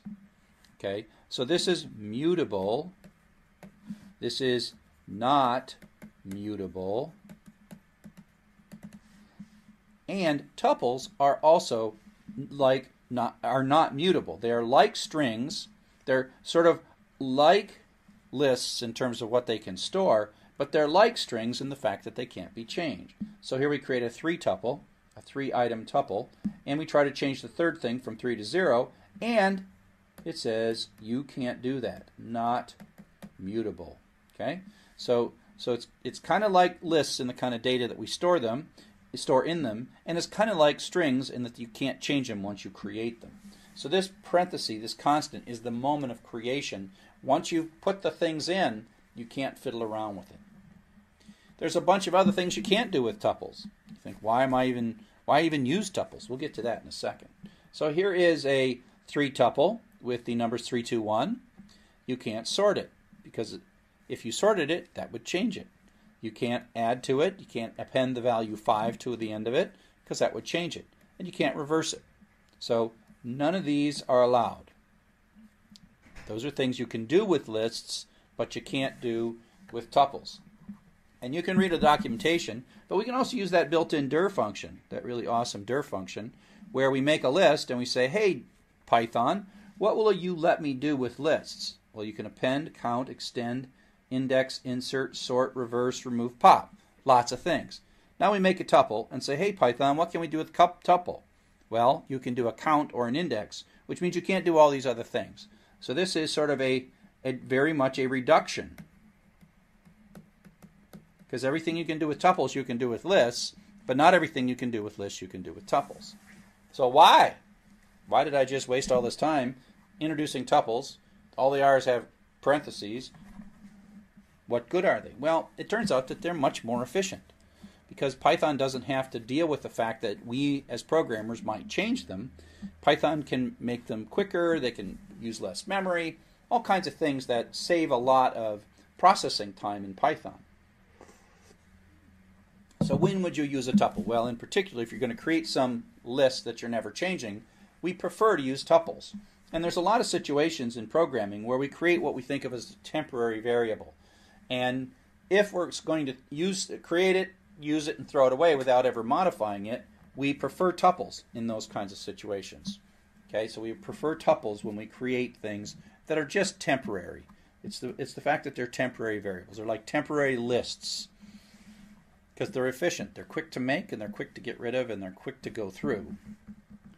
Now, another really neat thing about Python that I really like is the fact that you can do sort of two assignments in one by putting an assi- a tuple on both the left and the right hand side of the assignment statement. So if we think about an assignment statement, I like to think of it as having a direction that says these things go there.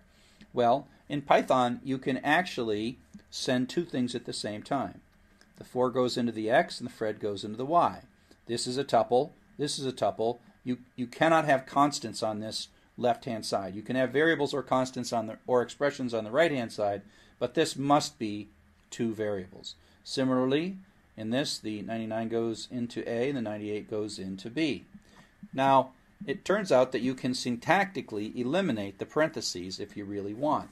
And so this leads to a prettier syntax, I think. It's the exact same thing with or without parentheses, where we basically just say, hey, come back, A and B are assigned to the tuple 99, 98. So you can eliminate the parentheses as long as it's very clear what's going on in the tuple. And so this, this might be a little disquieting when you first see it, but it's just a tuple with no parentheses, and the 99 goes to the A and the 98 goes to the B. Now, it turns out we already did this. I sort of blew by this in the previous lecture in dictionaries because it allows us to go through the dictionary's keys and values with two iteration variables. And so if you remember, here's a dictionary. We put two items into it.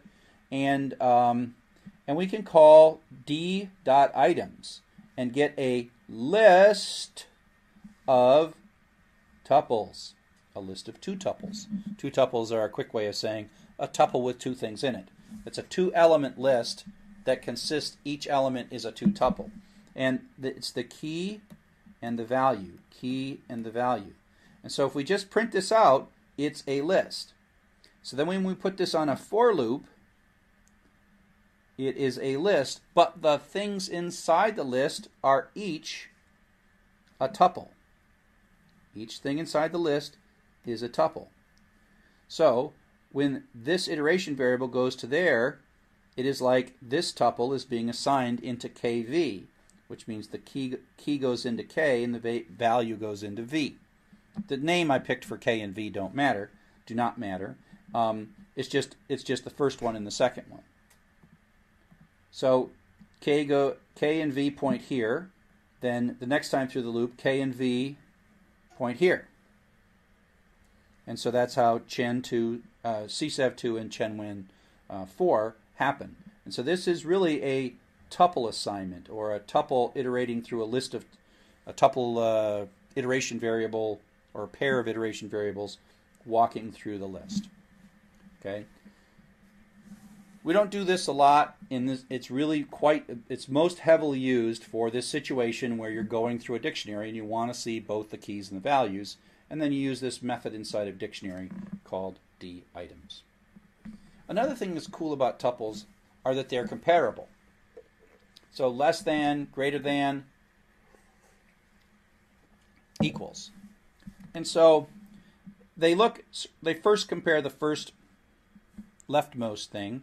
Then if that matches, they go to the second one. And then that one matches, they go to the third one. And so if we're asking, is 0, 1, 2 less than 5, 1, 2? And the answer is true. And it only looks at the 0 and the 5, and that's less than, so away we go. If we ask is 0, 1, 2 million less than 0, 3, 4, well, the 0 and 0 match, so it goes to the second one. 1 and 3, well, they don't match, and they're less than, so 1 is less than 3. So it so it's true, and it doesn't even look at these numbers because it doesn't have to, right? In this one, it doesn't look at those numbers. And now if we say, come here, is Jones Sally less than Jones Fred? Well, it compares the this, they're equal, so then it has to look to the second one. Is Sally less than Fred? Well, no, because S is not less than F, and so that answer is false. Is Jones Sally greater than Adams? Sam, well, Jones is greater than Adams, so it never looks at these variables, and that turns out to be true. So these are comparable, which means we can use the less than, less than or equal to, greater than or equal to, equal to, or not equal to. So we can use these operators on whole tuples. Now this turns out to be quite nice because things that can be compared can also be sorted. Okay? So here is A, B, and C. A maps to 10, B maps to 1, C maps to 22. If I look at the items, I get back a list of two tuples, three two tuples. They are not sorted because dictionaries aren't sorted. A maps to 10, C maps to 22, and B maps to 1. The order that these come out in is not something that we can control. But if we put these items into a variable, call it T, T is the list of tuples basically, and then we tell it to sort, it can do comparisons between all these and it can sort them, and now they're sorted in key order A, B, C. Now you'll never get any keys that match, so it never looks at the second one, right? Because there's one and only one key A or B or C. The value 10 never gets looked at. So this ends up sort by keys. Sort by keys. Okay, so this is a way to sort by keys. We take a dictionary, we get back a list of tuples, key value tuples, then we sort that dictionary, I mean sort that list of key value tuples, and then it's sorted by key. Okay, so that's one sort. There is a built-in function in Python called sorted, which takes as a parameter a list and gives you back a sorted version of that list. So we can collapse these operations by saying, oh, well, d sub items is this list of tuples, non-sorted, but sorted of d sub items is that same list of tuples, but then sorted. So immediately, in one step, we have A, B, and C properly sorted. And we can combine all this into one nice little for statement where we say for kv in sorted of d sub items. So this is now going to first sort the key value pairs by key, and then kv is going to run through them. So k is going to be A, 10, then it's going to k is going to be B, v is going to be 1, k is going to be C, v is going to be 22. So now we've printed these things out in alphabetical key order. Okay? So by adding sorted to D items, that means that this loop is going to run in key sorted order. Key sorted order. And that's because sorted takes a list and then returns as it takes a list as unsorted list as input and returns a sorted list. Okay? Now, if we're doing something like our common problem of what's the most common word, what if we want to say what's the five most common words? In that case, we probably want to sort in descending order by the values, not the key. Okay? So we want to sort by the values instead of the key. So this is a situation where we're going to create a temporary variable. So here's how we're going to do it. Here is our dictionary A10. And we want to sort now by the values. We want to, you know, maybe see the most common or sort by the values. And so we're going to make a temporary list. And then we're going to loop through the items. So, so this is going to just loop through them, and it's going to loop through them in non-sorted order. And we are going to add, using the append operation, to this little list that we're making, but we're going to add the, a tuple that is value comma key. So if we make the value first and the key second in this tuple. So this syntax here of this parenthesis v comma k, that means make a two tuple with values from the v and k variable. And append a list. So you're going to end up with a list of two tuples. So if we if we take a look, when we're all done with this, each of these is a tuple. 10a gets appended, 22c gets appended. And it was simply the opposite order. The, the tuple, each of the tuples now has the value first and the key second, value first, key second, value first, key second. So this is a bit of temporary data that we've created. This is a bit of temporary data that we've created. Then what we do is we call the sort method. Sort, take this list. Lists are mutable. The individual tuples can't be changed, but the order of the tuples can be changed because they are in a list. Temp.sort, and then we're going to say reverse equals true, so we sort from the highest down to the lowest. Okay? And now temp has been sorted, and now it is in a new order. 22, 10, 1 is what caused it to be sorted, so we know that the biggest value is 22, the key of C. Next biggest is 10 with a key of A, and the smallest is a key of one, a value of 1 with a key of B.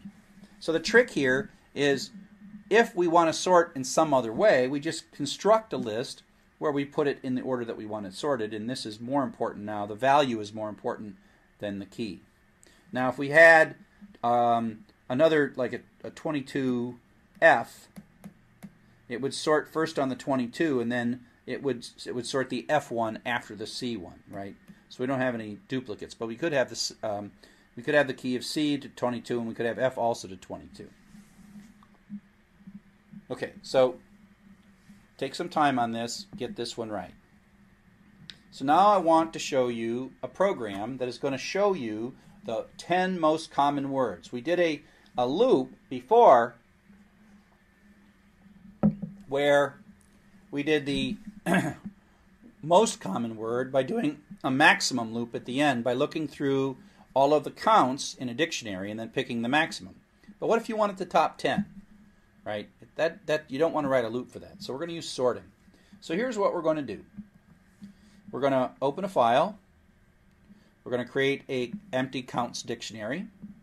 Then we're going to write a for loop that reads each line for line in F hand. Then I'm going to split each line into words based on the spaces using the dot split. Then I'm going to loop through each word in each line and use our histogram or a, a dictionary pattern where I say count subword equals counts dot get word comma zero. That basically says go look in counts. If word if the word key exists, give me back the value that's in that. Otherwise, give me zero. So this both creates the new entries and updates old entries all in one nice simple statement. So at the end of this bit of code right here, we are going to have counts with keyword word count pairs. Okay, so this is something we've done before. It's just dictionaries, reading, splitting, and then this pattern of how to accumulate in a dictionary. Then what we're going to do is we are going to make a new list called LST. And now we're doing this key value in the item. So this is going to go through the key value pairs in this list, which is the key value pairs from the dictionary. Right? But then we are going to create this temporary list of tuples that are val comma key. So val is like 20 the 14 hello and that's what the list is going to look like, right? It's going to be tuples, but it's going to be the value and then the key rather than the key and the value. This one here is key value. This one here, LST, is, is value key.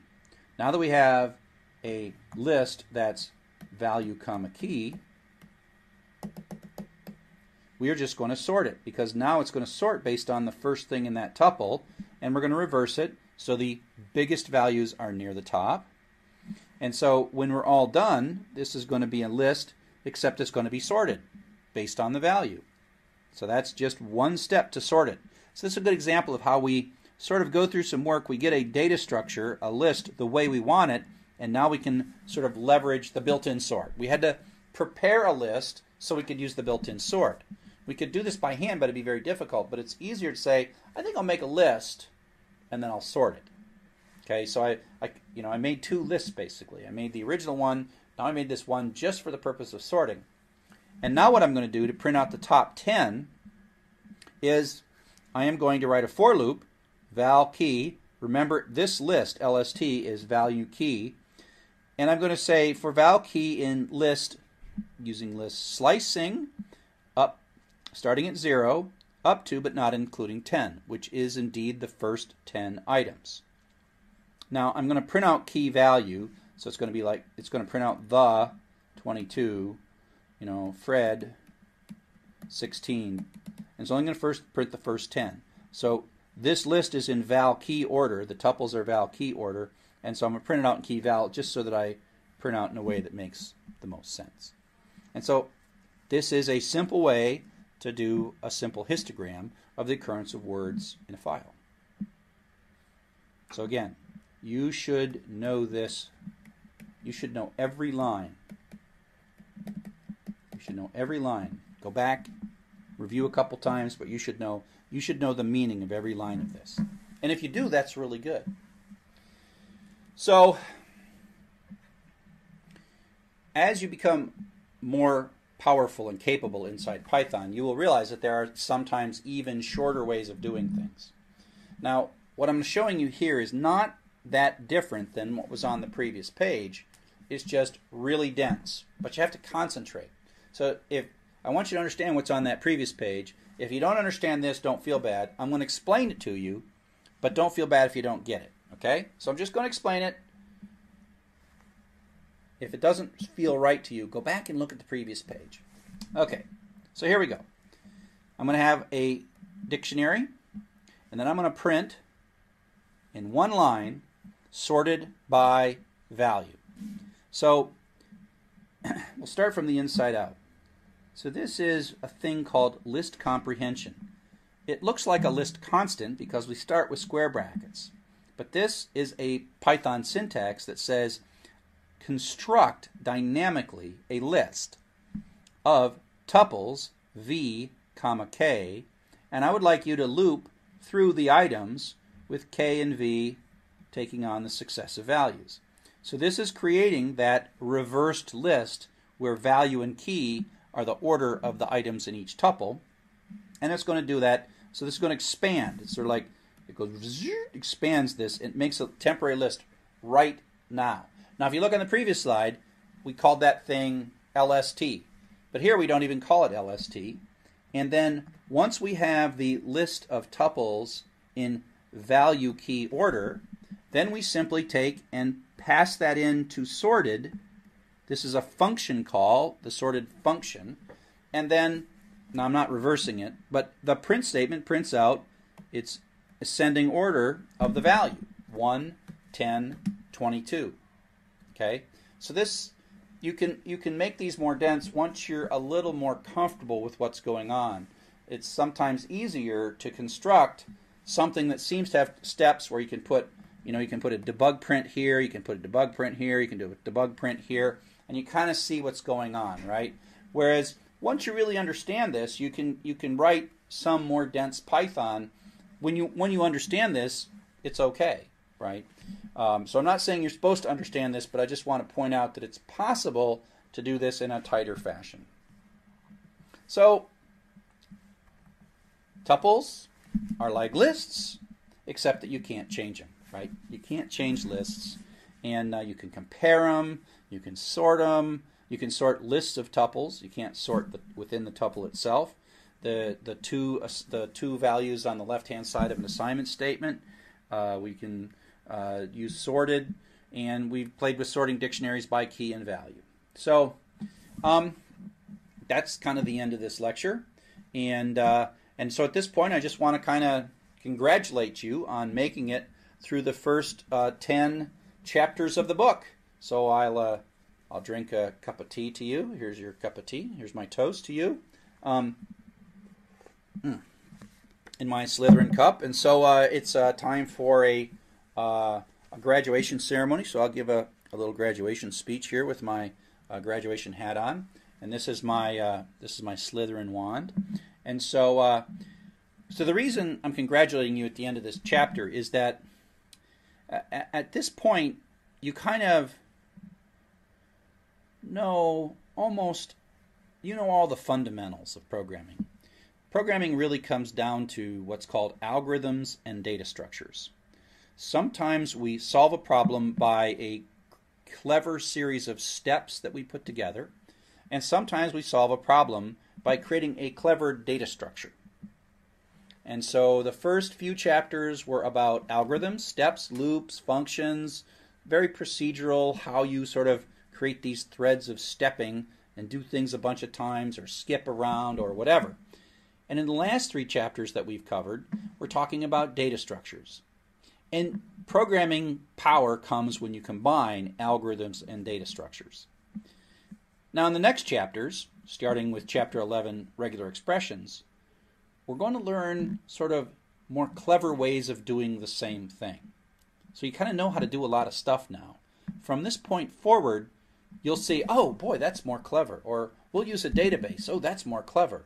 But it's not fundamentally different. And so that's why it's important for you to understand before you leave this moment, to understand everything that we've covered so far loops, functions, strings, files, tuples, lists, dictionaries.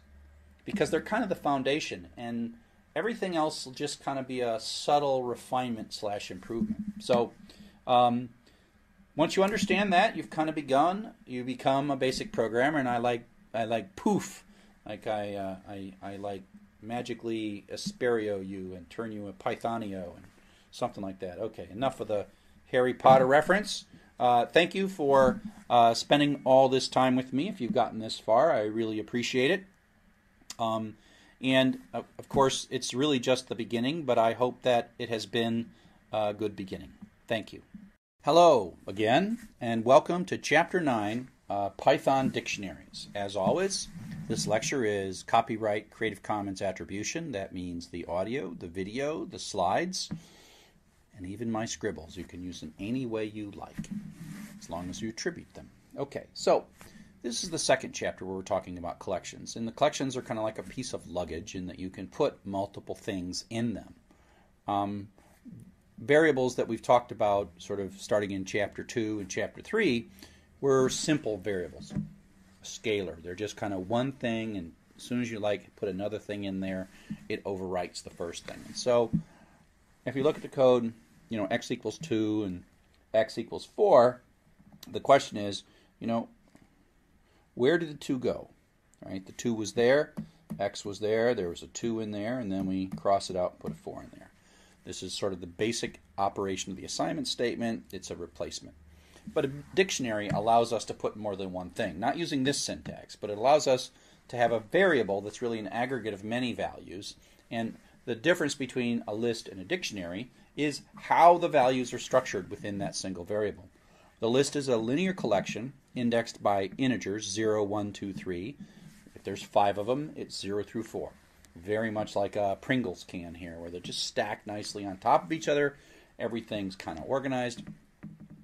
We talked about in the last in the last lecture. This this lecture we're talking about dictionaries. Dictionaries very powerful. It's and its power comes from a different way of organizing itself internally. It's a bag of values, like a just a sort of just stuffs in it. It's not in any order big stuff, little stuff, things have labels. You can also think of it like a purse with just things in it. It's like it's not like stacked. It's just stuff moves around as you're going, and that's it's a very good model for dictionaries. And so dictionaries have to have a label because the stuff is not in order. There's no such thing as the third thing. There is the thing with the label perfume. There's the thing with the label candy. There's the thing with the label money. And so there's the value, the thing, the money, and then there's always also the label. We also call these key value. The key is the label, and the value is whatever. And so these pink things are all labels for various things that you can put in the purse. So you could say to your, to your purse, hey, purse, give me my tissues. Hey, purse, give me my money. And it, it's in there somewhere, and the purse sort of gives you back the tissues or the money. And it's Python's most powerful data collection is the dictionaries, and it's uh, when you get used to wielding them, you'll see like, whoa, I can do so much with these things. And at the beginning, you're just sort of learning sort of how to use them without hurting yourself. Um, but they're very powerful. It's it's like a database. It's uh, it allows you to store very arbitrary data, organized in however you feel like organizing it, in a way that advances the cause of the program that you're writing. And we're still kind of at the very beginning, but as you learn more, these will become a very powerful tool for you. Uh, they dictionaries have different names in different languages. Um, Perl or PHP would call them associative arrays. Uh, Java would call them a property map or a hash map, and uh, C Sharp might call them a property bag or an attribute bag. And so they're they're just the same concept. It's keys and values is the concept that's across all these languages. Just a very powerful. And if you look at the Wikipedia entry that I have here, you can see that it's just it's a concept that we give different names in different languages. Same concept, different names. So like I said, the difference between a list and a dictionary, they both can store multiple values. The question is how we label them, how we store them, and how we retrieve them. So here's an example use of a dictionary. I'm going to make a thing called purse, and I'm going to store in purse, this is an assignment statement, purse sub money. So this isn't like sub zero, this is sub money. So I'm actually using a string as the place. And So I'm going to say stick 12 in my purse and stick a post-it note that says that's my money. Candy is 3, tissues is 75. And if I look at that, it's not just the numbers 12, 3, and 75 as it would be in a list. It is the connection between money and 12, tissues is 75, candy is 3. And in the key value, that's the key and that's the value. So candy is the key and 3 is the value. Now, I can look things up by their name. Print purse sub candy. Well, it goes finds it, asking, "Hey, purse, give me back candy," and it goes and finds the value, which is three, and so out comes a three. We can also put it on the right-hand side of an assignment statement. So purse sub candy says, "Give me the old version of candy," and then add two to it, which gives me five, and then store it back in that purse under the label candy. So we see candy changing to 5. And so this is a place, and you could do this with a list, except these would be numbers. You could say purse sub 2 is equal to purse sub 2 plus 2, or whatever. But in dictionaries, there are labels. Now, they're not strings. Strings is a very common label in dictionaries, but it's not always strings. You can use other things. In this chapter, we'll pretty much focus on strings. You could even use numbers, and then you would get a little confused. But you can. So here's sort of a picture of how this works. So if we take a look at this line purse sub money equals 12, it's like we are putting a key value connection, money is the label for 12, and then we sort of move that in. And it's up to the purse to decide where things live. If we look at the next line, we're going to put the value in with a 3 in with the label candy, and we're going to put the value 75 in with the label of tissues. And when we say, hey, purse, print yourself out, it just goes and pulls these things back out and hands them to us. And what it's really it's giving us both the label and the value, and it's necessary to do that because it's just like 12, 75, and 3. What exactly is that? And so this syntax with the curly braces is what happens when you print a dictionary out. The same thing happens when we're sort of printing purse sub candy, right? Purse sub candy it's like, dear purse, go and find the candy thing. Look at that one, look at that one. Oh, yep, yep, this is candy. But the, what we're looking for is the value, and so that's why 3 is coming out here. So go look up under candy and tell me what's stored under candy. These can be actually more complex things. I'm just keeping it simple for this lecture. And then when we say purse sub candy equals purse sub candy plus, plus 2, well, it pulls the 3 out, looking at the label candy, then adds 3 plus 2 and makes 5, and then it assigns it back in. And then that says, oh, go, go place this number 5 in the purse with the label of candy, which then replaces the 3 with a 5. Okay? And if we print it out, we see that the new variable, or the new candy entry, is now 5. Okay? So if we just sort of put these things side by side, we create them sort of both the same way. We make an empty list and an empty dictionary. We call the append method because we're sort of just putting these things in order. You got to put the first one in first. So it's not telling you where. You kind of know that this will be the first one because you're starting with an empty one and this will be the second one. We put in the values 21 and 183 and then we print it out and it's like, okay, you gave me the values 21 and 183. I will maintain the order for you. There's no keys other than their position. Their position is the key, as it were. If I want to change the first one to 23, well, I say list sub 0, which is this, and then change that to 23. So this is sort of used as a lookup to find something. Can be used on either the right-hand side or the left-hand side of an assignment statement. Comparing that to dictionaries, I'm going to put a 21 in there, and I'm going to put it with the label age. Then I'm put 182, put that in with the label course. So so we don't have to like make an entry, the fact that the entry doesn't exist. It creates the age entry and sticks 21 into it. Creates the course entry, sticks 182 into it. We print it out and says, oh, course is 182 and age is 21. This emphasizes that order is not preserved in dictionaries.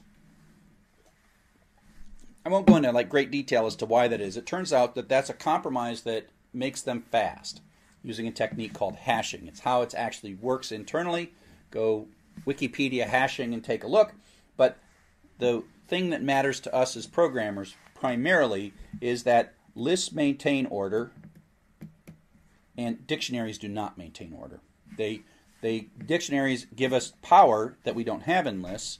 I mean, they're very complementary. Not there's not this one that's better than the other. They're very complementary. Different kinds of data is either better represented as a list or as a dictionary, depending on the problem you're trying to solve. And in a moment, we'll we'll be writing programs that are using both. So if we come down here and I say, okay, stick 23 into assignment statement into DD sub DDD sub age, well, that will change this 21 to 23. So when we print it out. So you can, this part where you look something up and change the value, you can do either way. It's just how you do it here is a little bit different. Okay? So let's look through this code again. And so I like I like to use the word key and value. Key is the way we look the thing up, and in list keys are numbers starting at zero and with no gaps. In dictionaries, keys are whatever we want them to be. In this case, I'm using strings. And then the value is the number we're storing in it. So we create this kind of a list with that kind, those kinds of statements. This statement creates this kind of a thing. Now, if we if we think of this assignment statement as moving data into a new into a place, a new item of data into a place, um, it's looking at this thing right here, right? It's like that's where I want to move it, and so it hunts and says, look look the key up, and that's the one that I'm going to change. And then once it knows which it's going to change, then it's going to take the 23 and it's going to put the 23 into that location. And so that's how this changes from that to that. Similarly, when we get down to here, we're going to stick 23 somewhere, and this is this expression, this lookup expression, the index expression, dd sub age, is where we're going to put it. So we're looking here. Where is that thing? Well, that thing is this entry in the dictionary. And so now when we're going to store the 23, we know where the 23 is going to go. It's going to overwrite the 21, and so the 21 is going to change to 23. Okay, so so they're they're kind of similar. There there are things that work similar in them, and then there are things that work differently in them.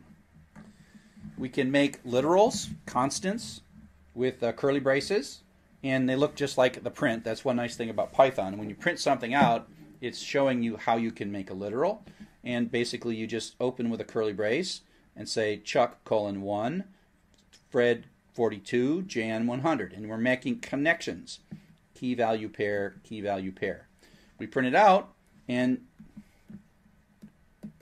no order. They don't maintain order. Now, they might come out in the same order, but that's just lucky, right? All the ones I've shown you so far don't come out in the same order, which is good to demonstrate it. If it one time came out in the same order, that wouldn't be broken. It's not like it doesn't want to come out in the same order. It's just you don't. It's not internally stored, and you add an element, and it may reorder them.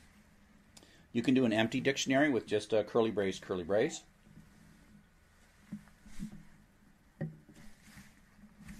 So, I'm going to give you another example. And I'm going to show you a series of names. And I want you to figure out what the most common name is and how many times each name appears. Now, these are real people. They actually work on the Sakai project. Stephen, uh, and, uh, and Chen, and me. So these are people that are in, actually in the data that we use in this course. Okay, and so I think I'll show you about uh, 15 names, and you're to come up with a way. I'm going to show them to you one at a time. You need to come up with a way to keep track of these. Okay? So I'll just, with no further ado, I will show you the names.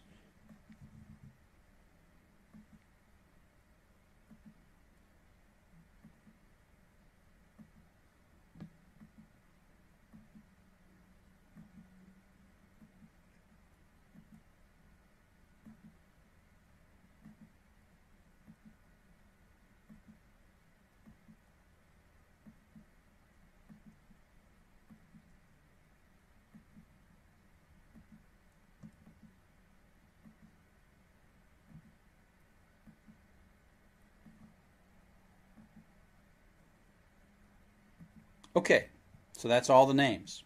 Did you get it? You might have to go back and do it again. How did you solve the problem? What kind of a data structure did you build to solve the problem? Or did you just say, wow, that's painful. I think I will learn Python instead than solving that problem? Okay? So pause the pause the video if you want and write down or go back, write down what you think the number of the most common name is and how many times. Okay, now I'll show you. So here is the whole list. It's all of them. And now that we see all of them, we use our amazing human mind and we scan around and look at purpleness and, and all that stuff. And then we go like, oh, this is so much easier problem when I'm looking at the whole thing. Uh, and I think that the most common person is Jen. And I think we see Jen. I think we see Jen five times. And I think C-Sev is one, two, three, and Chen Wen is one, two, and Stephen Marquard is one, two, three. So the question is, what is an effective data structure if you're going to see a million of these? What kind of data structure would you have to produce? Because you can't keep it in your head. Even even this number of people, you can't. Even this amount of data, no way you can keep it in your head. You have to come up with some kind of a variable, as it were, just like largest so far was a variable, some kind of variable that gets you to the point where you understand what's going on. And so this is the most common technique to solve this problem, where you keep a running total of each of the names. And if you see a new name, you add them to the list. So C-Sev, and then you give them a 1. And then you see Zhen, and you give her a 1. And then you see Chen, and you give her a 1. And then you see C-Sev again, and you give him a 2. And you see and a 2, and a 2, and a 1, right? and so then when you're all done, you have the mapping, right, of these things, and you go, okay, let me look through here and find the largest one. That's the largest one, and so that must be the person who is the most. So you need a scratch area, a data structure, or a piece of paper, as it were. And so that's what exactly what dictionaries are really good at. You can think of this as like a histogram. Uh, you know, it's it's it's a bunch of counters but counters that are indexed by a string. So we use a lot of this. And so this is a pattern of many counters with a dictionary, simultaneous counters. We're counting a bunch of that. We're looking at a series of things, and we're going to simultaneously keep track of a large number of counters rather than just one counter. How many names did you see total? Whatever, 12. But how many of each name did you see is a bunch of counters. So it's a bunch of simultaneous counters. So a dictionary is, is great for this dictionary is great for this.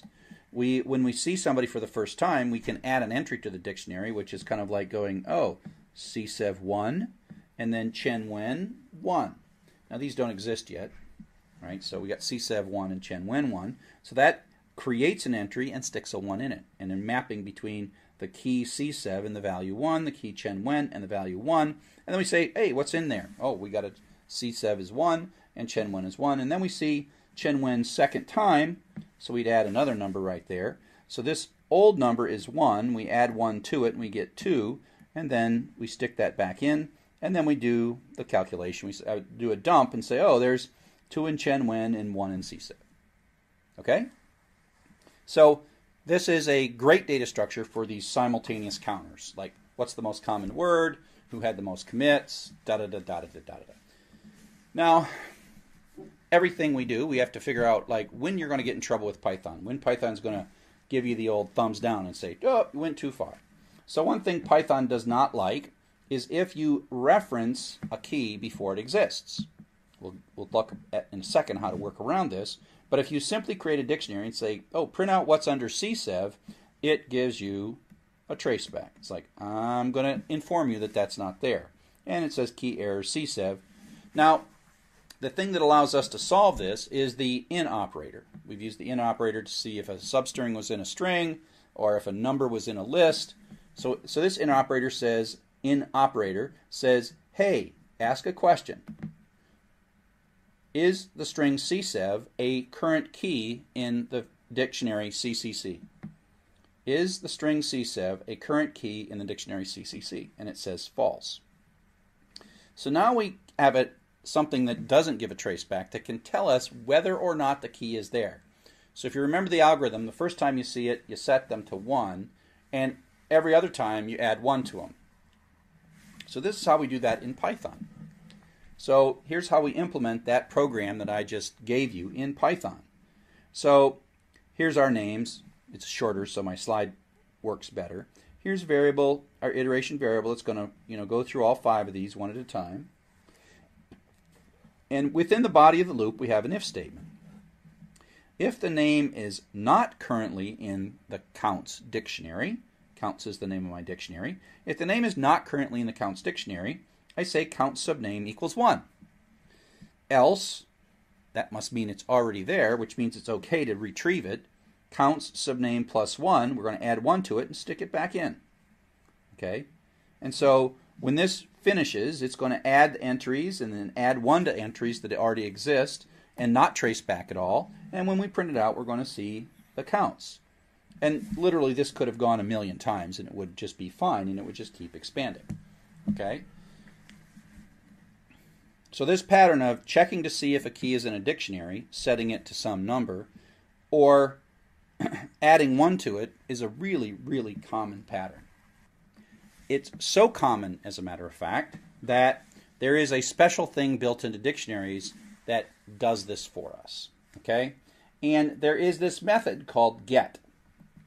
And so counts is the name of a dictionary, get is a built in capability of dictionaries, and it takes two parameters.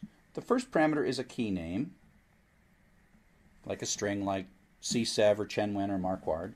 Um, and then the second parameter is a value to give back if this doesn't exist. It's a default value if the key does not exist and there's no traceback. So this way you can encapsulate in effect an if then else. If the name parameter is in the counts, print the thing out.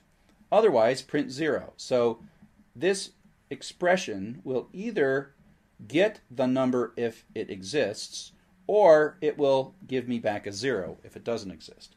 So this is really valuable, right? This is really valuable. That's a really bad smiley face. So this is really valuable because it once once we understand the idiom, it really takes four lines of code and turns it into one line of code because we're going to be doing this if then else all the time.